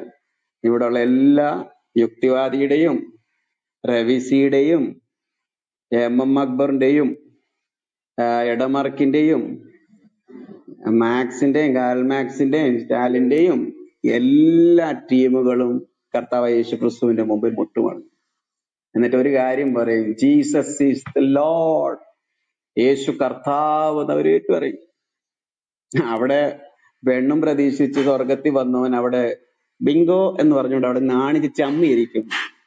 മിക്ക ആളുകളും അങ്ങനെ സംഭവിക്കാൻ പോകുന്നത്. ഇവിടെ എല്ലാവരും ഇരുന്ന് മുട്ടുമടക്കി യേശുവിന് മുമ്പാകെ നിൽക്കുമ്പോ ചില ചില ടീമുകളൊക്കെ അവിടെ കറങ്ങി കഴിക്കും അല്ലെ മറ്റേ സാധനം ഇവിടെ ഇല്ലേ?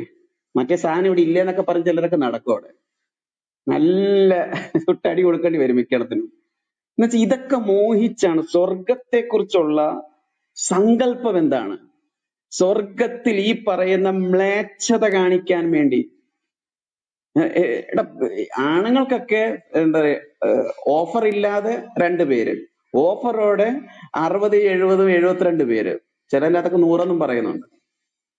എന്നുവെച്ചാൽ ഓഫറോടെ എല്ലാ ഭാഗ്യം ഉണ്ടായിട്ടുണ്ടെങ്കിൽ സാധാരണ രീതിയിൽ ജീവിച്ച ഒരു വ്യക്തിക്ക് ഭാഗ്യം ഉണ്ടായിട്ടുണ്ടെങ്കിൽ രണ്ടുപേര് കിട്ടും. അപ്പൊ ആ വ്യക്തി ഭൂമിയിൽ ഒരു നാല് പേരും ആ നാല് പേരെയും നാല് ഭാര്യമാരാണെങ്കിൽ നാല് ഭാര്യമാർക്ക് അവിടെ എത്താൻ പറ്റത്തില്ല കേട്ടോ. കാര്യം പ്രവാചകൻ പറയുന്ന ഒരു വാചകമുണ്ട്. നരകത്തിൽ ഞാൻ കൂടുതലും സ്ത്രീകളെ കണ്ടെന്ന്. അപ്പൊ കൂടി ഇരിക്കാൻ അതെന്താ പ്രവാചകൻ നബിയെ? ഇവരെല്ലാവരും കൂടി ഈ പെണ്ണുങ്ങളെല്ലാം കൂടി നരകത്തിൽ കിടന്ന് കറങ്ങി നടക്കുന്നത്? അപ്പൊ പറയും. ഇതൊന്നും ഒറ്റണത്തിന് അനുസരണം ഇല്ലെന്ന്. കെട്ടിയവന്മാരെ അനുസരണം ഇല്ലാത്തതിനെല്ലാം പിടിച്ചെന്ത് നരകത്തിലിടും. പക്ഷെ ഭർത്താക്കന്മാർക്ക് ഭാര്യ അനുസരിച്ചില്ലെങ്കിൽ കുഴപ്പമൊന്നുമില്ല. പക്ഷെ ഭാര്യ ഭാര്യമാര് ഭർത്താവിനെ അനുസരിച്ചില്ലെങ്കിൽ അവരെല്ലാം പിടിച്ച് നരകത്തിലിടും. അപ്പൊ മിക്ക മിക്ക ഇപ്പൊ നാല് ഭാര്യമാർ അഞ്ച് ഭാര്യമാരുണ്ടെങ്കിൽ പോലും അവരെല്ലാരും അവിടെ എത്തത്തില്ല. അവരെല്ലാരും എത്തത്തില്ല. ഇനി പോട്ടെ അനുസരണമുള്ള നാല് പേരുണ്ടെന്ന് തന്നെ സങ്കല്പിക്കുക ജസ്റ്റ് ഫോർ എ ചേഞ്ച് നാല് പേരുണ്ട് എന്ന് സങ്കല്പിക്കുക ഈ നാല് പേര് അവിടെ എത്തും. ആ നാല് പേരുടെ കൂടെ രണ്ടുപേരെയും കിട്ടും. ഓക്കെ അപ്പൊ ഭർത്താവ് രണ്ടുപേരോടൊപ്പം സുഖവാസമായിരിക്കും. ഈ നാല് പേർക്ക് എന്തായിരിക്കും അപ്പൊ അവിടുത്തെ പണി? അവർക്ക് ഈ പറയുന്ന ചന്തയിൽ പോയി തുണി വാങ്ങുക അവർക്ക് നല്ല ഫ്രൂട്ട്സ് കഴിക്കുക നല്ല തുണിയൊക്കെ ഇട്ട് എന്റെ എന്താ പറയും ഭർത്താവിന്റെ പുതിയ പുതിയ കലാപരിപാടികളെ കുറിച്ചൊക്കെ കഥകൾ കേൾക്കുക കാഴ്ചകൾ കാണുക അല്ല വേറെ എന്തെങ്കിലും ഉണ്ടോ? എന്തിനാ അപ്പൊ ഒരു ഒരു ഞാൻ ഞാൻ എന്തിനാണ് ഒരു സ്ത്രീ പോകുന്നത്? എന്തിനാണ് സ്വർഗത്തിൽ പോകുന്നത്? വെറുതെ വെറുതെ തിയേറ്ററിൽ സിനിമ കാണാൻ പോകുന്നില്ല എന്തിനാപ്പ പോകുന്നത്? എന്തെങ്കിലും ഗുണമുണ്ടോ? ഒരു ഗുണമില്ല എന്നിട്ടിരുന്നാണ് ഇവർ പറയുന്നത് സ്ത്രീക്ക് ഇസ്ലാമിൽ ഭയങ്കര സ്വാതന്ത്ര്യമുണ്ട്. ഈ സ്വാതന്ത്ര്യം എന്ന് പറയുമ്പോൾ പോലും കറുത്ത തുണി ഇട്ടോണായി പറയുന്നത്. കൈ കാണിക്കാൻ പറ്റത്തില്ല മോഹം കാണിക്കാൻ പറ്റത്തില്ല ഒന്നും കാണിക്കാൻ അത് ഇല്ലാത്തിരുന്നു കൊണ്ടാ പറയുന്നത്. അപ്പൊ എനിക്ക് പലപ്പോഴും തോന്നി ക്രിസ്ത്യാനികൾക്ക് ഇതെന്താ ഇത്രയ്ക്ക് നട്ടലില്ലാതെ പോയത്? ഇവിടെ ക്രിസ്തുവേശുവിലെ സ്ത്രീയോ പുരുഷനോ ആരായാലും അവൻ ക്രിസ്തുവിൽ ഒന്ന് എന്ന് ബൈബിൾ പഠിപ്പിക്കുന്നു. അവനെ കൈക്കൊണ്ടൊക്കെ ദൈവത്തിന് മക്കളാകാനുള്ള അധികാരം നൽകപ്പെട്ടിരിക്കും സ്ത്രീയാണെങ്കിലും പുരുഷനും ദൈവത്തിന് മക്കൾ സൃഷ്ടാവായ ദൈവത്തിന്റെ മക്കൾ എന്ന പദവി നൽകപ്പെട്ടിരിക്കുന്നു പറയുമ്പോൾ നമുക്ക് എന്താ അപ്പൊ നമ്മുടെ സഹോദരിമാർക്ക് ധൈര്യമായിട്ട് മുമ്പിൽ നിന്ന് പറയാൻ പറ്റാത്തത്? എല്ലാ ഐഡിയോളജിക്കാലും ഏറ്റവും ശ്രേഷ്ഠമായ പദവിയാണ് ഞങ്ങൾക്ക് നൽകുന്നത്. ഇവർ ഭയങ്കര കത്തിയടിച്ച് വല്ലാത്ത വല്ലാത്ത രീതിയിലാണ് അവർ ഇടപെടുന്നത് നമ്മൾ പറയണ സഹോദരങ്ങൾ ഈ അന്ധകാരത്തിന് ചിലരെയൊക്കെ രക്ഷപ്പെടുത്തണമെങ്കിൽ നമ്മൾ ദൈവവചനത്തിന്റെ സത്യങ്ങൾ എത്തിക്കേണ്ടടുത്ത് എത്തിക്കണം. ക്ലബ് ഹൗസിൽ മാത്രം സംസാരിച്ചിട്ട് വലിയ കാര്യമൊന്നുമില്ല. ക്ലബ് ഹൗസിൽ നിങ്ങളെ പോലുള്ള കുറച്ചു പേർക്ക് കഴിയാം പക്ഷെ പുറത്തുള്ളവർക്കോ?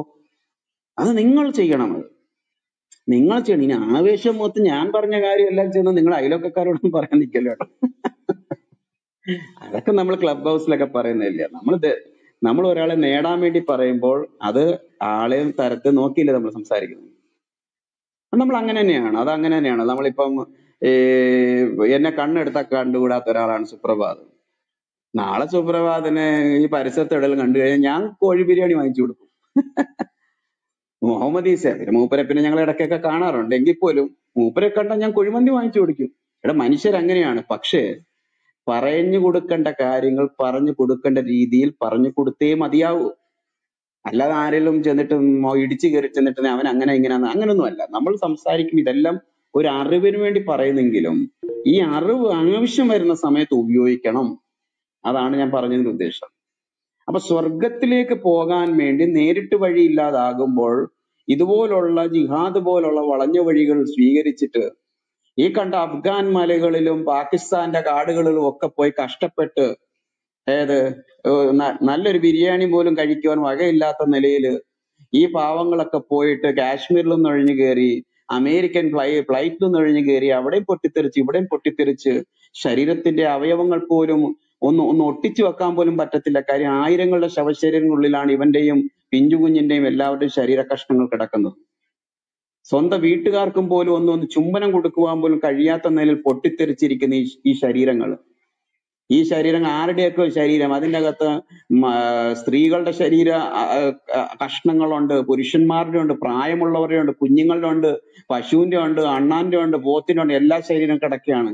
ഇതിന്റെ അകത്ത് കിട്ടിയവൻ കിട്ടിയവൻ എടുത്തുകൊണ്ട് ഇതാണ് എന്റെ എന്ന് പറഞ്ഞുകൊണ്ട് കൊണ്ടുവന്ന് കവറടക്കാനേ പറ്റത്തുള്ളൂ. എന്തിനീ കഷ്ടത? എന്തിന് നിങ്ങൾക്കാർക്കും മരിക്കേണ്ട ആവശ്യമില്ല സുഹൃത്തുക്കളെ? എന്തിനാണ് നിങ്ങൾ മരിക്കുന്നത്? നിങ്ങൾ ഈ വെറുപ്പും വിദ്വേഷവും കൊണ്ട് പോയി അന്യമതസ്ഥരെയും എന്തിനൊരു സ്വന്തം മതവിശ്വാസികളെ നിങ്ങളുടെ ആശയത്തിൽ നിന്ന് മാറി ചിന്തിക്കുന്നതുകൊണ്ട് കൊല്ലാൻ ശ്രമിക്കുമ്പോൾ എന്തിനാപ്പ ഇതിന്റെയൊക്കെ ആവശ്യം? നിങ്ങൾ യേശുവിലേക്ക് വരുന്ന. യേശുവിലേക്ക് വാ. നിങ്ങൾക്ക് വേണ്ടത് എന്താണ്? നിങ്ങൾക്ക് വേണ്ടത് സമാധാനമല്ലേ? അത് യേശു തരും. നിങ്ങൾക്ക് വേണ്ടത് ദൈവസ്നേഹമല്ലേ? അത് യേശു തരും.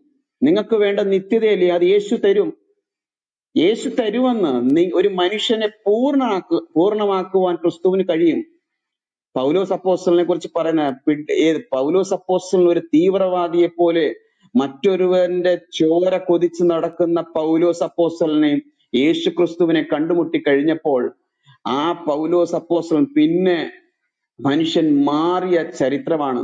കൊരിന്തർക്ക് എഴുതിയ ലേഖനത്തിൽ പതിമൂന്ന് അധ്യായമൊക്കെ നിങ്ങളൊന്ന് വായിച്ചു. സ്നേഹത്തെക്കുറിച്ച് ഇത്രയും ആഴമായിരിക്കുന്ന ഇത്രയും ഇൻഡെപ്തായി ലവിനെ ഡിഫൈൻ ചെയ്ത ഒരു ഒരു മനുഷ്യനുണ്ടോ? മുഹമ്മദിന് കഴിഞ്ഞിട്ടുണ്ടോ? ഇല്ല. അതാണ് യേശുവിനെ സ്വീകരിച്ചു കഴിയുമ്പോൾ വചനം പറയുന്നത് ഒരുവൻ ക്രിസ്തുവിലായാൽ അവൻ പുതിയ സൃഷ്ടിയാകുന്നു. പഴയതെല്ലാം കഴിഞ്ഞുപോയി. പുതിയ സൃഷ്ടിയാകും. വെറുതെ തോക്ക് പിടിച്ച് കണ്ട മലയും കയറിയിട്ട് വെയിലും കൊണ്ട് ചൂടും കൊണ്ട് ഈ ഇവിടെ ഇവിടെ അമേരിക്ക അമേരിക്ക ഇവിടുന്ന് കാണുന്നുണ്ടോ? അമേരിക്കൻ സാറ്റലൈറ്റ് കാണുന്നുണ്ടോ? അയ്യോ ഇന്ത്യൻ പട്ടാളക്കാർ കാച്ചുവോ വെടിവെക്കോ ഇതൊന്നും ടെൻഷൻ അടിക്കണ്ടാണ് ഇതൊന്നും ടെൻഷൻ അടിക്കണ്ട. നിങ്ങൾക്ക് ഇങ്ങനൊന്നും മരിക്കേണ്ടവരല്ല. യേശു പറഞ്ഞിരിക്കുന്ന ഞാൻ.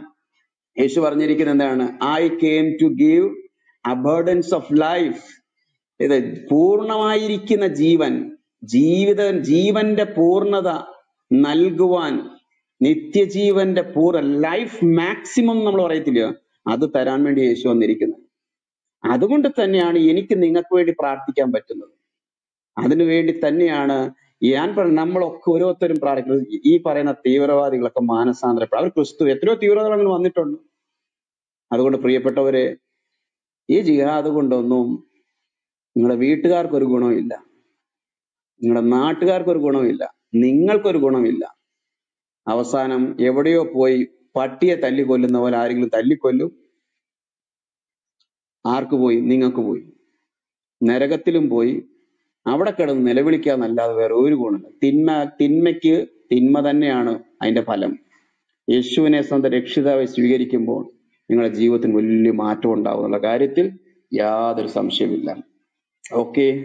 ദൈവം അനുഗ്രഹിക്കട്ടെ. കർത്താവിനെ സ്വന്തം രക്ഷിതാവായി സ്വീകരിക്കാൻ ആഗ്രഹിക്കുന്ന മുസ്ലിം സുഹൃത്തുക്കൾ ഉണ്ടെങ്കിൽ തീർച്ചയായിട്ടും ആ കർത്താവിനെ സ്വീകരിക്കാൻ ദൈവം നിങ്ങളെ സഹായിക്കട്ടെ. യേശുവിനെ കുറിച്ച് കൂടുതൽ അറിയാൻ താല്പര്യം ഉണ്ടെങ്കിൽ നിങ്ങൾക്ക് ബൈബിൾ വേണമെങ്കിലോ അതുപോലെ തന്നെ നിങ്ങൾക്ക് ഏതെങ്കിലും പുസ്തകങ്ങൾ വേണമെങ്കിൽ നിങ്ങൾക്ക് ബാക്ക് ചാനൽ മെസ്സേജ് അയക്കാം. ഇനി അതല്ല ഇത്രയൊക്കെ കേട്ടിട്ട് രണ്ട് തെറി വിളിക്കണം തോന്നിയാലും തെറി വിളിക്കാം കുഴപ്പമില്ല നോ പ്രോബ്ലം അങ്ങനെയെങ്കിലും നിങ്ങൾക്ക് ഒരു ആശ്വാസം കണ്ടെത്തുന്നെങ്കിൽ നല്ല കാര്യം. പക്ഷെ അതിനുശേഷം ബാക്കി കാര്യങ്ങളോട് സംസാരിക്കണം മനസ്സ് കാണിക്കണം. ഞാൻ ഇവിടെ ഫ്രീ ബൈബിളും പുസ്തകം എന്ന് പറഞ്ഞുകൊണ്ട് ക്രിസ്ത്യാനികൾ ആരും ദയവ് ചെയ്ത് മെസ്സേജ് അയക്കരുത്. പൂത്ത പണമൊന്നുമില്ല എല്ലാവർക്കും അയച്ചു തരാൻ വേണ്ടി. അപ്പൊ ഈ ഇവർക്ക് വേണ്ടി നമ്മൾ കുറച്ച് പുസ്തകങ്ങളൊക്കെ നമ്മൾ കാശ് കൊടുത്ത് വാങ്ങിച്ചു വെച്ചിട്ടുണ്ട്. അത് അയക്കണമെങ്കിലുള്ള പോസ്റ്റൽ ചാർജുകൾ പല കാര്യങ്ങളും ആവശ്യമാണ്. ആർക്കെങ്കിലും അതല്ല ഏതെങ്കിലും സുഹൃത്തുക്കളുണ്ട് നിങ്ങളുടെ ഏതെങ്കിലും സുഹൃത്തുക്കളുണ്ട് ഇങ്ങനെ മെസ്സേജ് അവർക്ക് കൊടുക്കണം അല്ലെങ്കിൽ ഇങ്ങനെ ഒരു കാര്യം പറയണം എന്ന് നിങ്ങൾക്ക് താല്പര്യം തോന്നുന്നെങ്കിൽ നിങ്ങൾ അവരുടെ അഡ്രസ്സ് അയച്ചു തരിക. എങ്ങനെയെങ്കിലും അവർക്ക് മെറ്റീരിയൽ എത്തിച്ചു കൊടുക്കുവാൻ ഞാൻ ശ്രമിക്കാം. എന്നുവെച്ചാൽ സംഭവമൊക്കെ നമുക്കിതെല്ലാം നമ്മൾ സ്വന്തം ഇഷ്ടത്തിൽ ചെയ്യുന്നതാണ് ശ്രമിക്കാം. താഴെ ഇരിക്കുന്ന മുസ്ലിം സുഹൃത്തുക്കൾ ആർക്കും പിണക്കം തോന്നല്ല. ഞാൻ ആരെയും കുറച്ച് മോശമായിട്ടല്ല പറഞ്ഞത്. ഞാൻ I am the only person ഈ മുഹമ്മദിനെ അത്യാവശ്യം ഫിഫ്റ്റി പെർസെന്റ് ഡിപ്പെൻഡ് ചെയ്യുന്ന ഏക ക്രിസ്ത്യാനി ഞാനാണ്. അതുകൊണ്ട് തന്നെ നിങ്ങൾക്ക് എന്നോട് കലിപ്പ് തോന്നൽ വെറുപ്പും തോന്നൽ സ്നേഹത്തിൽ മാത്രം നിൽക്കാൻ ക്രിസ്തുവിലൂടെ കഴിയട്ടെ എന്ന് ആഗ്രഹിക്കുന്നു. ഓക്കെ പാനലിൽ ഇരിക്കുന്ന സഹോദരന്മാർ എന്റെ പാ- എന്റെ കൂടെ ഇരിക്കുന്ന ഒരു മോഡറേറ്റർ ആണെങ്കിൽ മറഞ്ഞായിരിക്കുന്നത് അതുകൊണ്ട് പച്ചക്കുത്തുള്ളതുകൊണ്ട് മാത്രമേ മൂപ്പരെ കാണാൻ പറ്റത്തുള്ളൂ. സഹോ ഇവിടെ ഉണ്ടോ? പച്ചക്കുത്തുമായിട്ട് ഇരിക്കുന്നതുകൊണ്ട് മാത്രം. സിജോ കേക്കാവോ? ഓക്കെ ഞാനൊന്ന് ചാറ്റ് ബോക്സ് ഒന്ന് നോക്കട്ടെ. കൃഷ്ണകുമാർ കരുണാകരൻ. സ്വന്തം സ്വന്തം ഐഡിയിലും പോലും വരാൻ പറ്റാതെ. കാഫറുകളുടെ പേരെടുത്ത് വന്നിരുന്നു പറഞ്ഞു കൊടുക്കുന്നത് ഒരു വിവരദോഷിയാണല്ലോ. ഉം, നല്ല കാര്യം. പിന്നെ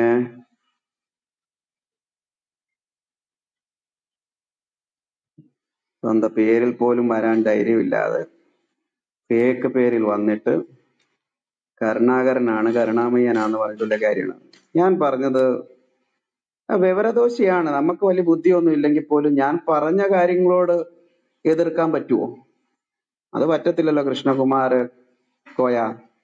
വെറുതെ എന്തിനാ ഇങ്ങനെയൊക്കെ ഓരോ കാര്യങ്ങൾ പറയുന്നത്? ഉം,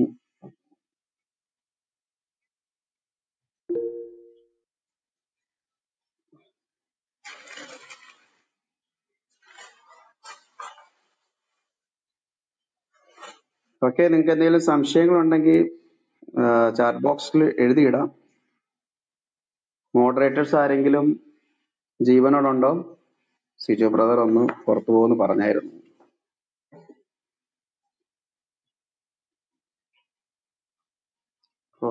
യെസ്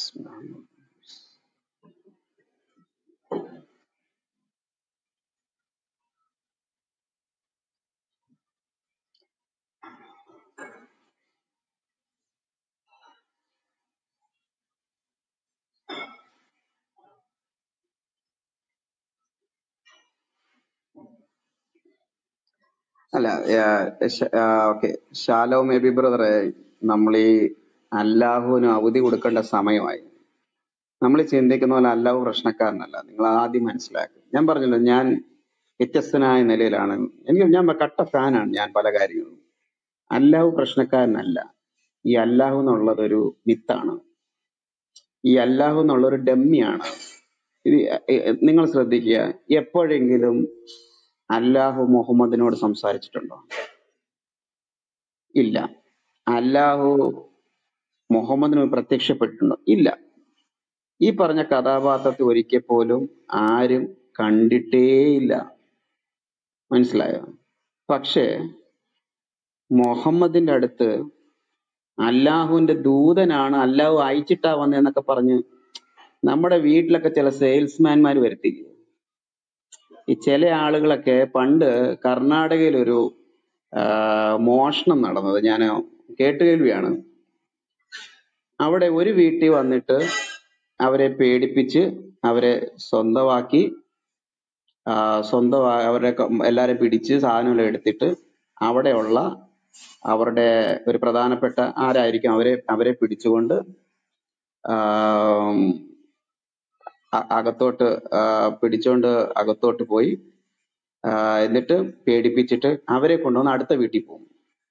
അപ്പൊ അടുത്ത വീട്ടിൽ പോയിട്ട് അപ്പം പാതിരാത്രിക്കാണ് ഇങ്ങനെ കൊട്ടുമ്പോളെ ആരാന്ന് ചോദിക്കും. അപ്പൊ പറയും ആ ഞാനാണ് എന്ന് പറഞ്ഞുകൊണ്ട് ഒരാളെ പരി അപ്പുറത്തെ വീട്ടിലെ പരിചയക്കാരൻ കഥ തുറക്കുമ്പോൾ ഈ കള്ളന്മാർ അവിടെ കയറി പിടിക്കും. അപ്പൊ നമുക്ക് പരിചയമുള്ള വ്യക്തികളുടെ അഡ്രസ്സ് പറഞ്ഞുകൊണ്ട് പലരും പറ്റിക്കാറുണ്ട് പലരെയും. ഇതുപോലെ തന്നെ ഈ ജി- ജി- ജിബ്രിയലാണ് അല്ലാഹുവിന്റെ ദൂതനാണെന്നൊക്കെ പറഞ്ഞുകൊണ്ട് മുഹമ്മദിന്റെ അടുത്ത് വരികയാണ്. അപ്പൊ അത് അതുപോലെ വന്ന് പറ്റിക്കുന്നല്ലാതെ ഈ പറ്റിക്കുന്ന ആളെ കുറിച്ച് നമ്മൾ ആരും തന്നെ പഠിച്ചിട്ടില്ല അല്ലെങ്കിൽ പഠിക്കേണ്ട കാര്യം അവിടെയാണ് ഈ കഥാപാത്രം ആരാന്നുള്ളത് ഓക്കെ ഞാൻ ബൈജു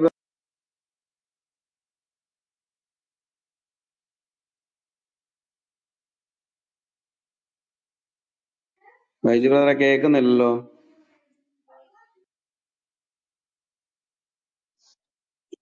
ഇപ്പം കേൾക്കാവോ? യെസ് ആ പ്രൈസോട് എനിക്ക് ഏഹ്, ഗുരു ജോർജിനോട് ഒരു കാര്യം ചോദിക്കാൻ വേണ്ടിയായിരുന്നു. വേഗം വരുന്ന കർത്താവ് യേശുക്രിസ്തു നാമത്തിലുള്ള സ്നേഹം നിങ്ങളെ ആദ്യം അറിയിക്കട്ടെ.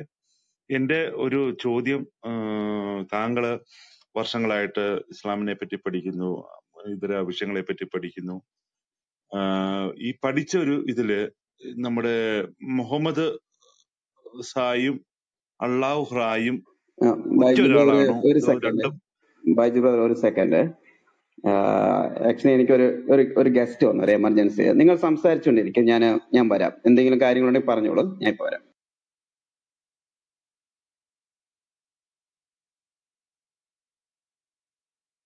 ബ- ബൈജു പറഞ്ഞു ഞാൻ ഞാൻ ജസ്റ്റ് ഒരാൾ വന്ന് ഒന്ന് റെസ്പോണ്ട് ചെയ്തിട്ട് ഇവിടെ ആ ആ കുഴപ്പമില്ല കുഴപ്പമില്ല കുഴപ്പമില്ല.